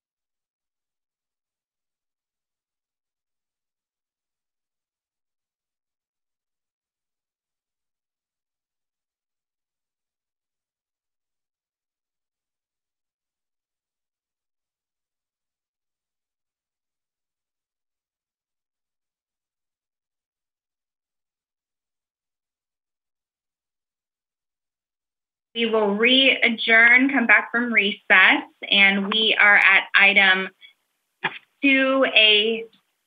See, we're going back to 2A2, which is the public hearing, the City Council review of the conditional use permit issued for Well in the Desert. So city council and, and just for the public and for the council, the reason I thought it would be important to do it that order is because these issues are kind of all together, right? That we've seen an increase in the area, we've seen an increase in homelessness overall. There are public safety impacts, there are complaints about um, drug use and other you know related issues and and other sort of elements and so um, it's sounded important to get kind of the update from the city, an update from the well in the desert, an update from the county, and then have a broader discussion or narrow discussion just about the well in the desert once we've heard all of that. So, is there um, council comments and discussion um, or other questions of staff for the well in the desert CUP issue?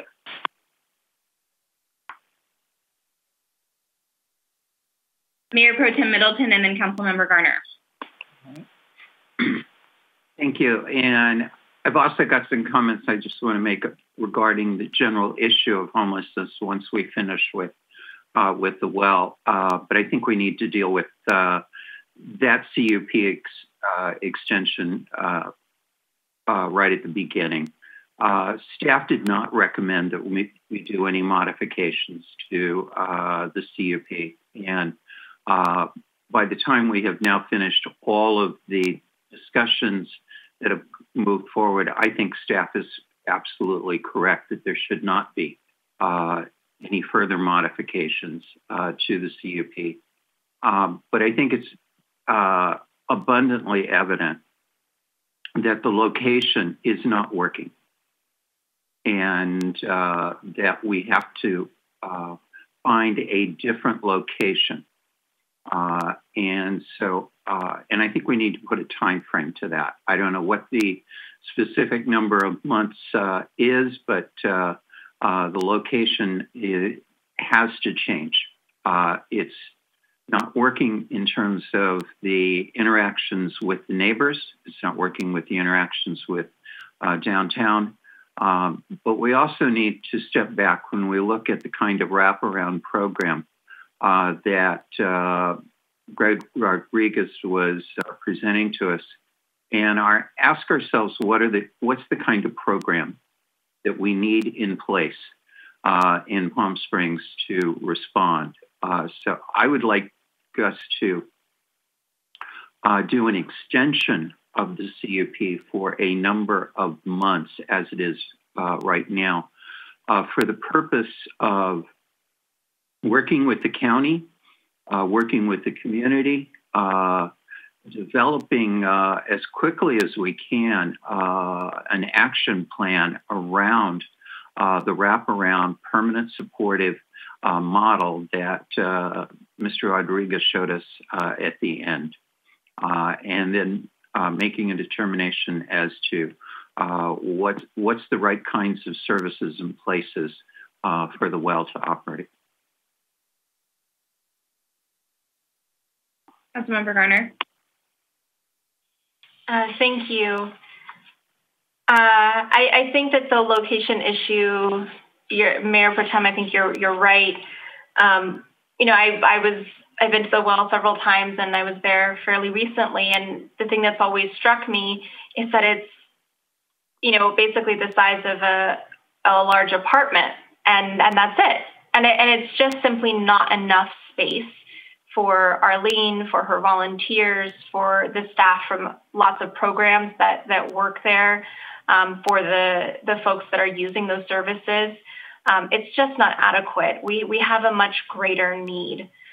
Um, and I, I think that hearing from Arlene and hearing that the well is, is willing, and it sounds like um, I, don't want to read too much into it, but she's just being kind of eager to be able to move to a bigger space.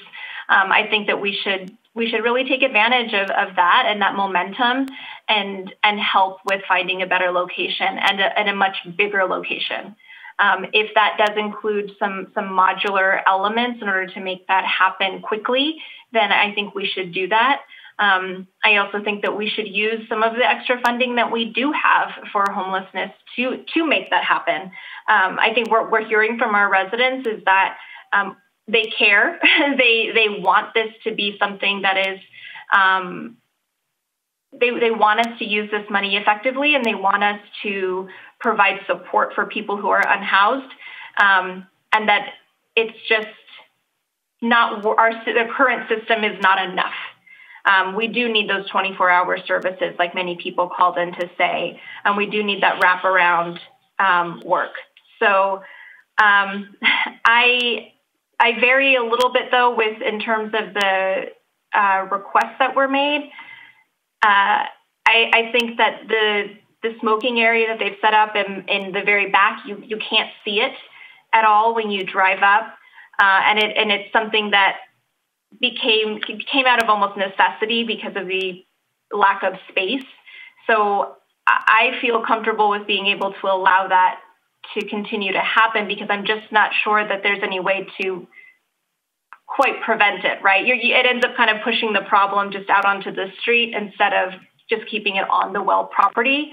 Um, in terms of the the clothing, if that's something that can be, you know, more effectively done in a different way, then great. Um, but again, I think a lot of the things that they're requesting are things that have just happened because of the space. Um, but I do agree with um, Mayor Pro Tem that if we are going to find another location and and have this move, then we need to uh, put a time frame on it. And I would like to add that we should be offering um, our full support. Like Arlene said, help with the move. Absolutely. I think that we should do that. And, and I, I like to publicly say that I'd like to physically be there to help. um, and, I, and I think that's, you know, I would love to see many of us do that if possible. Councilmember Kors. Great. Um, yeah, and I appreciate those comments, and I agree with Councilmember Garner on the smoking. I think if if it's not out and back, if they don't have an area, it is going to end up in the street or people end up in Baristo Park. Um, but I, that's the only one I was also thinking uh, we want to do on this sort of temporary basis. I really appreciate uh, Mr. Rosenthal's, you know, I heard the same thing, just the, the challenge with that location they're having. And, you know, it's all the issues in that area are not because of the well, uh, but They've been exacerbated by other things happening. Uh, because when the well was first there, we actually saw some of the criminal activity decrease.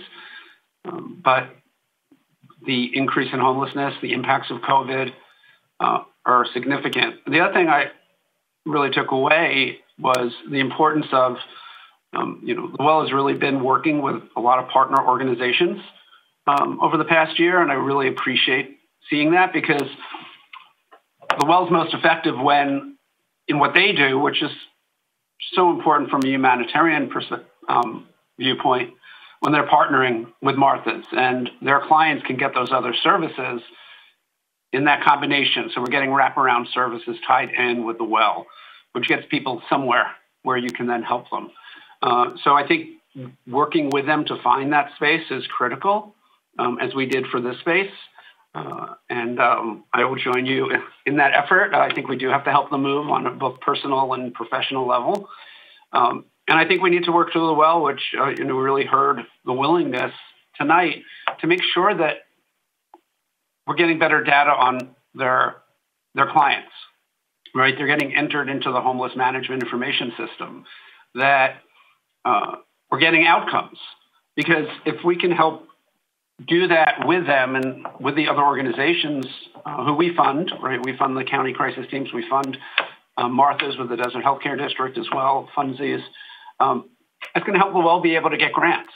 Uh, so getting that data, where the people are coming from, what the outcomes are, uh, how many do get you know reunited with family, how many do end up in housing. I think it's really going to help the community understand the benefit and the need for this kind of uh, program. But clearly, that location, given the current situation, is not working for them. It's not uh, working for the neighbors. Uh, you know, we've you know also heard every weekend there are different people in downtown who want to be helpful, so they give people who are asking for money money, and a lot of that is not obviously going to get them housing. It's going for uh, drugs or alcohol. So that location, I think, is is not working, and I think we just need to get right on it, right, and work with the well to find that location. And it was good hearing that they have some locations they've seen, and I think we can work with them uh, to find a better location that'll work for them and work for our city. So thank you, Mayor. Councilmember Woods. Thank you, Mayor. Um, I won't repeat what people said, but I agree. Um, I agree that maybe we should allow the smoking area in the back. I agree that we should look at relocating it. The only thing I would like to add is maybe we want her to start collecting better statistics or work with wraparound programs that collect better statistics on what's going on. Um, it's a perfect place to do that. Thank you, Mayor. Thank you. I agree with all the comments that have been said. So for city staff, what's the direction? Do you have a recommendation um, in hearing the direction of council for um, the, the CUP? Uh, yes, Madam Mayor, members of council, I would, um, just, just to cl clarify, so, so in essence, you want to extend the, the conditional use permit temporarily while uh, an alternate site is found. Uh, and I, I just want to make sure that that is the general direction. And now that being said, um, there's a couple ways to approach this. Uh, obviously, the, the one site that has been discussed previously is the former boxing club site on El Cielo. That clearly is a, a, space that is not large enough. However, it does have the ability to be expanded with, with modulars, um, at least on a temporary uh, basis. Now, that's the only uh, parcel that this, that, uh, building, the facility that the city has that, that we could turn that around in any uh, time frame to, to match uh, your expectations. Now, that doesn't mean there aren't other sites around the city uh, with on private private land or private buildings. So I would recommend that um, staff come back to you as quickly as possible within 30 days, no more than 30 days, of, of, of a detailed plan of what it would look like at the boxing club, uh, what it would take to get it retrofitted, uh, what it would take to uh, maintain it, secure it, et cetera. So you'd have a little bit more of the operating and what that would require. And then also if there's any additional sites uh, that staff can identify uh, for your consideration. Councilmember Garner. Thank you. Um, I, I, agree, David, with what you're what you said, um, and I also just want to um, put out there for the record that we should be including the well in all of these conversations and working closely with them on that. I know that they've um, specifically requested that of us, and, and I just want to make sure that they hear that we are we are um, wanting to do that.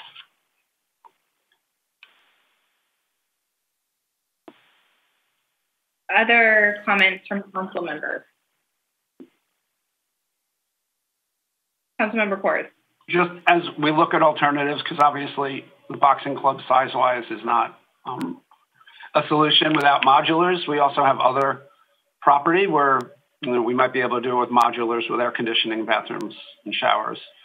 You know, on other city-owned property as well. Just you know, as, as staff looks at this, I just wanted to make sure we keep that in uh, with it and you know, I think the county may be able to also have some ideas on locations based on what land they may have. So, you know, let's just talk to all potential partners on this.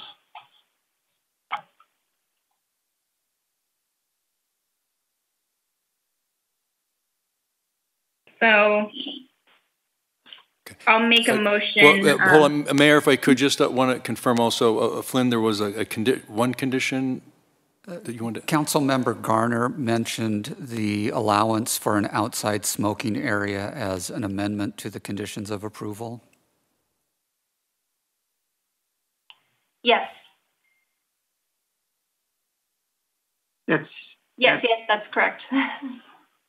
uh, I think all of us uh, can support the uh, smoking area. Thank you. Thank you. So if I can summarize what I heard the direction to be. So um, staff will come back within 30 days of a detailed plan um, looking at the boxing club, additional sites, working with the well and the county and other partners um, to come up with a good um, recommended location or lo- locations. Um, we're adding and approving the um, requested condition about the smoking section outdoors. Um, and then I also heard direction from multiple council members to think through a condition or request um, to get better data on the clients at the well to integrate that data into HMIS or other um, county systems in order. And, you know, I would also add with the CV200 list um, where we have a by name list um, where we're offering assistance and housing um, to people who are homeless in Palm Springs. Does that sound like the general direction? Is there anything any council member wants to add? Uh, Mayor, I would also, uh, if you wanted to add a, um, a time certain for this extension, uh, I, I think certainly uh, six months would be the outside. Probably uh, if it's, you know, may be able to achieve it in three months, but uh, you may want to add a time certain on the extension. What would council like to do with that? I personally, I'd, I'd like us to see, I'd like us to move as quickly as possible, not only with the well, but with all of these, the issue as a whole. Um, if we could do that in four months, I think that would be great. I, I'm hesitant to say six months. It just seems like four months might require an extension, and I'd rather not see it get too out of hand. I think the magic is that we've got to get moving on this as quickly as possible. Uh, and uh, uh, I feel comfortable if staff comes back in 30 days with recommendations that uh, we'll be able to set the, the right kind of time frame. I agree. I think we're at crisis levels in that area for a variety of reasons. And like Councilmember Kors said, you know, those issues pre-existed the well, though they changed, um, you know, when the well was there, and then obviously with all of the impacts, um, it's changed a lot. So I think it's urgent, um, and I would like to see staff work with the well and other county providers um, to come up with a good plan uh, to move locations in a time frame that would be um, adequate, considering that the fact that it's going to be hot very soon and summer and it's an ongoing humanitarian crisis and just to think through you know the needs of our homeless residents um, during this time and the transition of a site for the well. City uh, staffer dr Ready do you need additional direction? No i think i think that's clear. Just to, to summarize on that uh, we're to staff's going to come back to uh, city council no later than 30 days, would be, which would be the two meetings from now, uh, with a detailed, uh, well, alternatives on, on a couple sites with a recommendation, and then and you will pick a time for the extension to sunset at that time. Thank you. So do we need to continue the public hearing for this item or what do we need to do procedurally? Uh, yes. We'd recommend continuing the public hearing to the second meeting in the first meeting in May. Well, second meeting in April, I apologize.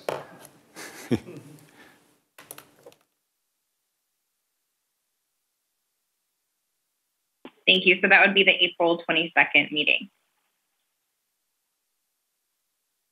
So I'll make that motion.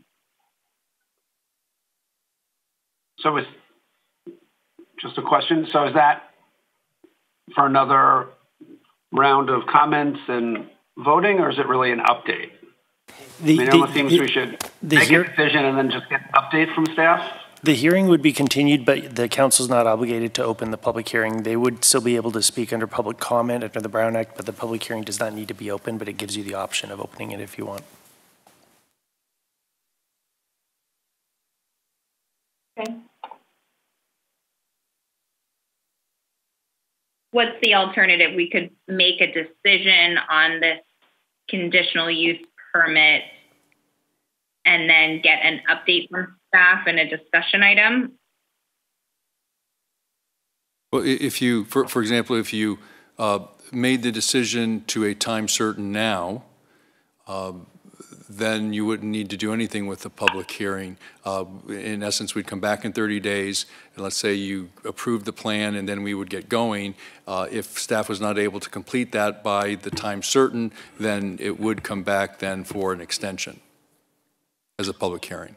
Uh, If we could meet the time frame, uh, it wouldn't not be required unless the new site location requires a conditional use permit. And I'll let the planning director opine on that. If the new site is zoned for civic use, then a conditional use permit would not be required. If it has standard commercial or industrial zoning, then a conditional use permit would be required. The boxing club is zoned civic use, and so a conditional use permit would not be required at the boxing club site. Right. It would seem we want to get public comment once we have options, as a, you know, and a staff update. Um, so maybe we do give the set time, and then when we're when we get the update in 30 days, we can obviously that'll be on the agenda, and we'll take public comment. But I think that's what we I think we want, right? Is to staff to come back with options, and us to then discuss that and get public input on that. Th- Then, then I, would recommend, uh, I, like uh, Councilmember Garner's uh, four months. Um, Six months maybe little too long, three months a little too short. Four months should give us a good running start, and if we're substantially there, uh, certainly council can extend it for a short period of time, but uh, four months would be a, a good starting point. I'm just not comfortable, like Mayor Pro Tem Middleton said, extending for a time without knowing the options because I think it depends. I think that, you know, we heard that there might be better alternatives, that there might be other assistance available. And I, I just think it might depend on the options and the location, the transition plan and timing. Four months would put us in July or August. So that would be the heat of the summer, which I don't think is ideal since that's the real um, one really important value of the well uh, during the summer, especially. Yeah, I think all of that has to be built into the plan, and what we're asking staff to come back uh, in 30 days is with a plan. Um, clearly, wherever uh, any entity is relocated to, whether it be the well or anyone uh, else, uh, the public is going to want to weigh in uh, in public comment on that and every right to weigh in. So uh, we can't uh, wave away uh, the fact that uh, there needs to be uh, a public uh, hearing and discussion when it comes time to make a site selection. And, and I would just note that under any circumstance, the cost involved, the, the, all that will come back to City Council, so there will be opportunity for, for public comment. Uh, and even though that, if it doesn't need a CUP, it wouldn't be a public hearing. However, however, we could notice it and you could treat it as a public hearing uh, to, to, make sure that you get the appropriate uh, notice and input. I would just like to add that um, I do not think the boxing club is an ideal location personally, and I'd like to actually have us look seriously at other locations. And I know that's on the radar, but I just wanted to add that to the public record.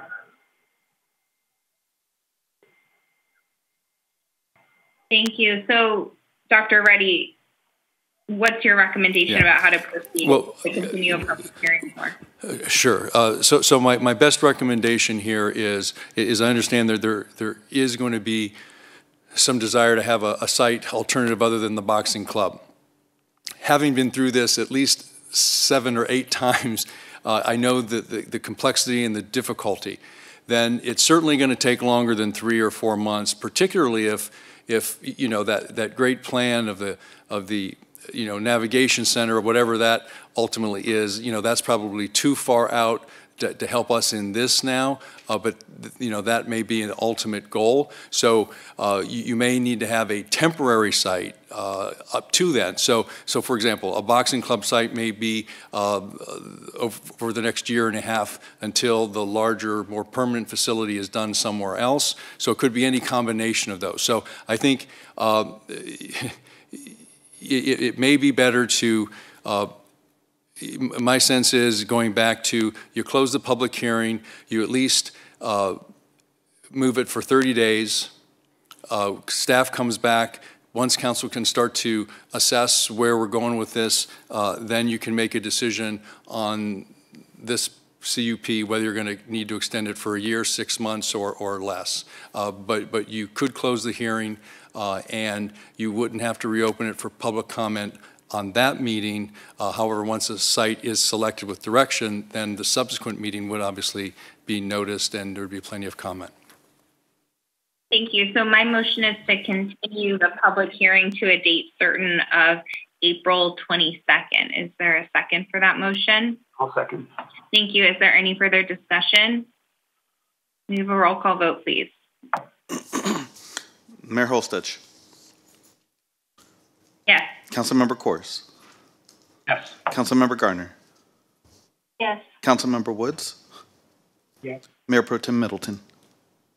Aye. Motion passes five to zero to continue the public hearing to April 22nd. Thank you. The next item is item 2B, um, a public hearing to consider a request by the city to amend portions of the zoning code and municipal code adopting revisions to the architectural review process and associated entitlement processes. I am recusing on this item. City Attorney, if you could provide the legal reasoning of why I'm supposed to recuse here, that would be helpful. Uh, yes, uh, because of your spouse uh, and uh, the potential impact on your source of income, it'd be appropriate for you to recuse yourself on this item. Thank you. So I will be placed in the Zoom room, and Mayor Pro Tem Middleton will continue the um, facilitating this item.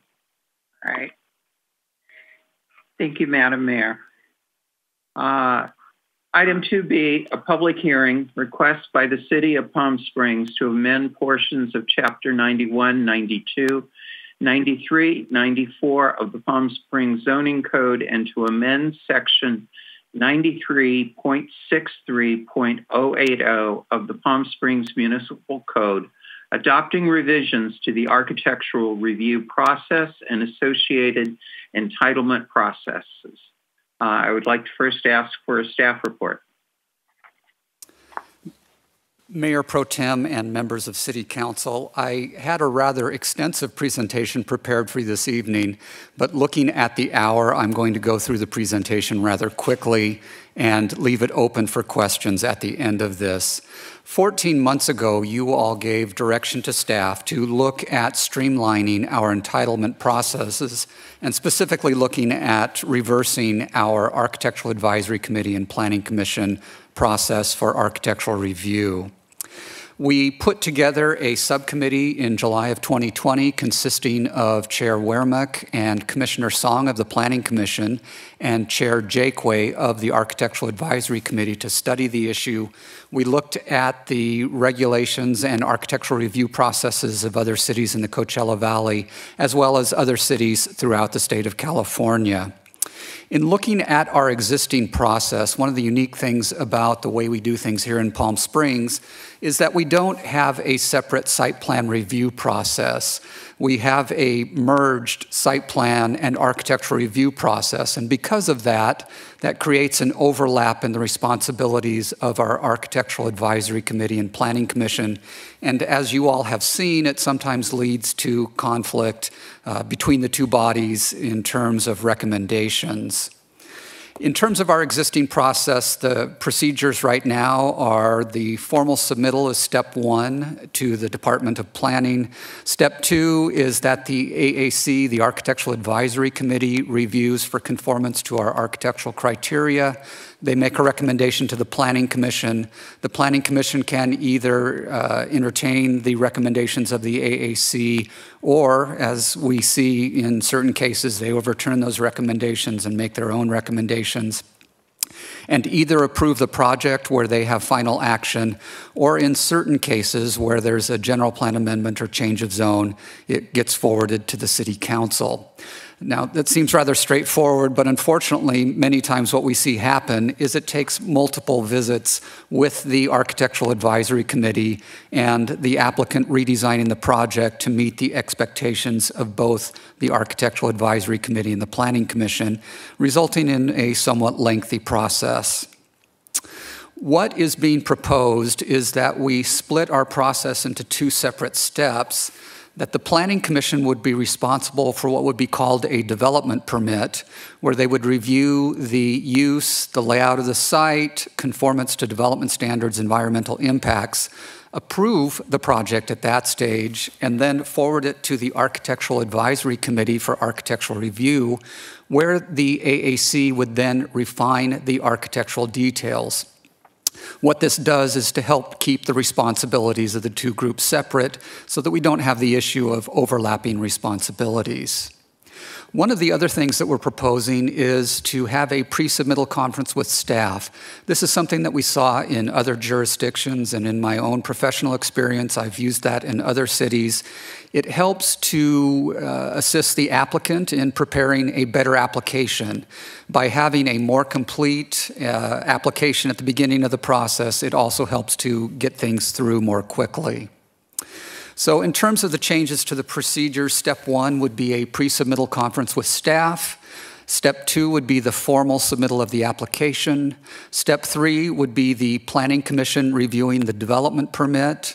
If approved by the Planning Commission, then the project is approved and they basically have their entitlements at that stage. Uh, only if required for a general plan amendment or a change of zone, City Council would then have the next step in the process. If not, it would then be forwarded to the Architectural Advisory Committee to finalize the architectural details, refine the architecture, and, and approve the architecture. So again, how this shortens the process is the Planning Commission is essentially entitling the project at step three and then the architectural review process is really your last step before submitting for building permits. I'll skip through this quickly. I was just going to talk briefly about how uh, the Planning Commission has certain responsibilities and what they do versus what the Architectural Advisory Committee would do. One of the things that I need to point out relative to the Architectural Advisory Committee is historically the Architectural Advisory Committee members have been appointed by the Planning Commission. What the Planning Commission has recommended is that they continue to have that role, even though the Architectural Advisory Committee will no longer uh, make specific recommendations to the Planning Commission, that they'll exist as two separate bodies. Um, it was uncertain whether or not the City Council would prefer to appoint the members of the Architectural Advisory Committee uh, with this change to the process. Uh, but again, the recommendation of the Planning Commission was to leave that in the hands of the Planning Commission. We're also proposing changes to other processes, not just the architectural review process, as a way to shorten entitlement timeframes. We had a, a, chart in your backup materials to talk about that. I'll just go quickly through some of those other changes. Relative to sign programs, currently it requires approval by both the Architectural Advisory Committee and the Planning Commission. What we're proposing is that be shortened just to the Architectural Advisory Committee, so one step instead of two. Also, we are proposing that instead of City Council having to approve sign districts, that that responsibility would be given to the Planning Commission. Relative to conditional use permits, our code currently requires that certain conditional use permits be reviewed by the Planning Commission and approved by the City Council instead of Planning Commission having final action on conditional use permits, which is typically what you see in other jurisdictions. Uh, what we're proposing is to revise that section of the code so that Planning Commission would have final action on conditional use permits. The other thing that we are proposing is relative to the map process, the subdivision map process. In reviewing state law requirements, uh, the tentative map can be approved by the Planning Commission. Currently, we give that responsibility to the City Council. And so what we're proposing is to shorten the process and allow the Planning Commission to approve tentative maps. City Council is required by state law to approve final maps, so you would retain that responsibility. Keep in mind as we talk about these changes to the process and giving more responsibility to the Planning Commission is that City Council can still call up actions of its boards and commissions. And so you would still retain that responsibility. We would report out on the actions of both the Planning Commission and the Architectural Advisory Committee to the City Council if you choose to call those items forward. In terms of the appeal process, staff level approvals would be appealed to either the Planning Commission or the Architectural Advisory Commission, uh, depending on the uh, type of application. For the Planning Commission approvals of development permits, that would be appealed to City Council. And then for architectural review, that would be appealed to the Planning Commission. In discussing these changes to architectural review, we would also need to make some amendments to some of our specific plans. And so what we are proposing that staff would bring forward those changes so the approval process in the specific plans matches the approval process for other application types. Those require their own public hearings and again we would bring those to you at a later date. In terms of implementation of these changes, uh, in addition to approving the amendments to our municipal code and our zoning code, we would also need to amend the fee schedule as these application types will be changing. The intent is to keep our fee schedule more or less the same so applicants aren't paying more. We will probably need to make certain adjustments to accommodate the pre-submittal conference with staff. Uh, but again, we're looking at more or less maintaining fees generally consistent with what we have now. In certain cases where there will only be a review by one body instead of two, obviously that will assist in reducing the cost of those applications. So at a future meeting date, if these amendments are approved, we'll also bring an amended fee schedule to you. Uh, as I had mentioned, we'll bring forth amendments to the specific plan so they match this process. We would also need a couple of months to begin to prepare for these changes, and so I would recommend at second reading we establish a date to begin this new application process. Uh, we would also need to prepare our staff to conduct the pre-submittal reviews, to prepare checklists, uh, revise our application materials. And then I think even more importantly than that, we would need to do outreach to our development community so that they understand the changes to the process, that they have the opportunity to begin pre-submittal conferences with staff so that we can get those things lined up. One of the things that has been discussed both by the Planning Commission and the Architectural Advisory Committee, as well as the community at large, is that we need to consider the development of design guidelines that would help to guide applicants in terms of what we expect to see in terms of architectural character. What I would recommend is that we consider this to be a future phase of this project and that City Council might consider the appointment of a subcommittee that might consist of representatives from the Architectural Advisory Committee, Planning Commission, and our general design community in terms of developing those guidelines for consideration at a later date. Another thing that I would recommend with any new ordinance, there's obviously going to be some things that we need to iron out. You never get it right the first time through. There's always little details that you need to correct.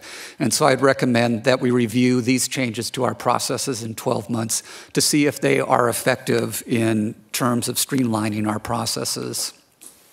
So just to summarize, what we're hoping to do with these changes is to eliminate duplicate reviews, uh, make use of a pre-submittal conference to better prepare our applicants for the public meeting process. We are proposing to eliminate, sorry, eliminate the overlap of responsibilities between the Architectural Advisory Committee and Planning Commission, and then reduce the number of application types that require council approval, thereby shortening processes. Uh, so that is my presentation and happy to take your questions at this time. Thank you. Flinn, thank you for a really uh, well executed uh, report. Uh, are there any questions for staff? Councilmember Garner, then Councilmember Kors. Thank you. Um, Flinn, thank you so much for this. Um, I, I really love this streamlining. Can you can you just tell us if there's anything that you need to make this happen? You know, there's a couple of things that we need to make this happen. Um, one of them is already underway, and that's our electronic plan submittal process that uh, uh, Aaron is working on and our staff is working on now. Uh, that's something that will certainly help us implement this process. I think more importantly is that we need to have staff that can guide applicants in their preparation of their design materials. Uh, that's going to be the critical part of this functioning well is being able to work with applicants in getting complete application packages together uh, to help shorten that process.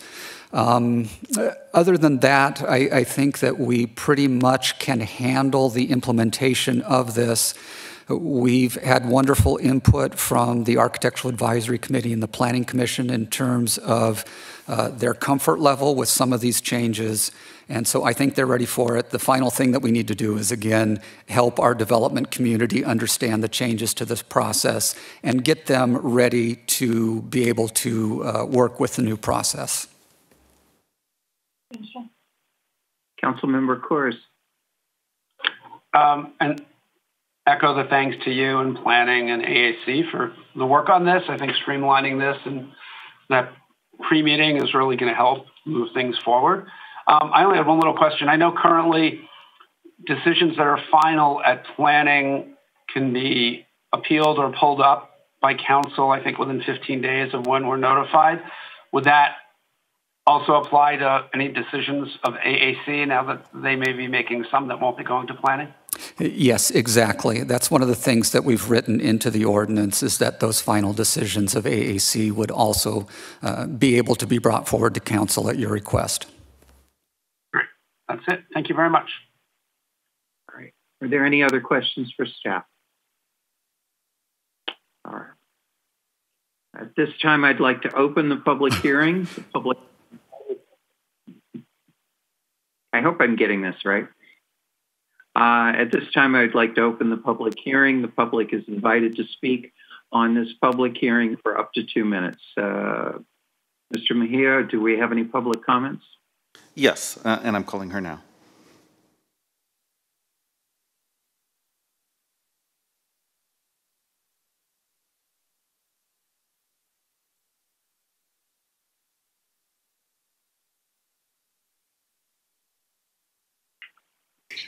Kathy Weremiuk, you're live with the Palm Springs City Council, and you have two minutes to provide your comments. Uh, thank you, um, uh, Madam Assistant Mayor and City Council. I had the pleasure to work on the subcommittee that helped bring this forward uh, with Planning Commissioner Song and uh, Chair Jakeway of the Architectural Advisory Committee.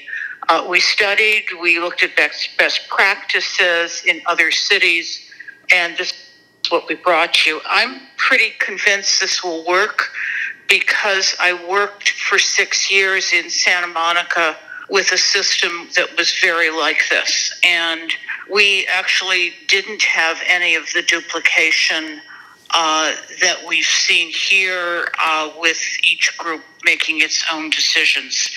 Um, the the main thing in this that I want to mention is the pre-submittal conference. This uh, really is going to require the city to bring in a new staff person who has both architectural training and urban design experience.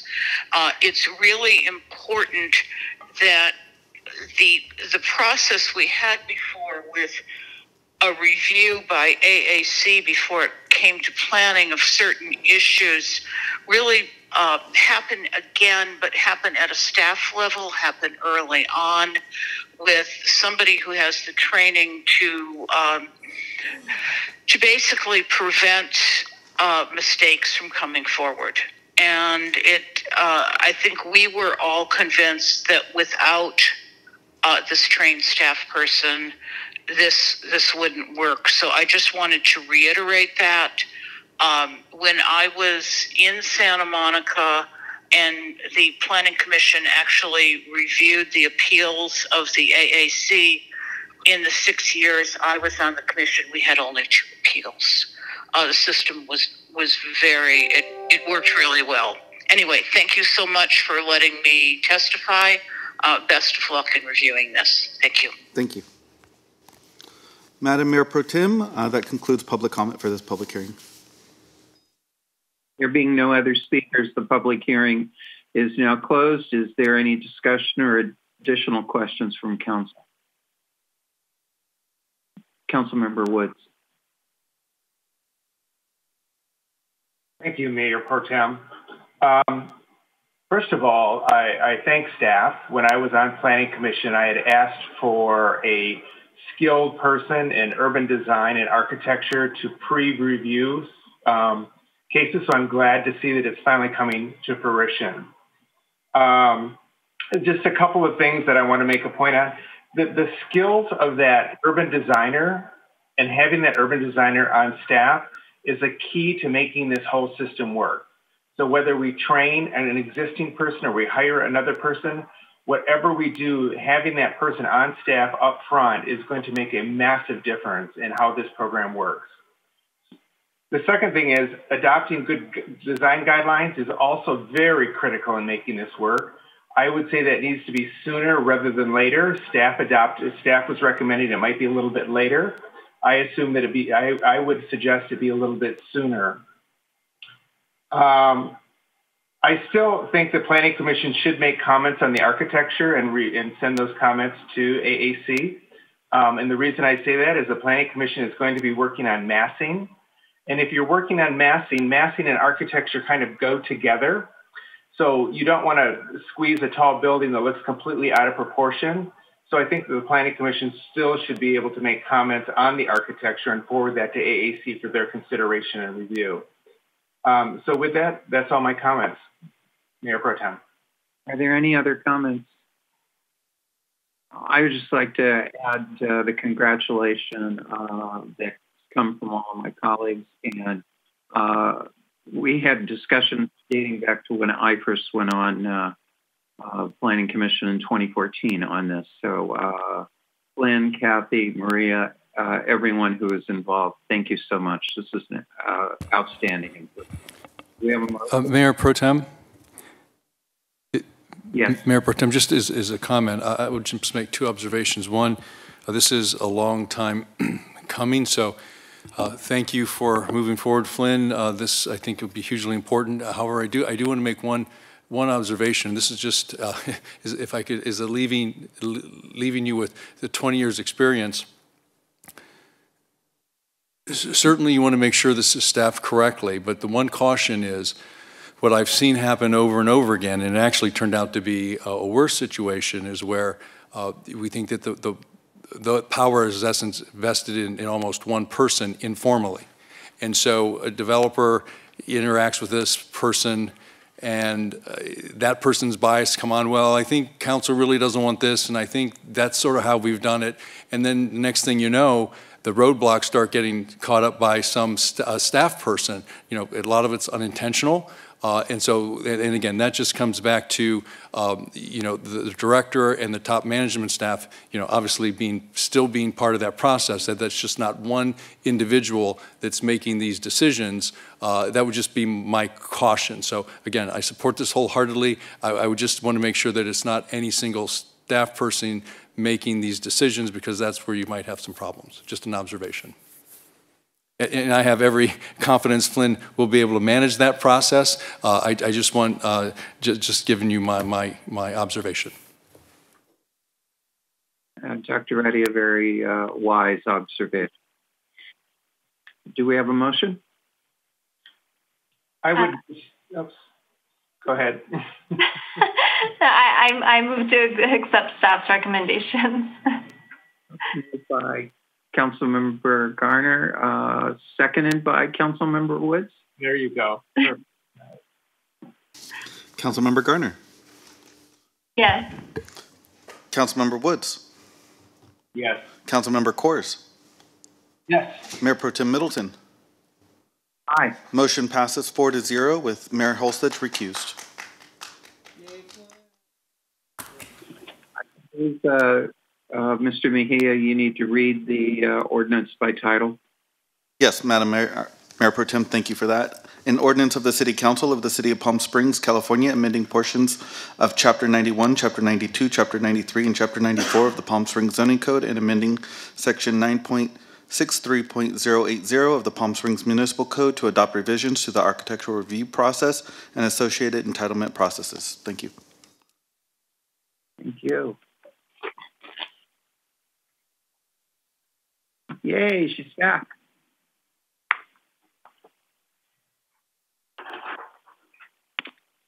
Hello.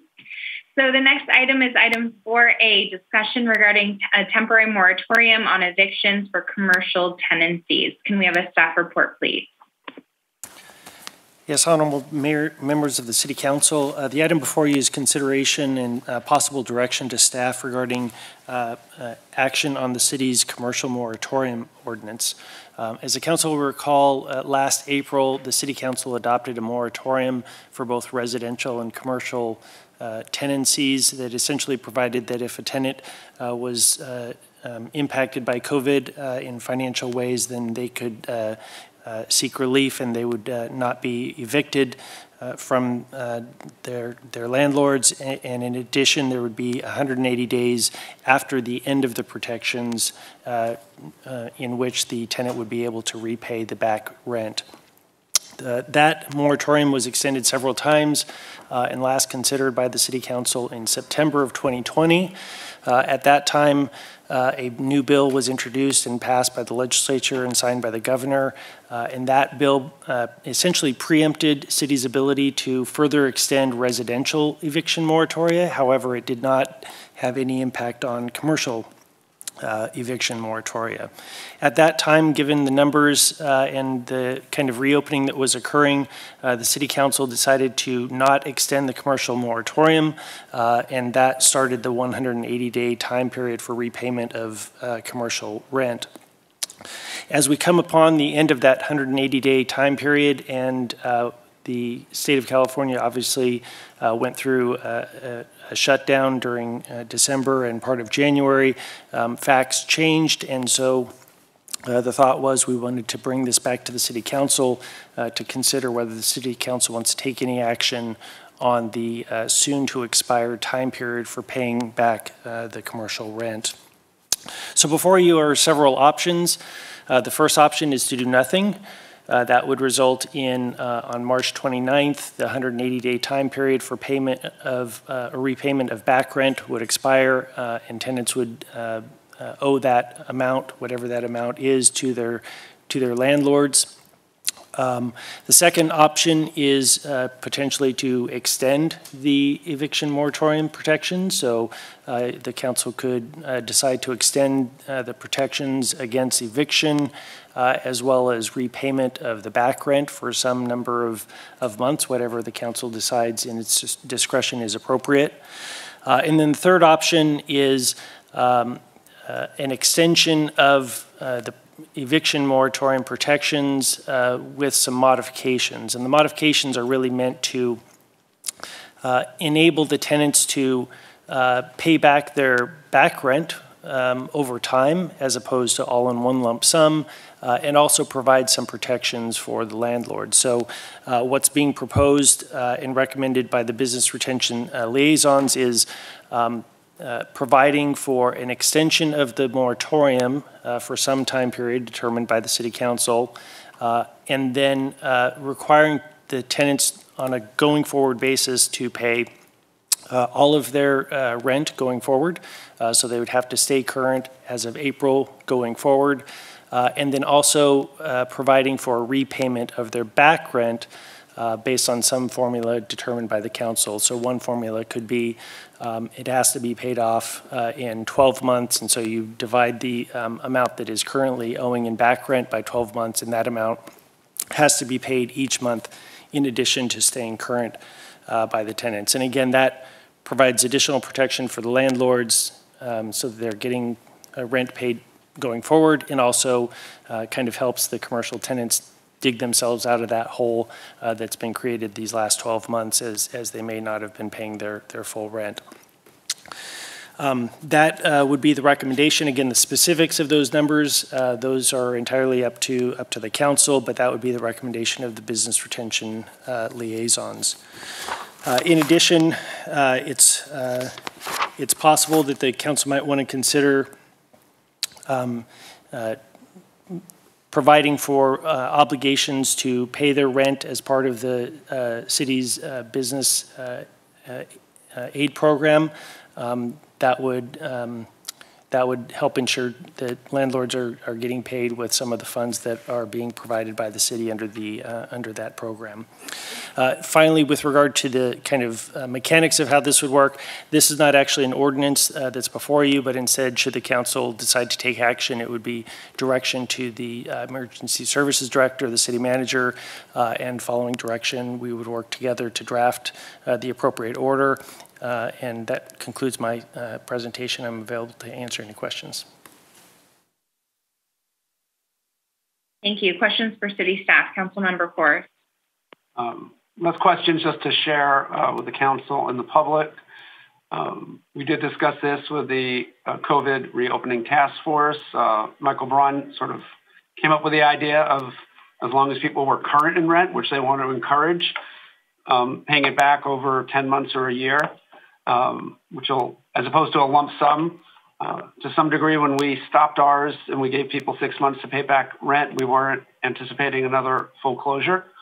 Um, and did hear from um, both tenants who felt that they were current with rent and they could stay current, uh, but paying all their rent back in four days uh, was just not doable. Um, and we sent out meeting notice to 270 commercial landlords, and we had uh, a good conversation on it. And um, because the courts are not taking eviction cases, you know, something to help incentivize people to pay the back rent um, seemed like something most people were very comfortable with. So that's sort of where the recommendation comes from. So I just want to share that. Questions or comments from council members? Councilmember Woods.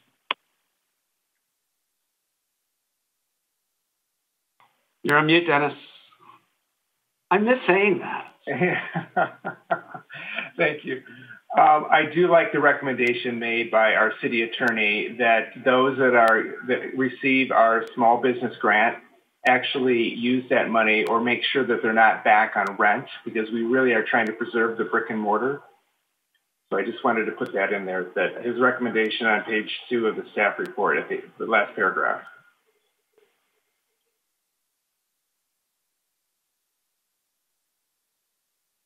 Other comments?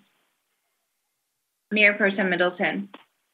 No, I I want to thank the uh, Business Retention Committee for their work and for all of the outreach to uh, our local business community. Um, as we start to move through this, uh, we too often, I think, uh, lump all landlords together as all alike and all uh, commercial renters together uh, as all the same.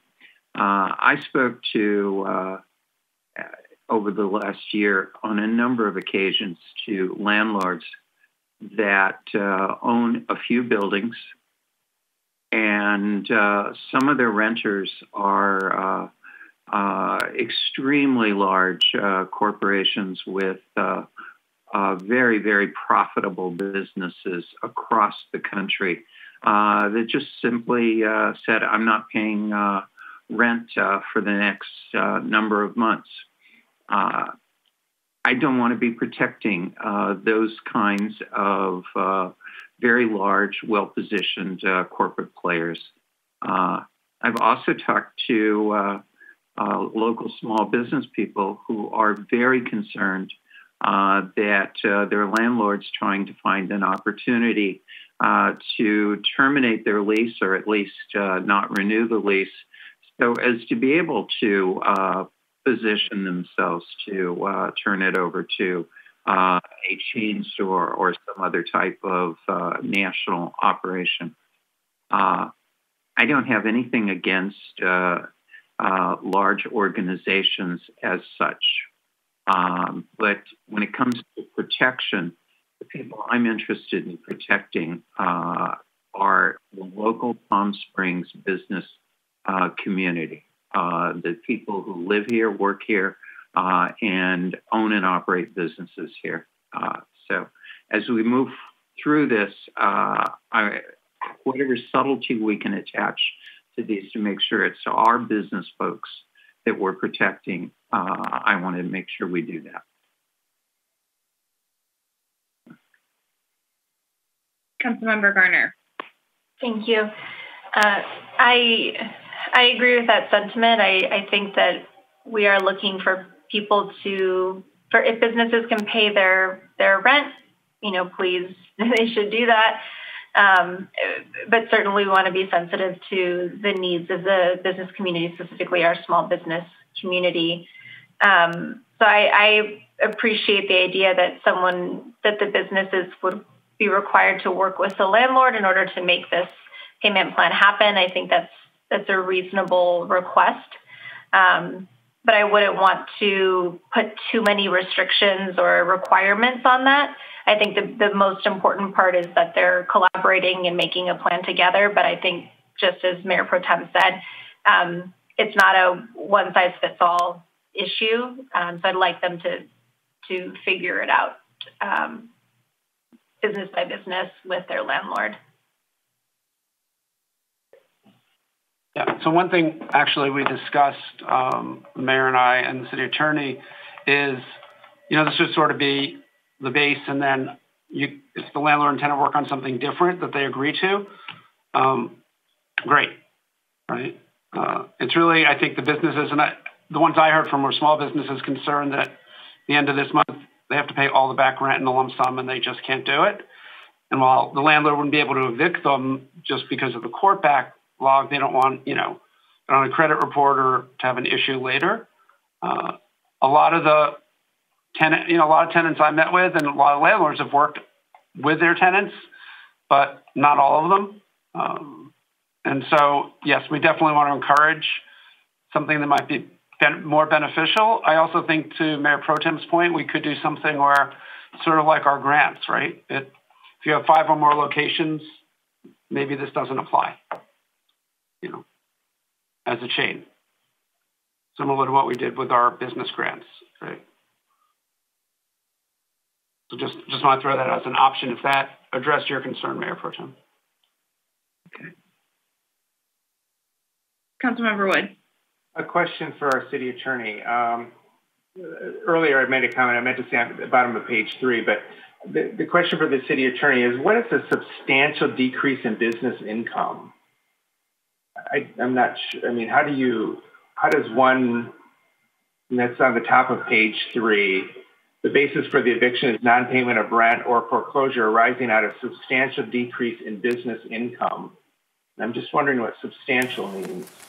That is not defined in either the state uh, executive order. That language is, is, actually from the state's executive order, uh, and that order does not define that term. And so it would be, it would be um, determined by uh, a court um, in if uh, if an eviction action were uh, attempted to be brought by by a landlord. Thank you.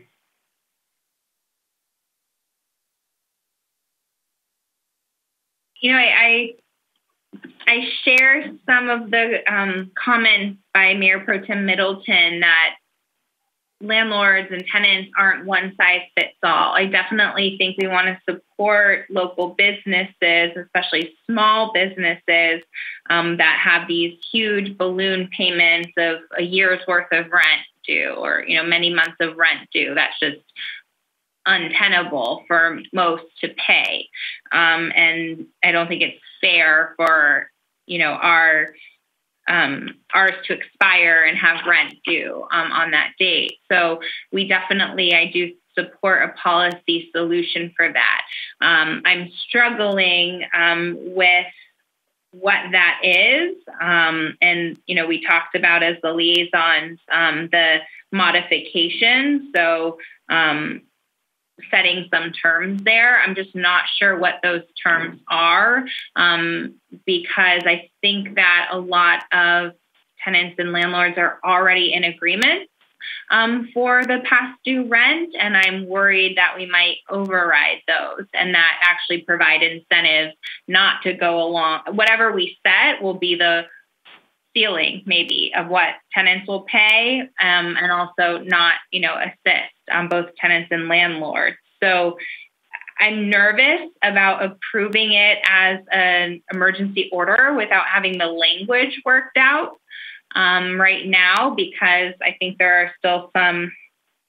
I'm thinking this through and at, now, and um, we've done a lot of work on this already. But um, we had talked to the city attorney about, you know, okay, so it applies if a tenant is current on rent starting April 2021. Is that the right date? You know, what would be the right percentage of rent that we would require. I'm just not sure of all of those terms. So, you know, it's hard because we had a, we allowed the moratorium to be expired because um, we thought that you know this might not be required. Um, so, yeah, I'm interested in in the council's suggestions there um, on what might be good terms and how it would be clear enough that we could implement it um, starting you know, tomorrow without having the language in front of us and without the public having that. One idea, maybe, um, for the city attorney, is there a way we could um, do the the emergency order because did get this got kicked back a couple of times, um, and now we're in a date crunch. Um, that will just apply for two weeks and then bring back the specific language at the next council meeting. Um, with a couple options, whether it's you know divided over a year, ten months, you know, and then we could make the long-term decision versus trying to write the policy now at 11:30. Uh, but we don't want people people really getting nervous that you know it's doing a, I think on the 29th of March and they can't do it and they don't want a grounds for eviction, especially people who have long-term leases who put a lot of money into building a restaurant or something, and they're worried, you know, landlords get someone in and take advantage of those improvements. And I don't think that's it's a minority, but it's the ones who are really concerned. So, is there a way we can do something a stopgap until we can actually bring the language? Yes, that would be possible. That would be uh, somewhat similar to what you did actually in March of 2020, you did a, a sort of a stopgap uh, eviction moratorium until we could bring back a more tailored ordinance uh, that the council ultimately adopted. Uh, so you could extend it, basically take option two, extend it, you know, one month, and that would give us time to bring back something um, and give give the council some time to chew on it. And provide the public more notice of what it is specifically so they could weigh in we can get their input as well. I'm sure, and the mayor and I could do another meeting with both the tenants and with the landlords once we have that. Is that good? I would support that. Do you need a motion to take that action? Uh, yes, and, and, it would actually be a motion to direct the emergency services director to uh, extend the protections of the uh, previous ordinance by 30 days. I make that motion. I'll second. The motion is made and seconded. Can we have a roll call vote, please? Mayor Holstege? Yes. Mayor Pro Tem Middleton? Aye. Councilmember Woods? Yes. Councilmember Kors? Yes. Councilmember Garner? Yes. Motion passes five to zero. And could I just confirm, was it Mayor Pro Tem Middleton who made the second? I think it was me, but it doesn't matter. Okay. Thank you. Thank you. The next item is public comment. City Clerk, is there any public comment tonight? There is no public comment for tonight. Thank you. Thank you. The next item is City Council and City Manager requests an upcoming agenda development. Councilmember Kors. Thank you, Mayor. Um, I'd like to ask uh, And I see on our list, tentative April 8th, um, for the uh, apology resolution related to Section 14 that the Human Rights Commission passed. Uh, Councilmember Garner and I and Rhonda Hart, the chair of the Human Rights Commission, have discussed um, doing a special joint meeting with the Human Rights Commission on this and, Section 14 in general, and providing them time to maybe get some oral histories and really use it as an educational opportunity as well as any actions uh, as a council we want to take. So if council is good with that, I'd like to suggest we look at that for sometime later in April or in May, so they have time, you know, at their next meeting to really continue the work that they're doing on this. And um, I know Councilmember Garner and I, uh, as well, have asked just so we have all the records and all the factual information, and really use it as an opportunity to educate the public about this period in our history. Thank you. Mayor Pro Tem Middleton. Uh, thank you, Madam Mayor. Um, we had uh, a tremendous amount of conversation uh, today, both in closed session and in open session, on homelessness issues. Uh, ultimately, as we uh, got into the public uh, hearing, we were concentrating on the actions of the county and future cooperation that we need with the county, as well as the uh, CUP for the well in the desert.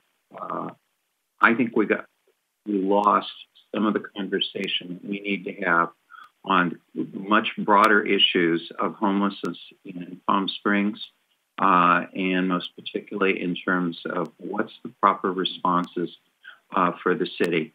Uh, and I'm not going to drag us through a whole long series of conversations. We've all had many, uh, but there was one conversation I had uh, earlier this week with one of my constituents that I was particularly struck by. Uh, I started the conversation by saying, I understand how angry you are. And he corrected me and said, I'm not angry, I'm afraid. I'm afraid to walk my neighborhood. I'm afraid that my business is going to close. I talk to people every day who are afraid that their businesses are going to close. I talk to people every day who've had a break in who do not uh, let their employees stay or past 6 p.m. Uh, this has to be uh, the issue before us. Uh, and we've tried to do hard things uh, in Palm Springs. Uh, this is going to be a really hard thing because uh, we want to be a community that provides help to everybody who needs help. Uh, but we also have to protect our residents and our businesses as well. So I, I want to have us to continue uh, to prioritize in almost every meeting uh, what what are we doing and what do we need to do to deal with the issue of homelessness in our community. Thank you, Mayor Pro Tem. Other council requests? So, Just a note for council, if I can first. Um, there was a consideration um, of bringing forward a request to the U.S. House of Representatives and Congressman Ruiz's office for community project submissions as part of the federal fiscal year 2022 budget process. I know Councilmember Kors has been leading on this issue um, with the Mayor's Coalition in California that um, he also leads. And so um, we had conversations with Congressman Ruiz's staff today. Um, that deadline is now extended to April 14th. So um, we are requesting that that comes forward at the next council meeting on April 8th for um, council action to approve a an application. Um, and if we can, um, Councilmember Kors and I will continue to work with city staff to um, and Congressman Ruiz's staff um, to bring forward a project within those guidelines. Uh, city staff requests and comments and city manager. Uh, th thank you, Mayor, members of council. Just uh, just to summarize, uh, so I understand this, the Section 14 apology would be moved to later in April, so that will not be on the 8th. Um, so we will have the discussion of SB 1383, which is ready to go. Uh, Mr. Tallarico is prepared to move forward the organics management and recycling requirements. That's an important topic. Uh, the community workforce agreements, uh, the discussion on the inclusionary ordinance for affordable housing, uh, and then obviously, as you mentioned, Mayor, the, the federal grant opportunity, and then finally the the uh, and this is a question if you want that included the the Arts Commission had passed a recommendation for a mural ordinance update. Council had mentioned previously, and this was on your list, that that's an issue you want to discuss about. So if, if you are, want to, that is um, available for your discussion. That would come to you as a discussion item only, um, and that is all that we would have for the meeting of the 8th. Mayor, um, Dr. Ready, there's also um, a staff report that uh, is getting finalized regarding some questions for council to give direction for the Desert Community Energy Board that uh, Mayor Pro Tem and I have been working on with uh, Patrick. Yes, th thank you for that correction, uh, Councilman Kors. Uh, that, that staff report is ready to go, and that would be also done by Mr. Tallarico.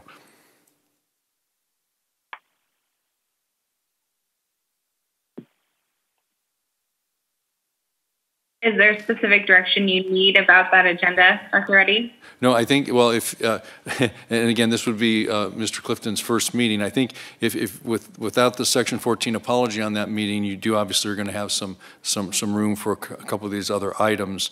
Um, so I, I think certainly we have, we have a full enough agenda with those items. Thank you. Any other council